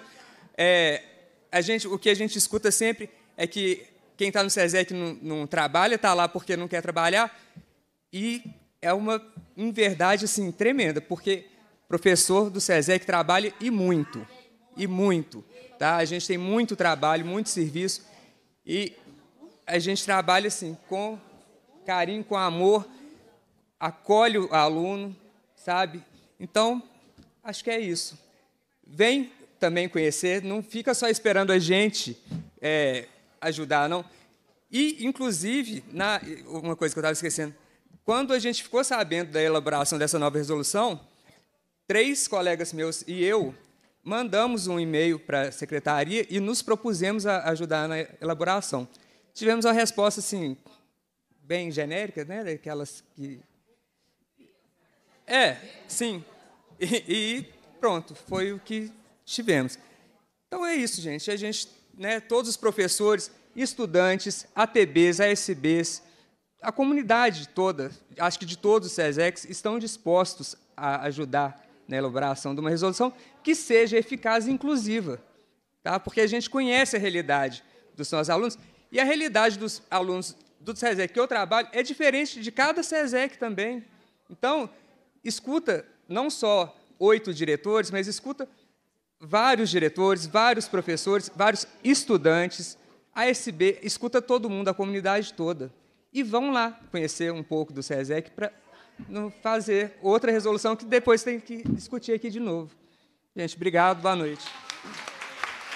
Obrigada. A Shirley tem um questionamento. Aí a gente vai ver com você, Roseli, as questões que são eventualmente de esclarecimento. E eu vou encaminhar, tá bem? Eu tenho que ler os questionamentos. É, é uma pergunta simples, mas que faz todo sentido nesse contexto. É, se os representantes da Secretaria de Educação têm ciência, se leram e se avaliaram os documentos referentes ao atraso na educação advinda do processo de EAD e as suas consequências, porque eu acredito que qualquer um que tenha lido todos os documentos que já foram publicados a respeito não iria nos propor, nos propor não, nos impor esse ensino em EAD. É isso. Obrigada, Shirley. Também a gente está com várias participações virtuais. Eu vou começar pelo Júlio de Patos de Minas, que corrobora muito com o que o Anderson trouxe. Né? O governo não pode responsabilizar oito diretores do SESEC por uma decisão que não coube aos diretores. Todas as demandas do grupo de diretores foi amplamente debatido com a Secretaria de Estado da Educação. Infelizmente, a resolução publicada não é, nem de longe, produto dos anseios e sugestões que foram apontadas pelos diretores. Tem outros. Essa está uma audiência com muita participação, então tem mais aqui. É, lá de Muraé é, da Karine, favor reportar a questão do cancelamento de matrícula com 60 dias sem comparecimento. É um questionamento mesmo. Metodologia diferenciada na criação do SESEC. Não funciona esse quesito. Lá de Itabira, Sabrina, a questão do quadro de, é, a questão do quadro de pessoal, a secretaria não seguiu a própria resolução, e sim seguiu-se apenas a resolução 4.925, que é a do quadro de pessoal em vigor. Se observar o artigo 74 da resolução, 4.955 prevê uma transição e há amparo para o número de alunos na Resolução 2.943, artigo 30, para o quadro. Só seguir. Servidores, é, SRS, ouviram o que a secretaria disse. Não é um quadro justo. Também lá de Muriaé, da Karine. Ah, favor reportar para ser revisto e retirado o cancelamento da matrícula com ausência de 60 dias.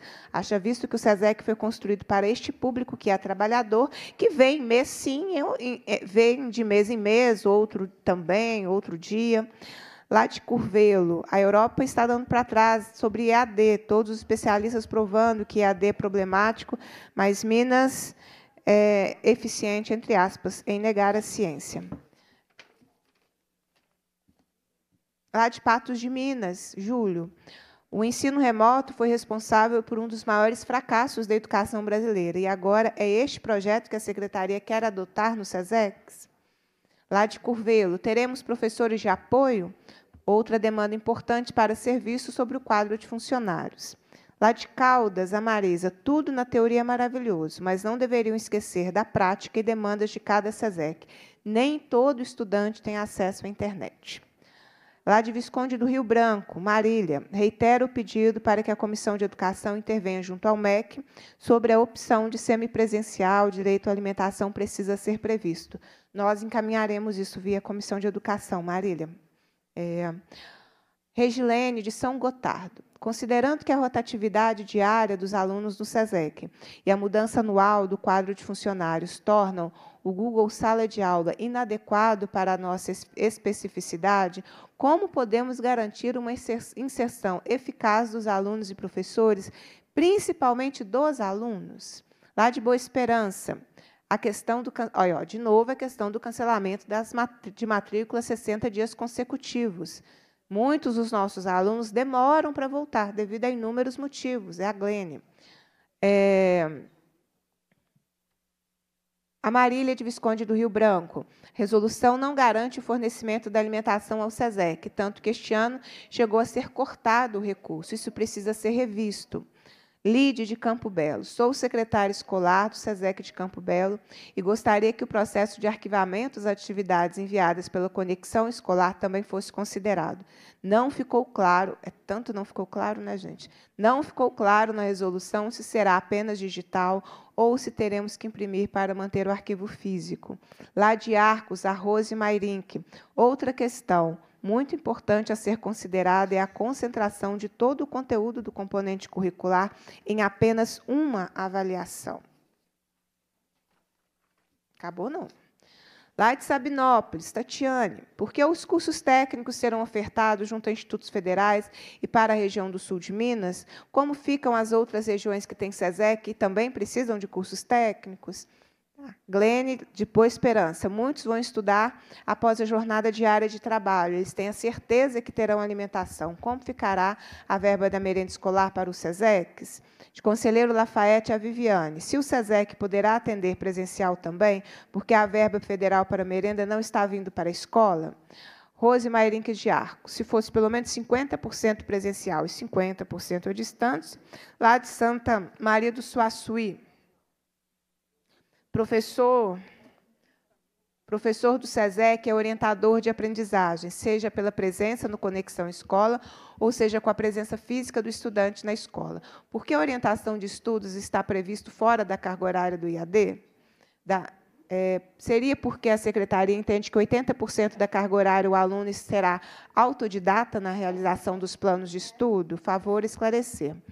E a resolução traz bem claro que os 20% se referem à realização de orientação de prova e autoavaliação. Lembra a Rose lá de Arcos.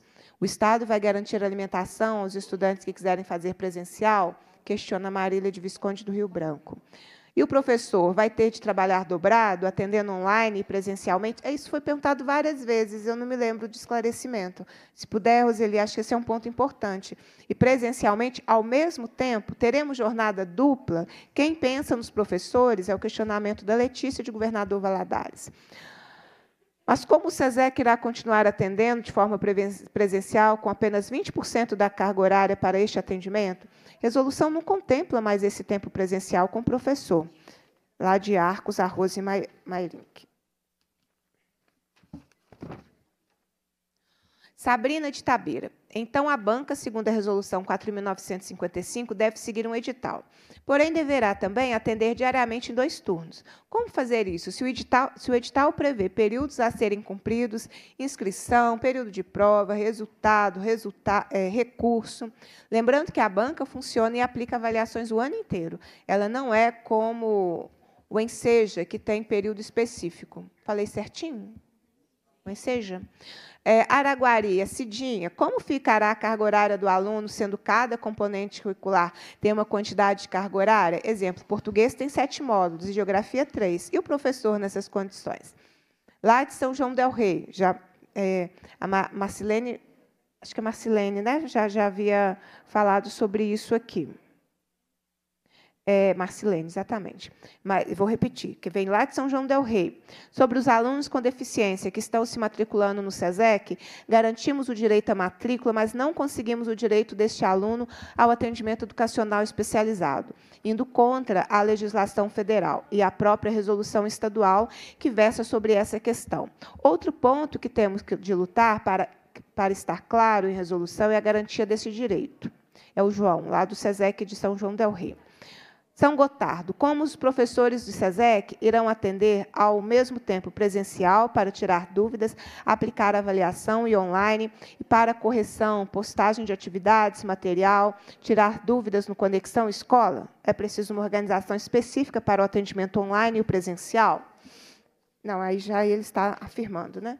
O público do SESEC é lá de Valadares, governador Valadares. O público do SESEC é Letícia. Não tem condições de ter uma educação online. Os professores não terão condições de atender às peculiaridades dos alunos. De São Gotardo, a Regilene. Como será feita a inserção dos alunos no Conexão Escola, uma vez que temos uma rotatividade de alunos diariamente? É o SESEC de São Gotardo. Ô, gente, muita demanda. Quero fazer uma proposta de encaminhamento porque isso aqui, as perguntas já são mais uma audiência, para bem explicadas, para bem resolvidas, identificando qual é o artigo da resolução. Então, eu queria fazer uma proposta, se vocês concordarem, vocês todos que estamos aqui. Pegar todos esses questionamentos e colocar no papel, por meio de requerimento, e institucionalmente a Comissão de Educação solicitar esses esclarecimentos à Secretaria de Estado da Educação. Pode ser? Porque aí fica no papel, fica esclarecido. A gente vai pedir qual é o artigo da resolução em que está se baseando esse esclarecimento. Porque a quantidade de dúvidas mostra que o processo está confuso demais da conta.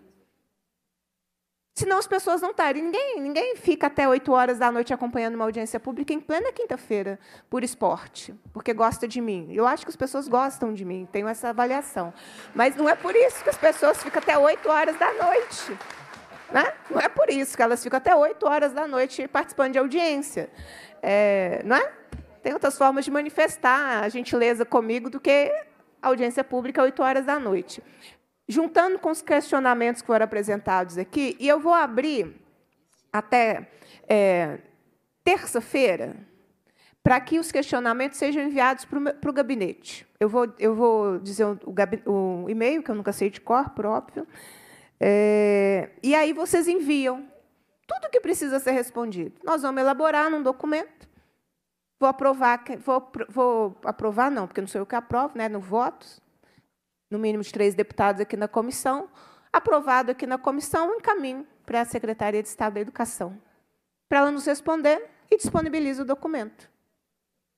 Eu acho que fica mais seguro, fica mais seguro para todo mundo. Né? Se, vai, se, se, a, se a, a, o presencial é, é, pode ser também, né? então o EAD não é a regra, então a secretaria vai, vai, vai escrever isso para a gente. E vai estar tá tudo vai estar tudo bem, bem, bem, bem escrito. Pode, eu acho que é um processo melhor, porque está tudo muito confuso. Eu vendo esse tanto de coisa aqui é porque as coisas não estão bem esclarecidas. E a jornada que a Roseli nos informou de que está sendo feito com o SESEX não foi suficiente porque muitos SESEX que já participaram da jornada, com 10 minutinhos né, para perguntas, é uma metodologia muito inovadora, que eu estou quatro horas escutando aqui, né?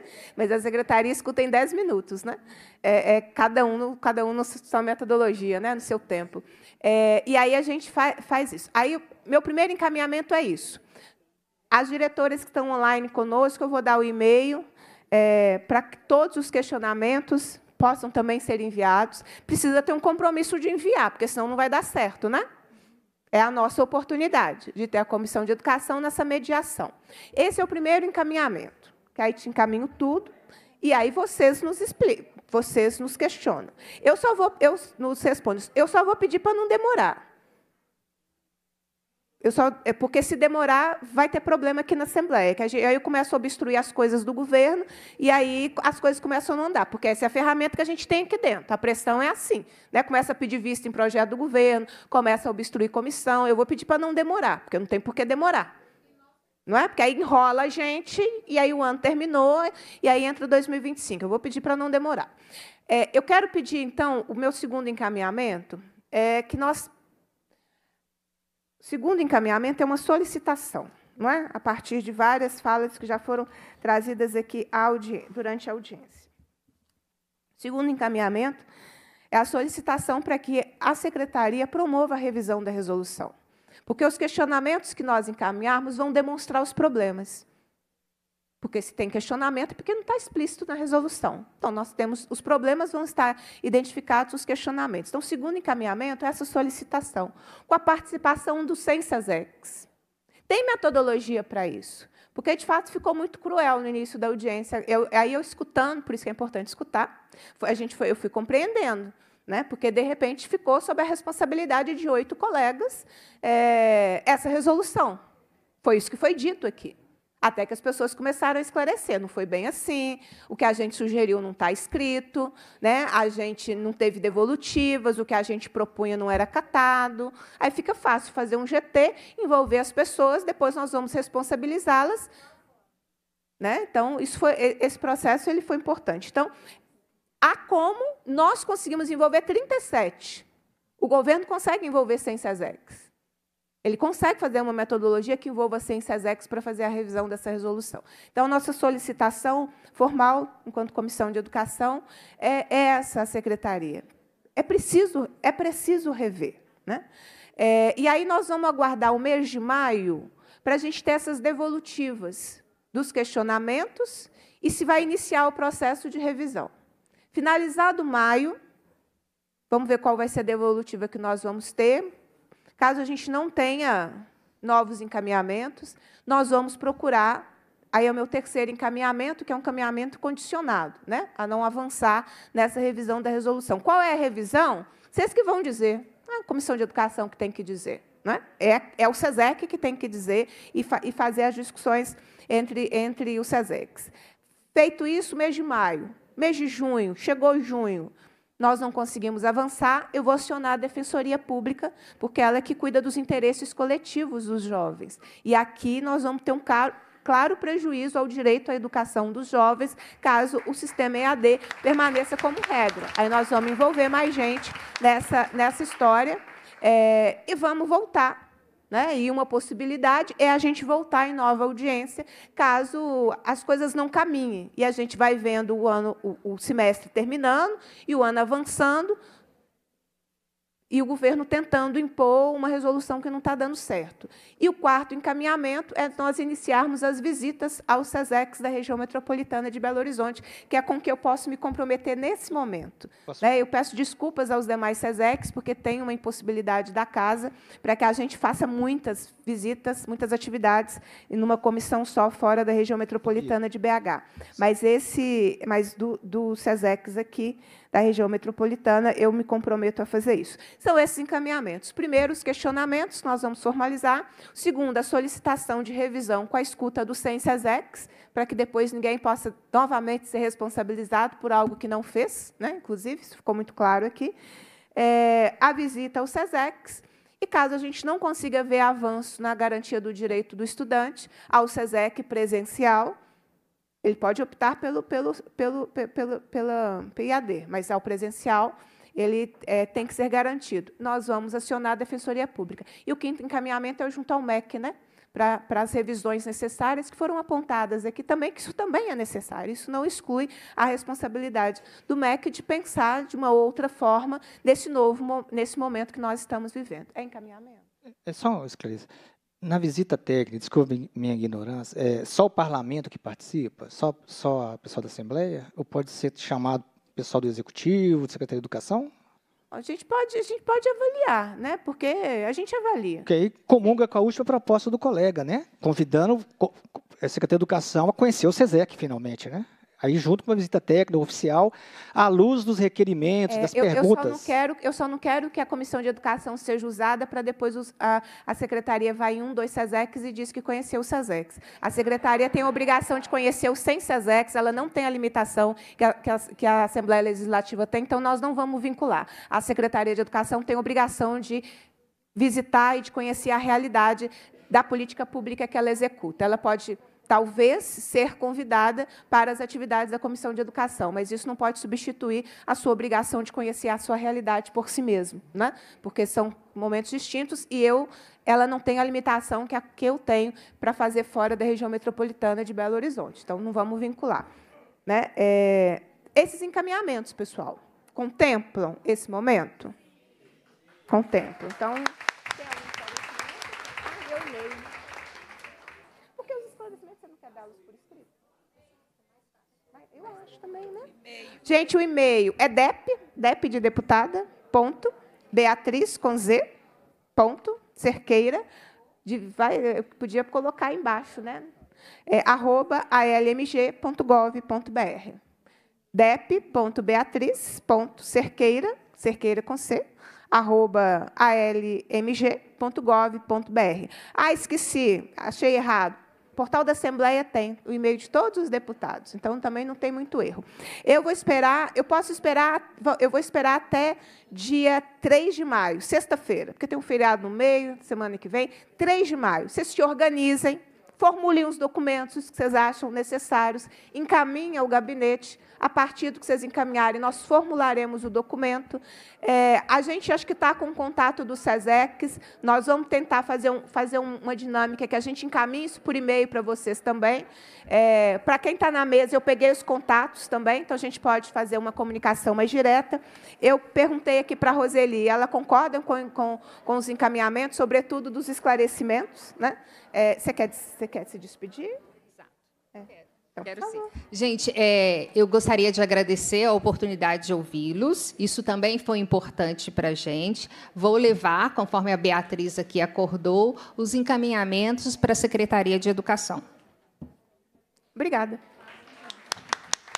Olha só, vamos fazer a chamadinha final aqui da enorme, gigantesca participação dos SESECs. Betim, Contagem, Birité, Belo Horizonte, lado da Floresta, Montes Claros, Almenara, Pouso Alegre, Passos, Muriaé, Janaúba, Guanhães, São Sebastião do Paraíso, Teófilo Otoni, Itajubá, Mantena, Manhuaçu, Vespasiano, Venda Nova, Viçosa, Governador Valadares, Divinópolis, Campo Belo, Uberaba, Monte Carmelo, Patrocínio, Poços de Caldas, Boa Esperança, Brasília de Minas, Itabira, Arinos, Curvelo, Félix Lanja, Pirapora, Sete Lago... aliás, é, Pirapora, Sete Lagoas, Porteirinha, Ferros, Caratinga. Itabiri. Hã? Itabirinha? Itabirinha. Itabirinha, tá? Participação foi muito boa gratidão a todos que pegaram estrada. Vão pegar estrada na volta, então mais gratidão ainda a vocês por colocarem aí seus corpos, né, à disposição de uma luta coletiva, porque é disso que se trata quando você se desloca, quando você pega estrada, quando você deixa a sua família. Muito obrigada por todo o processo. Vamos esperar o mês de maio. Junho vocês dão notícia. E aí a gente vê os próximos encaminhamentos. Agradecer toda essa extensa e representativa mesa, agradecer toda a mesa virtual com a gente, que está cheia até agora, todo mundo acompanhando as discussões. Gratidão, muito obrigada. É, aguardo também todos os diretores virtuais que estão aqui conosco, é, para que a gente possa possa fazer aí as discussões necessárias. Aguardo é, os posicionamentos de vocês também. Vou deixar aqui também no, no chat o nosso e-mail para os o nosso e-mail que é o do gabinete para os encaminhamentos. E vou encerrar os trabalhos assim que eu compartilhar o e-mail com o pessoal aqui também, porque quando eu terminar a sala deixa de existir. Então, está aí é, o nosso e-mail, DEP e meu nome. Cumprida a finalidade da reunião, a presidência agradece a presença de todas as pessoas, convoca os membros para a próxima reunião especial. Ah, gente, participa amanhã, mesmo que virtualmente, olha que bacana com a finalidade de realizar o debate público sobre a importância do incentivo à pesquisa científica para o desenvolvimento do uso terapêutico e medicinal dos produtos derivados da cannabis. É o que nós vamos discutir amanhã em debate público. E os meios necessários para viabilizar o acesso do tratamento à população. Nós vamos discutir amanhã cannabis do SUS. Isso é importante para muita gente. Vocês podem participar virtualmente, como muita gente participou hoje com a gente. Quero agradecer toda a participação no chat também. Determino a lavratura da ata. Desejo um bom retorno a todas as pessoas. Encerro os trabalhos. Obrigada. Companheiro, tá desde uma hora.